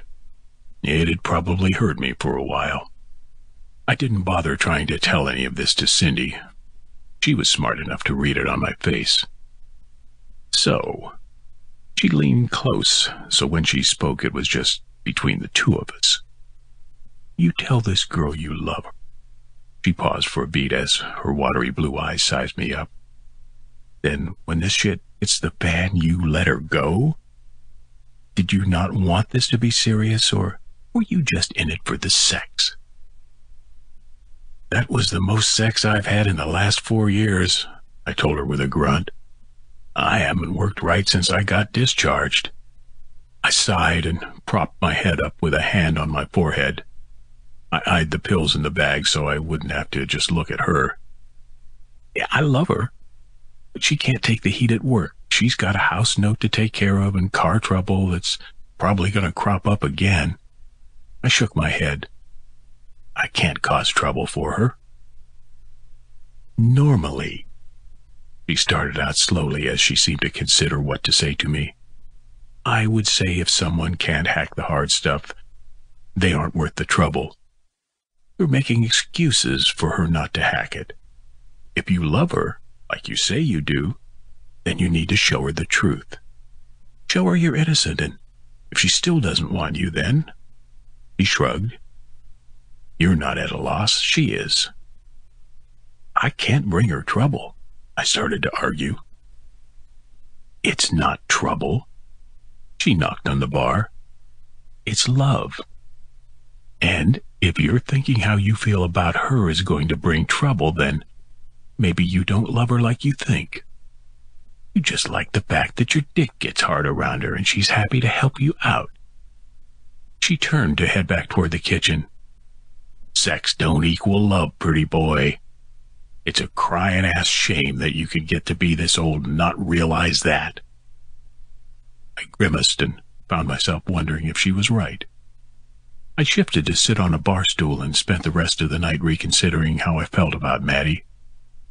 It felt like love. My chest ached like I'd taken a bullet. It hurt to breathe.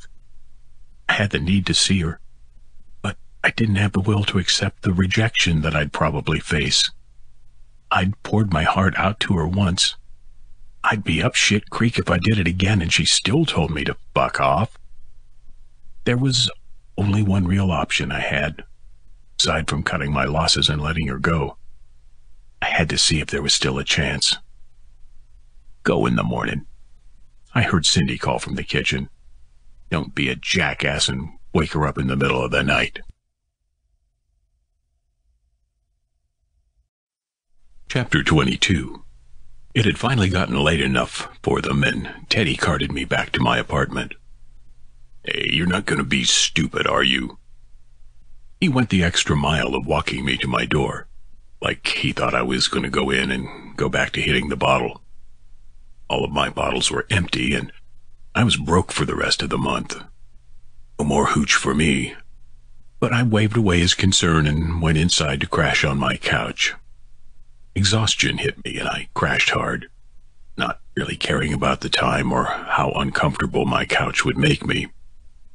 I don't know how many hours of sleep I managed, but as soon as the light hit my eyes, I groaned out in protest.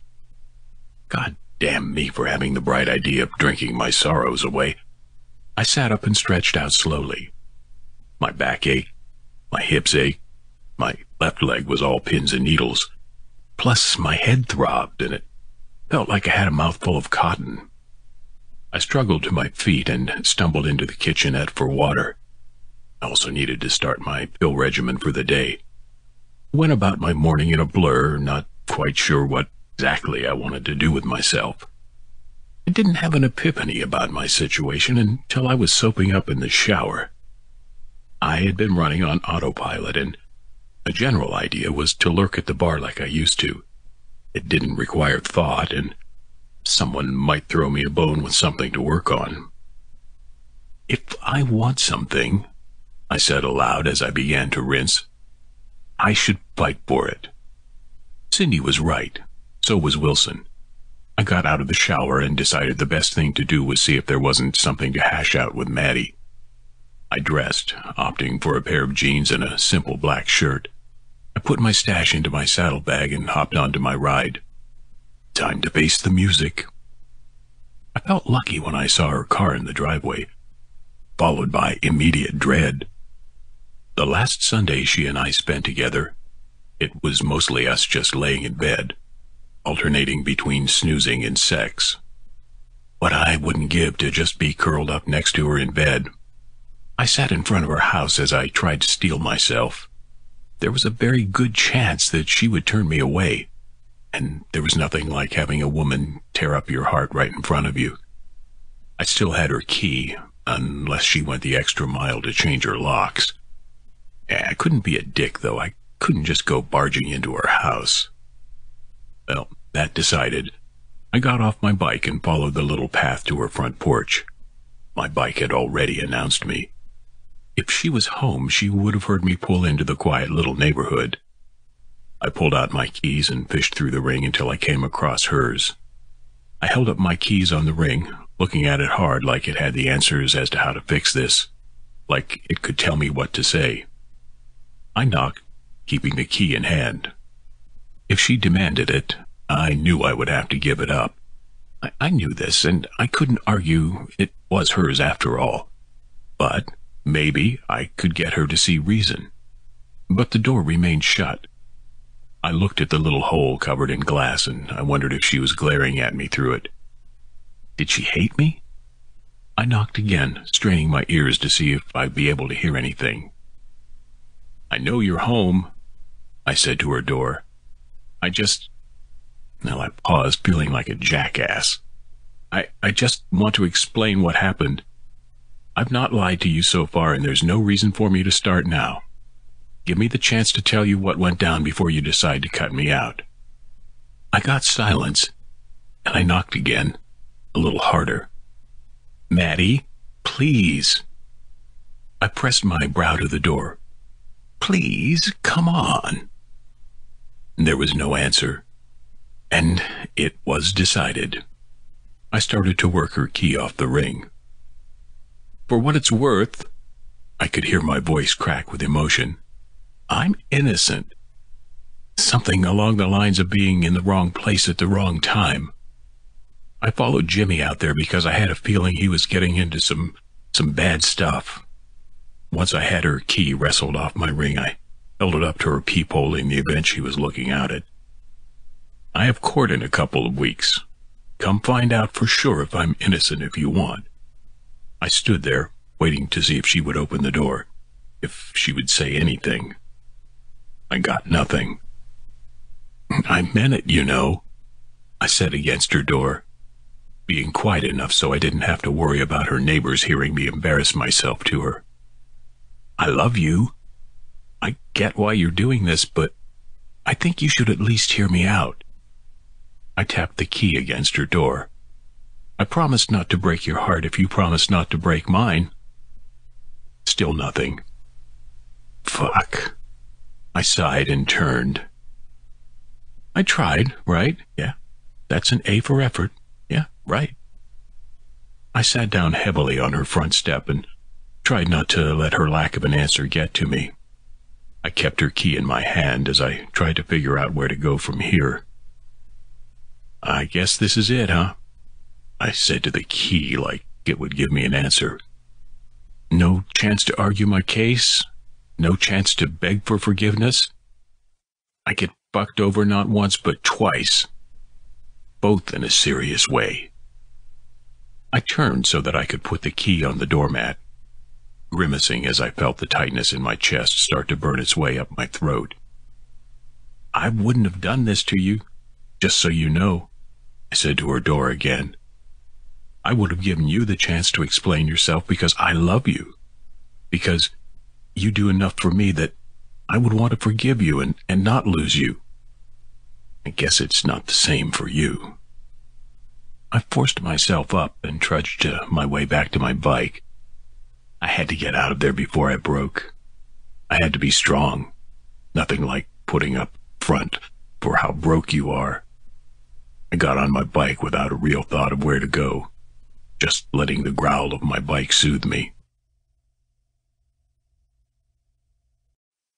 Chapter 23 I decided to go with the original plan for the day. I got to the bar and started work on the first bike I saw. It was Wilson's, of course. Didn't bother asking, just pulled out a small toolbox and started giving it a tune-up that I was sure it needed. It was near lunch when I started to shine up the chrome on his bike, and someone noticed I was there. The are you doing? Teddy asked. I need a distraction, I said, not bothering to look up as I ran a polishing cloth over a chrome exhaust pipe. And you're cleaning up Wilson's bike instead of your own? I gave him a look and nodded to my own bike. It sat in my usual spot, shining, without a spot on it. If he cranked it, he would have heard an unfettered growl to its engine. Ah, touche, he chuckled. What's going on? Why do you need a distraction? Well, I went to see Maddie, I said lowly, giving a chance to the rest of the lot. We were out there alone. It didn't go well. Ah. He looked away, not looking like he had anything to offer.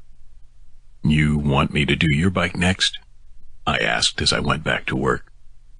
This bike would probably look good for the first time in years. Wilson was the kind of man that rode shit hard and didn't bother to take care of it outside of what was necessary.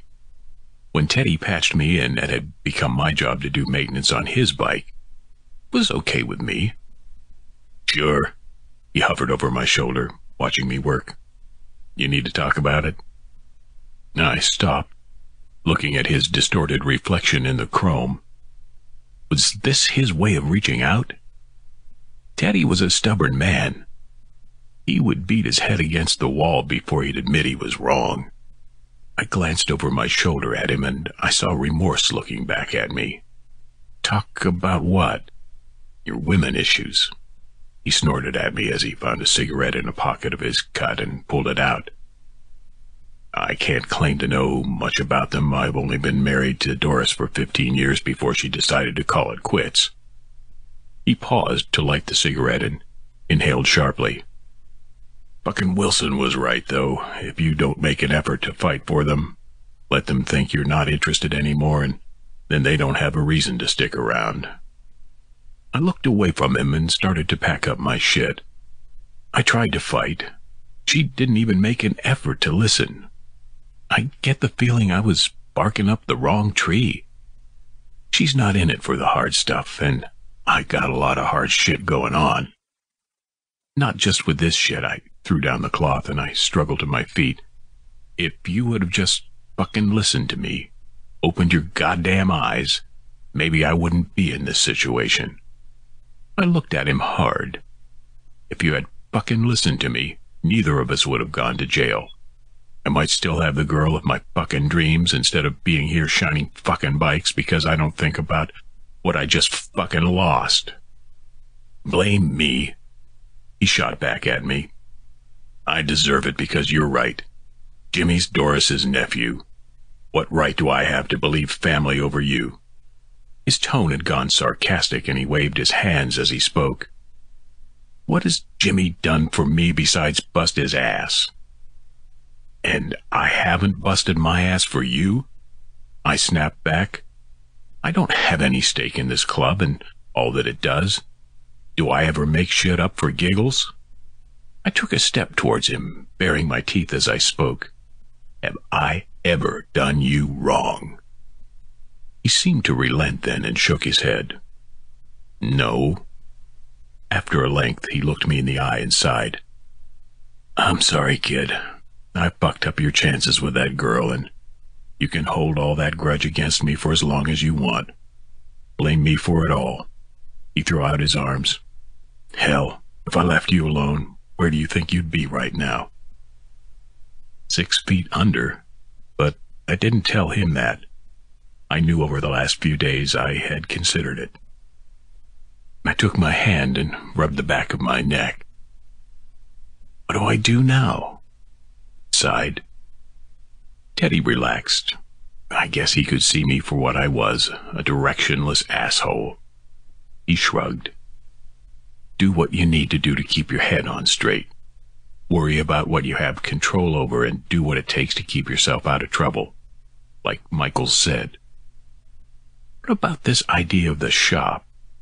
I asked out of curiosity. I remembered pitching the idea, but I didn't know what was said after that. We're going to move forward with it. He fished his keys from his front pocket. We got a building that's ready and can support that kind of business. I'm going to go through the guys that need work, legal work, and see what their mechanical training's been. He tossed the keys to his bike at me. I caught them easily enough. It distracted me from the anger that still throbbed in me at this man. I mentioned you should manage it and do what you can for pay. Help get you out of that shithole that you call an apartment. Hey, don't judge my shithole. I grumbled and started picking up my tools. Smudge his bike back up, Teddy chuckled. Fucker won't recognize it looking so clean. I started to make my way to Teddy's bike without bothering any more with Wilson's. Then point it out to him if he starts to think his got stolen. I called back. Let me know when you get shit started for the shop and I'll do what I can. Any distraction would be a good distraction was the way that I saw it. I spent the next couple of weeks doing it like that. I had a while before the trial and I was determined to keep busy. I decided not to let any of it dwell in my head. It was work, and if the army taught me anything, it was better to have work on your hands than to be idle. So I worked on everyone's bike, regardless as to whether or not I was asked to. I did work around the bar, replacing some rotted out wood, and even climbing my ass up onto the roof to replace shingles. After I climbed down the ladder, I saw Wilson waiting for me with a scowl. The fuck did I do now? You got a suit? He asked, eyeing me, as if I were something he had to look at that he found distasteful. Why would I? I picked up the ladder to take it around to the little shed that sat behind the bar. Do I look like a man that would own a suit? Well, you'll need it for trial. You can't show up in a courtroom in jeans and a t-shirt covered in grease. He followed me as I walked. You've got a lot going for you in your corner, it's in our best interest that you don't look like some sort of punk kid. I snorted in amusement as I sat the ladder in the shed. Ain't I a punk kid? Exactly. He grunted at me as he leaned back against the wall. We gotta paint the picture of you being an upstanding citizen that was just at the wrong place at the wrong time. At least part of that'll be true. He chuckled to himself. Give Cindy your pant size. I think she can probably find a decent one. I groaned, but I couldn't argue. We went back to the bar to find the attorney waiting for us. This is why you came to hunt me up? I asked curiously. We do need to start preparing for trial. Warren spoke up from the table that he was parked at. He already had a plate of wings and a pint of beer on the table give you an idea what you should expect and how you'll be expected to behave. I went to his table to join him. I don't just get to sit there and look pretty? Warren chuckled in amusement. And I heard Wilson growl, Fucking kid. No, he shook his head. While that's the majority what you'll be doing, sitting there and listening, it's in your best interest to pay attention and try to do your best to keep from looking bored. If you fall asleep, that can pretty much be a nail in the coffin for you. He looked down at the meal before him and seemed to be considering his words. You might be asked questions, and it'll be smart that you refrain from using profanity. He looked at me. Will the uh, majority of your tattoos be covered by a suit? I didn't have any on my neck, and the only ones that I couldn't cover were on my hands and fingers. I held up the back of my hands. Unless I wore gloves, though, I think that would be kind of lame. Warren nodded in agreement. You can keep your hands off the table, and it'll be a little less telling. It'll be pretty easy to clean you up and have you presentable looking next week. I'm fine with cleaning up as long as I don't end up in jail for something I didn't do. I told him stiffly. It's not that I don't think I could hack jail, it's just that I don't want to hack jail. Especially when all I was doing was keeping an eye on someone. If I had to wear a monkey suit to keep my freedom, well, I'd do it. Chapter 24 Of course the trial was something that would creep up on me while I tried to ignore the stress and depression which were curling their fingers around my throat.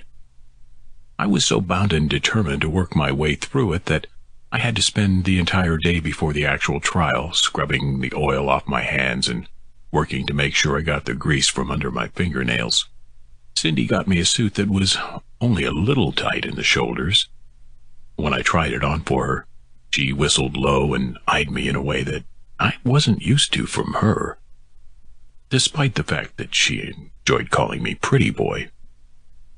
If I were 20 years younger, boy, she started as she helped adjust the jacket for me. I'd make it so that you walked funny. Joke's on you, I shrugged, not liking the feel of the cotton on me. I felt trapped and cramped in it. I already walk funny.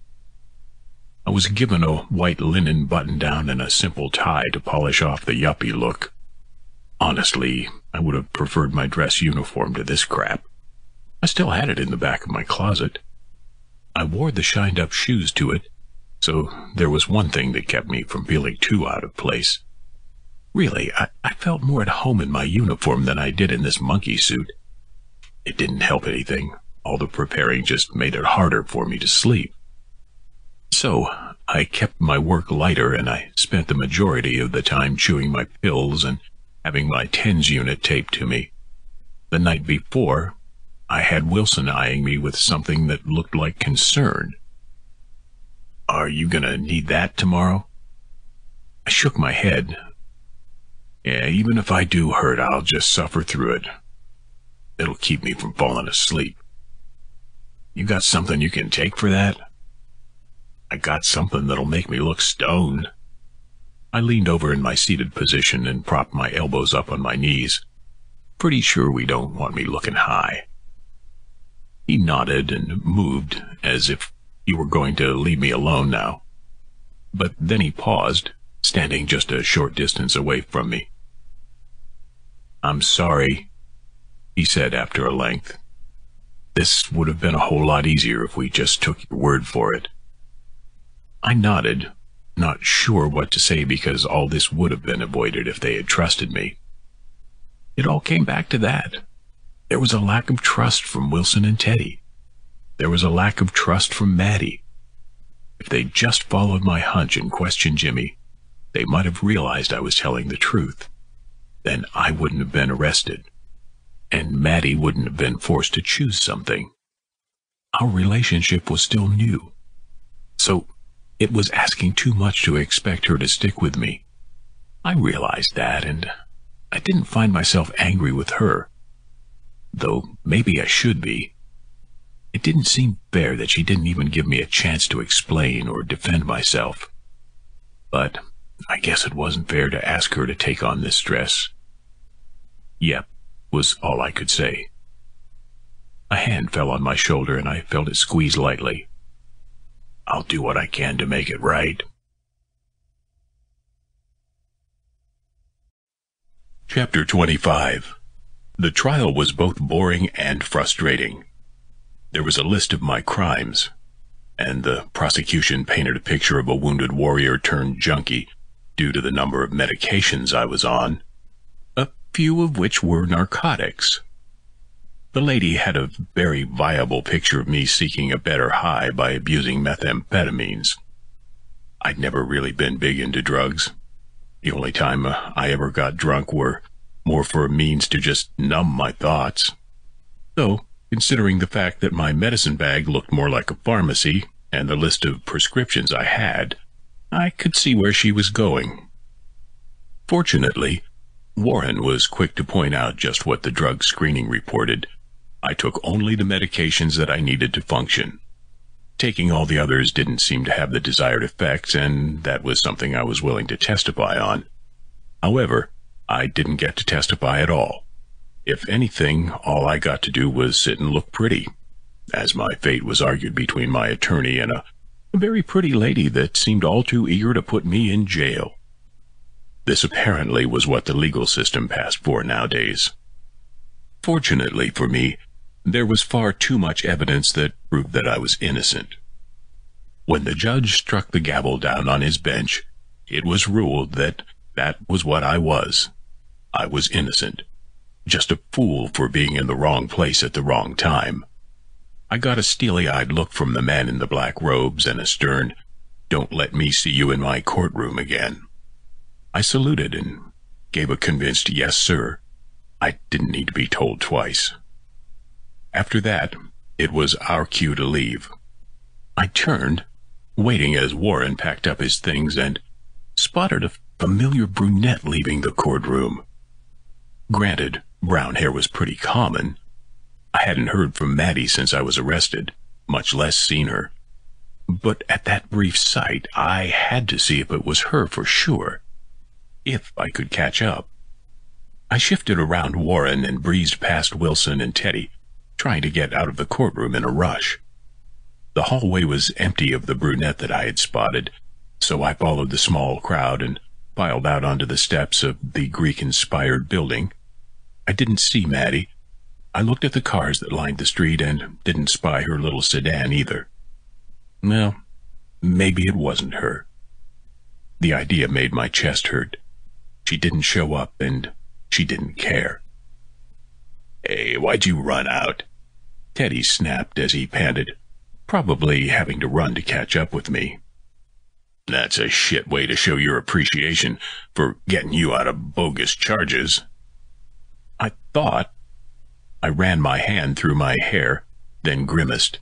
It was stiff from an effort made to make me look less like a dirty biker and more like an average Joe. I thought I saw someone. I explained before turning back to him. I guess I was wrong. He shrugged at me, and I could tell that he knew what I was talking about. Mm, you could always go try to track her down if you think it was her. I shook my head. I was tired and the stress from the last few weeks had finally built up. Maybe I imagined her. If you don't want to, he came closer and put a hand on my shoulder. We can go back to the bar and have a celebratory drink. We still have a lot to do and plans to make for the shop. I nodded because I didn't really have a choice. We had all come in Wilson's grandpa car. Riding a motorcycle in might have garnered us the wrong kind of attention. Plus, it would have wrinkled the monkey suit that I wore. It had been dry cleaned, and while I had no idea who it originally belonged to, I was Gonna make sure I had it cleaned again before I returned it. Yep, I'm ready to get out of here, I admitted.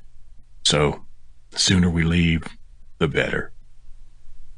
Now, go get Wilson and Michael so we can hit the bricks. Teddy offered and left me out there. Had she been here? Or was it just my heart playing tricks on me? Chapter 26 I stumbled into my apartment. Not drunk, but dead tired from the events of the trial and the celebration afterward. I dug my fingers through my hair, trying to loosen up the stiffness from the product I used to give myself that respectable look. When I looked at myself in the mirror that morning, while wearing the borrowed suit and having my hair slicked back, I was afraid of what I saw. I could have been a businessman, a yuppie, instead of a man that worked with my hands and lived to get dirty. Thank God for dodged bullets. I muttered to myself as I tugged off the jacket and started to loosen the tie. There was a knock at my door, holding me up from getting comfortable. I growled out a curse and went to answer it. I wasn't keen on celebrating my proven innocence. So if it was Teddy or Wilson, I was prepared to tell him to fuck off. I jerked the door open, the curse on the tip of my tongue. I held it, though, dumbfounded by who I saw on the other side of my door. It was like at the courthouse when I thought I saw her. I was struck. Maddie stood at the door, her hair loose around her shoulders, and she wore a light blouse to go with a charcoal pencil skirt. She had taken on a relaxed look like when she and I first started dating. It looked like she decided to keep it. Hi, Sid. She gave me a nervous smile. I shook off the shock of seeing her and tried to mirror her smile, but it didn't feel right. Hey, Madison. I thought I'd say her full name because it had been a little while since I last spoke to her. Did you... I paused, trying to keep from losing my cool. I rubbed the back of my neck as I eyed her.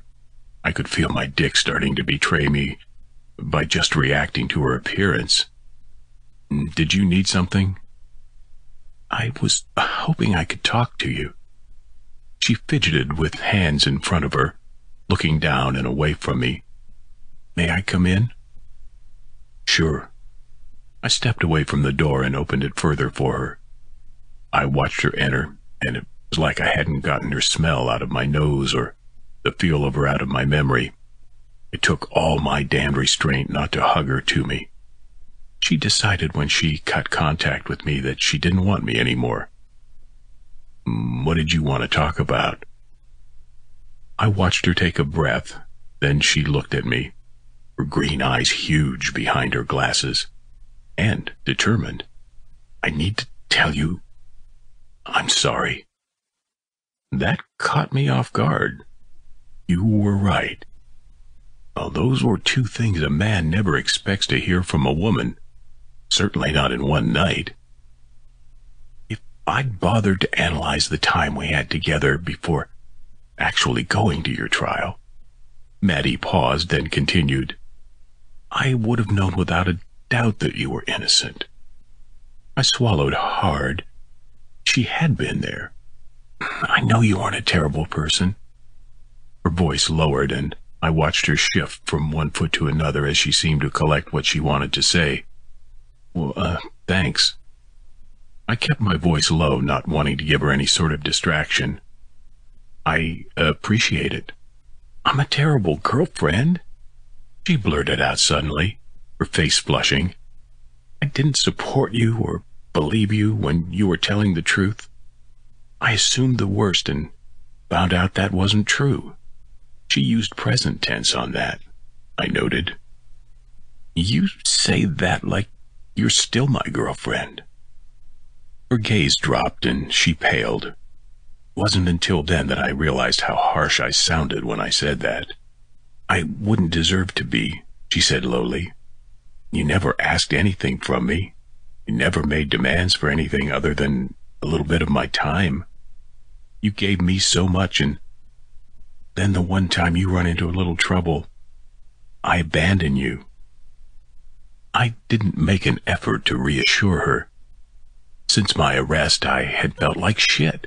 And I could only imagine what having her around to lean on would have done to alleviate the stress that I felt. I know I wouldn't have been as depressed. It probably would have been easier to get distracted with her. I missed her. Seeing her here made me realize just how much I missed her. My chest hurt and my throat felt tight as I processed what she said. She wanted forgiveness. You still want me? I managed to ask. I never stopped wanting you. She took a step closer to me. There were only a short few feet between us now. I just didn't know how to handle what was happening, and the only thing I could think to do was to put distance between us. It seemed like a good idea, and it seemed like the safest thing to do. I couldn't get hurt, and I didn't have to worry about getting into trouble, too. She released a breath and reached forward, her hand skimming over the button down I wore. Is there any way I can make it up to you? I don't want you in any kind of trouble. My voice felt thick and it felt like it was hard to talk with as tight as my throat had gotten. I'd never do anything that would get you in trouble. You, you know that, right? I do now.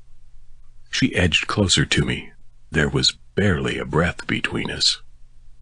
I could put my arms around her and feel the relief of having her close to me, but I waited.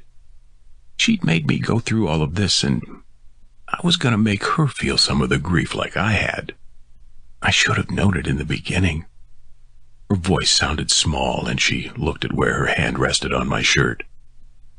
You're the first person to tell me that they love me, and you meant it. I knew when I heard you say it the first time that you meant it. Every time you would say it, there was a ring of truth to it. I, I just. She paused and looked up at me. Just didn't realize how I felt until I had to go without you.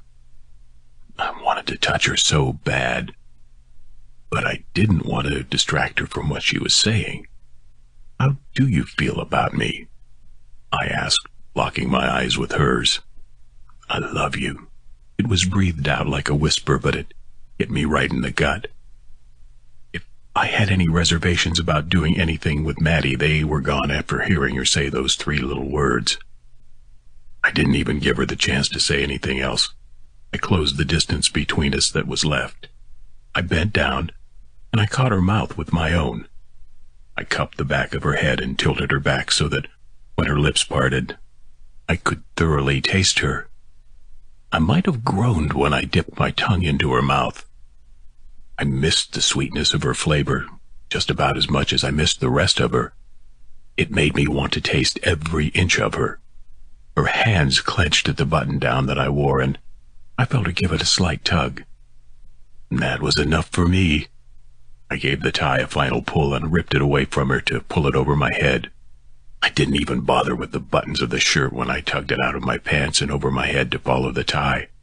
I felt like I'd been at arm's length with everyone, and now that I had the one person that I wanted right here with me, I was going to do all that I could to feel every inch of her. I worked my way backward in the direction of my room. I needed her. She followed me. Maybe she needed me like I needed her. Now that I had my shirt out of the way, her hands trailed up along the length of my chest, skirting around my pecs, causing the muscles to twitch. Her touching embroiled me more, and I reached out to start unbuttoning her blouse. As soon as I had it open, I pushed it off her shoulders and then began to make short work of her skirt. By the time I backed into my sad little bed, I had her down to her bra and panties.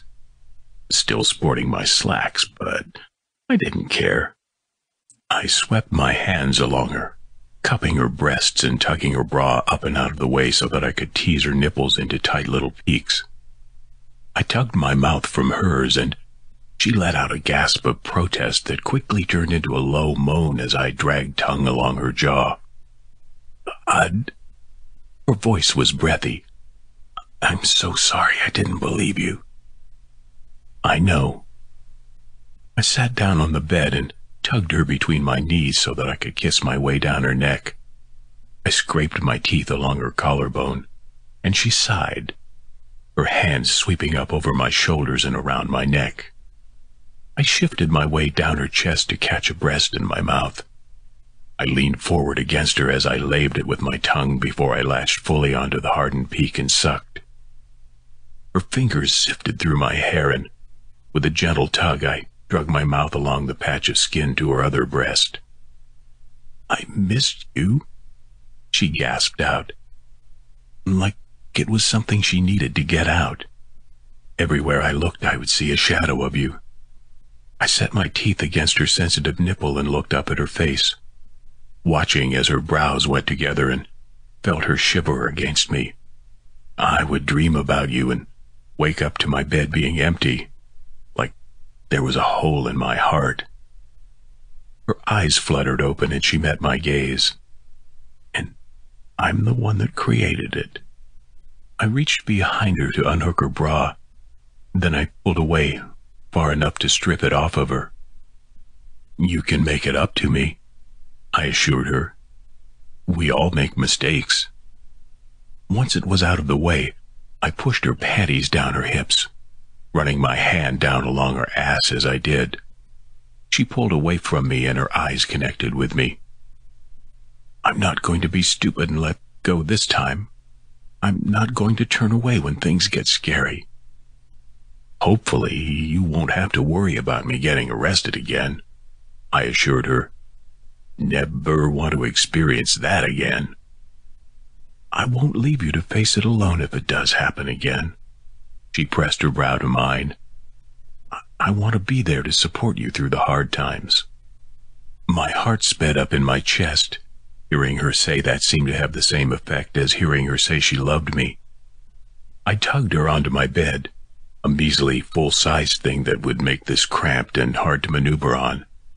I flung her onto her back so I could prowl above her. Keep saying stuff like that. I growled at her. And you won't ever be rid of me. Maybe I don't want to be rid of you, she retorted. Her breathing was heavy and she pushed her fingers into my beard until she could get a decent handful. She gave it a tug and I had no choice but to come to her. Maybe I want to wake up every morning with you next to me. She met me the rest of the way to give me a hungry kiss. It was like the last few weeks didn't even exist. All that shit went out the door. All that there was was her and me. I wanted to reaffirm the taste of her, not just her mouth. I pulled away from her and followed the line of her throat down her chest, over her stomach, down to the little line of curls between her thighs. She didn't resist me. She stayed stretched out across my bed as I shifted her thighs up onto my shoulders and parted her lower lips. She flushed a bright pink and I could see just how wet she was. Maybe her admitting all of this did something to her. Or maybe she wanted me as much as I wanted her. I rolled my tongue over the length of her slit, tracing it up to the little bundle of nerves at the top. She twitched and moaned. Her hands went into my hair and, and tugged as her hips began to roll up against my mouth. I knew she liked this, and I understood why. Having her lips wrapped around my cock those weeks before was pure heaven. I worked two fingers into her and watched as she threw her head back, moaning aloud at how good it felt. Aim was like a prayer flowing from her lips, and I decided I wanted to hear it again. I reached up to stroke her breasts, just as I sucked her clit into my mouth. Her hips bucked against my face in response, and I used my teeth to make her whimper before I soothed her with light swipes of my tongue. I wasn't sure how long I stayed between her knees, but it was well past the time that she clenched around my fingers and cried out, at just how much she loved me. I pulled my fingers from her and pressed my tongue into her quivering hole, savoring the flavor. She clenched, and I felt her hands tugging at my hair. Please, it's too much. That was enough, I decided, and I pulled away from her sweet cunt. I wiped my mouth on the back of my hand and looked down at her. I don't have any condoms here, sweet cheeks. It was probably for the best to admit it. Left them all at your house. She tugged me down to her, her arms going around my neck and her hips pressed against mine. It was then that I realized I still had the fucking slacks on. She left a damp spot from where she rocked up against my clothed dick. I wasn't going to need to get the suit clean before, well, I would definitely need to now. But fuck it. It's hard to resist a beautiful woman thrusting against you. I don't care, she breathed, reaching down, the tug at my belt. I want you. I want you in me. She kissed me, sweeping her tongue against my lips. I'm sure she got a generous taste of her cum still clinging to my face. Before everything happened, she had my belt open and was working on the buttons of the pants. I got birth control. I have an implant in my arm. My brows went up and I put away to look at her. Before I'd wanted to feel every bit of you, I wanted nothing between us. Her voice shook a little as she looked up at me. I still want that. Want nothing between us, and I want you. If you can forgive me for my abandoning you. She seemed to be searching my expression. I want to give you everything I have. I want it, I assured her, letting her press the slacks that are only slightly too big for me. I want you. I want everything. I'm going to take it all and give you everything in return. As soon as she got my dick free and the pants down around my ankles, she started stroking me. She made sure she had me to the point of throbbing, and I lowered myself down. As I got close, she aimed me into her sopping wet entrance. Nothing was between us as I started to ease into her. Just the tight heat of her giving in. There was no barrier preventing me from feeling the silky wetness. The only lubricant was her. I groaned and buried my face against her throat. I'm not going to be able to use condoms again. I don't want you to. Her breath was shaky. I want to feel all of you, every bit of you in me. I thrust forward so that my cock became fully seated in her, and it was all I could do not to bust it right then. Keep talking like that. I started grunting as her muscles fluttered around me. And this is going to be embarrassingly short. I propped myself up on my elbows, and she leaned forward to kiss me again. Words became secondary. Anything else said was a babbled mess of feelings that just seemed to pour out unfiltered. I found a rhythm steadily enough taking a little time to adjust to the feel of her and the throbbing flutter of her muscles. Her thighs latched onto my hips, and her legs were wrapped around me just as tightly as her cunt. It left little wiggle room, and if I had the dumb idea of needing to escape, I would have had to fight for it. She held onto me like I was a life raft. She was drowning in the sensation of each raw thrust, Condoms are definitely overrated. Couldn't even remember if I ever had the opportunity to fuck a girl raw. But here I was, swearing into her ear that I would worship her forever, just for the opportunity to fuck her like this. Her fingers curled into my hair and she was gasping out how good it felt again.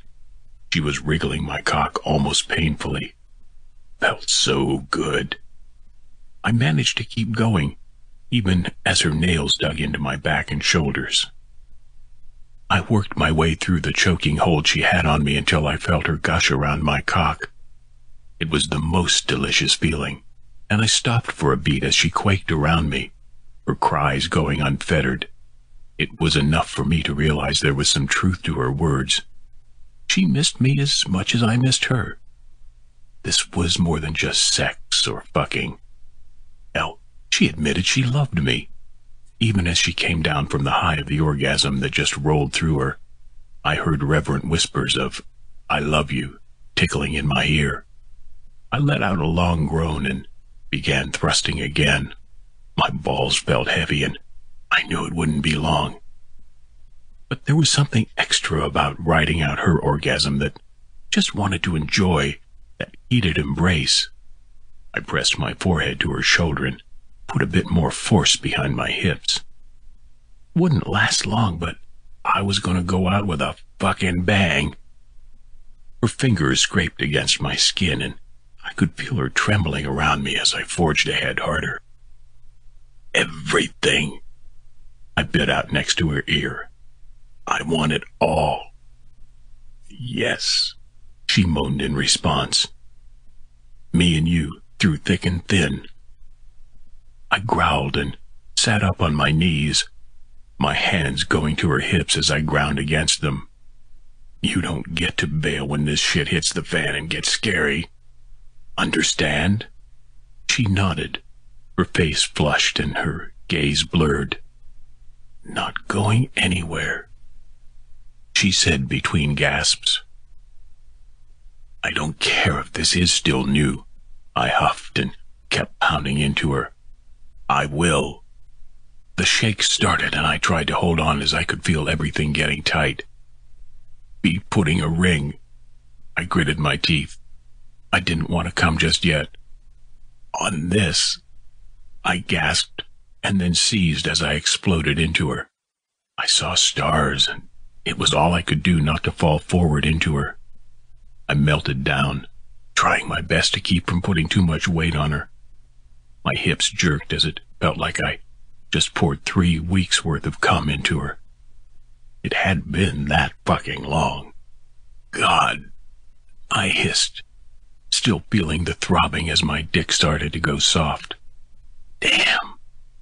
I shifted to kiss her face.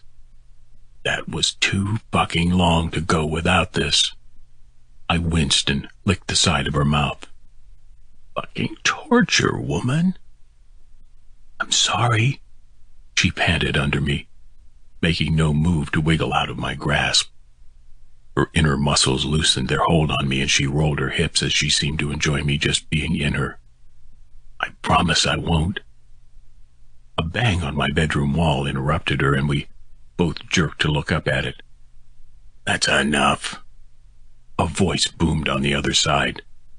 Some people have to go to work in the morning.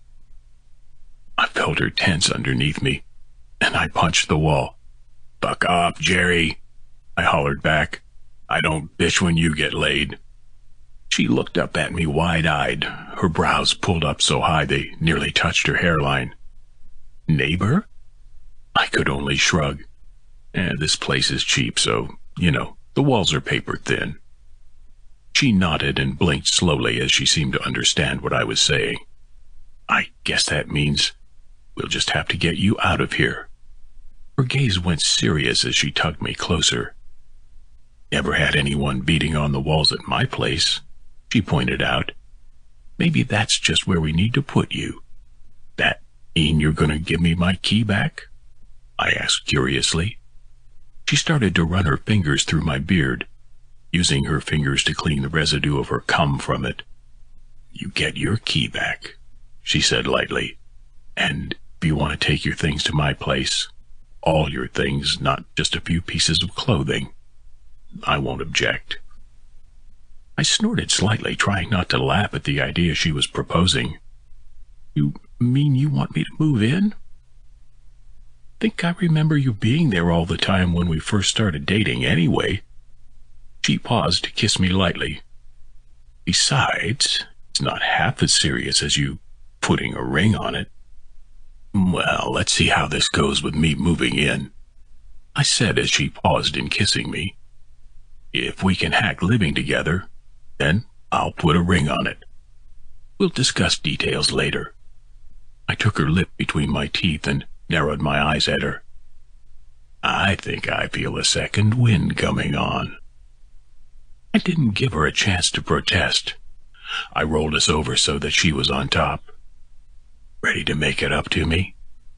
She gasped out and sat up, sitting back up on my thighs and feeling my growing hardness in her. What, uh, what about your neighbor? Fuck Jerry. I put my hands on her hips and thrust up into her experimentally. I wasn't fully hard, but with the way she was clamped around me. I knew it wouldn't take me long to get that way. You liked fucking me this way before. I rolled my hips against hers and I saw her brows go together at the feeling of my pubic bone rubbing against her clit. Or we can shift this around and I can throw it into you from behind. You like that way too, if I remember correctly. Yes, she breathed and her hands went down to rest on my stomach. She started to move with me. Maybe, her breath hitched, we can try both ways. I ain't going to jail, I assured her. We got all day to cycle through all the positions you like. There was nothing like that knowledge, that you had nothing to stop you from throwing it into the girl that you loved.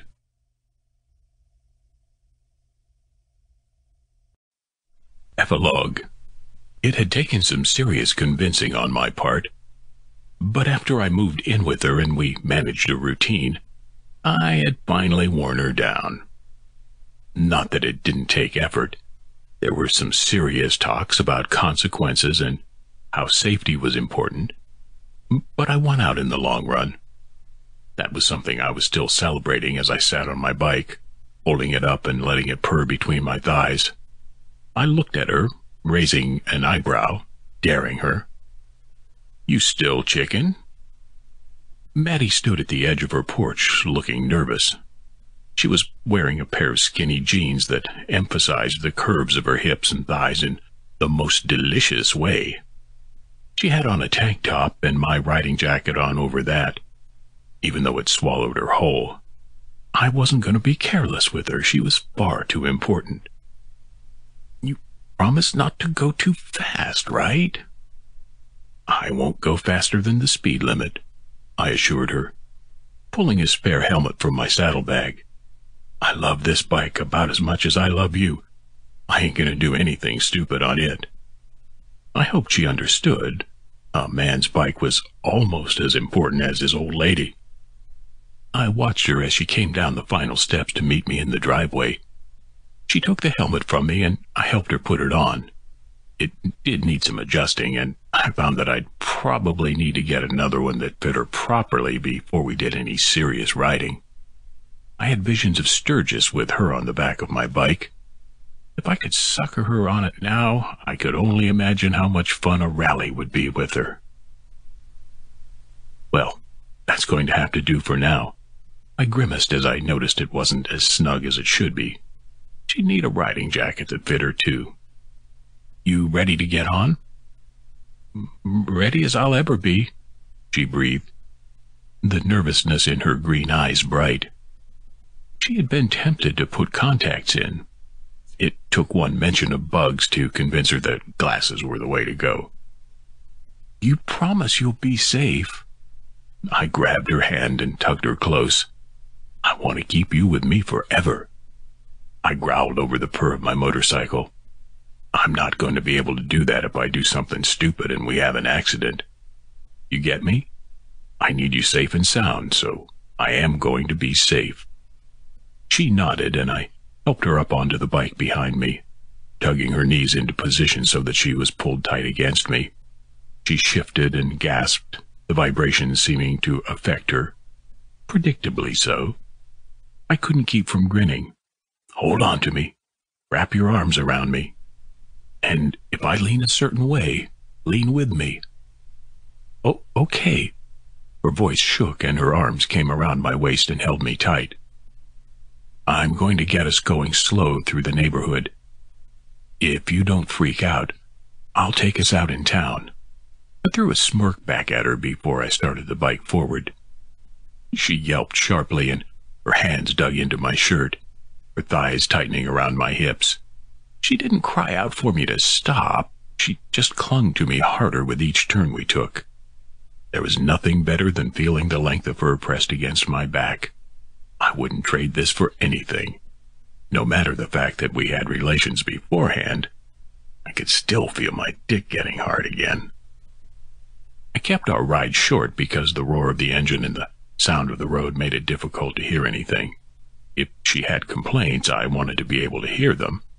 It had taken a great deal of time to soothe her fears about taking this ride. I took us to the bar, when I rolled us to a stop and cut the engine, she gasped in surprise. Why did you stop? I tried not to laugh as I pulled my helmet off and then turned to tug hers off, too. I needed to see her face.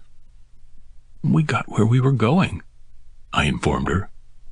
Why, you want to take a longer ride? If I decide to do this for keeps, I get to ride with you any time I want, right? She asked. Her eyes were bright behind her smudged glasses, and I could tell the same bug that had bitten me had bitten her, too. I felt my heart pick up in my chest, and I looked at her hard. You want me for keeps now? She tugged me back against her, and I felt her lips against my ear. I liked you in the beginning, and I can honestly say you grew on me with little effort. Her teeth tugged at the lobe of my ear, and I groaned as I felt my cock start to perk up to attention. Now, I want you for keeps. Shit. I handed her the helmet back. I was going to take us out on a nice social outing. Now you're telling me I've got to take you back home and put you to bed? I'm getting so many mixed signals, I complained in jest. After hearing all of that, I could wait to get ball deep into her. But I didn't, she started to argue. I didn't say to take me back home. Oh, no. I put my helmet on. You don't get to say shit like that and not have me take you home to lay you down for some sweet lovin'. Nope. You say you want me for keeps? You better be prepared for me to bend you over. I heard her laugh even as I kicked my bike back to life and turned to take us back to her place. Her place. She had made it so it wasn't just her place anymore. She made it so that it was our place. Now, you're never going to be rid of me. This has been Overhaul. Boneyard Brotherhood, MC, Romance, Book 1. Written by Amber Burns. Narrated by G. H. Wells. Copyright 2017 by Amber Burns. Production copyright 2017 by Amber Burns.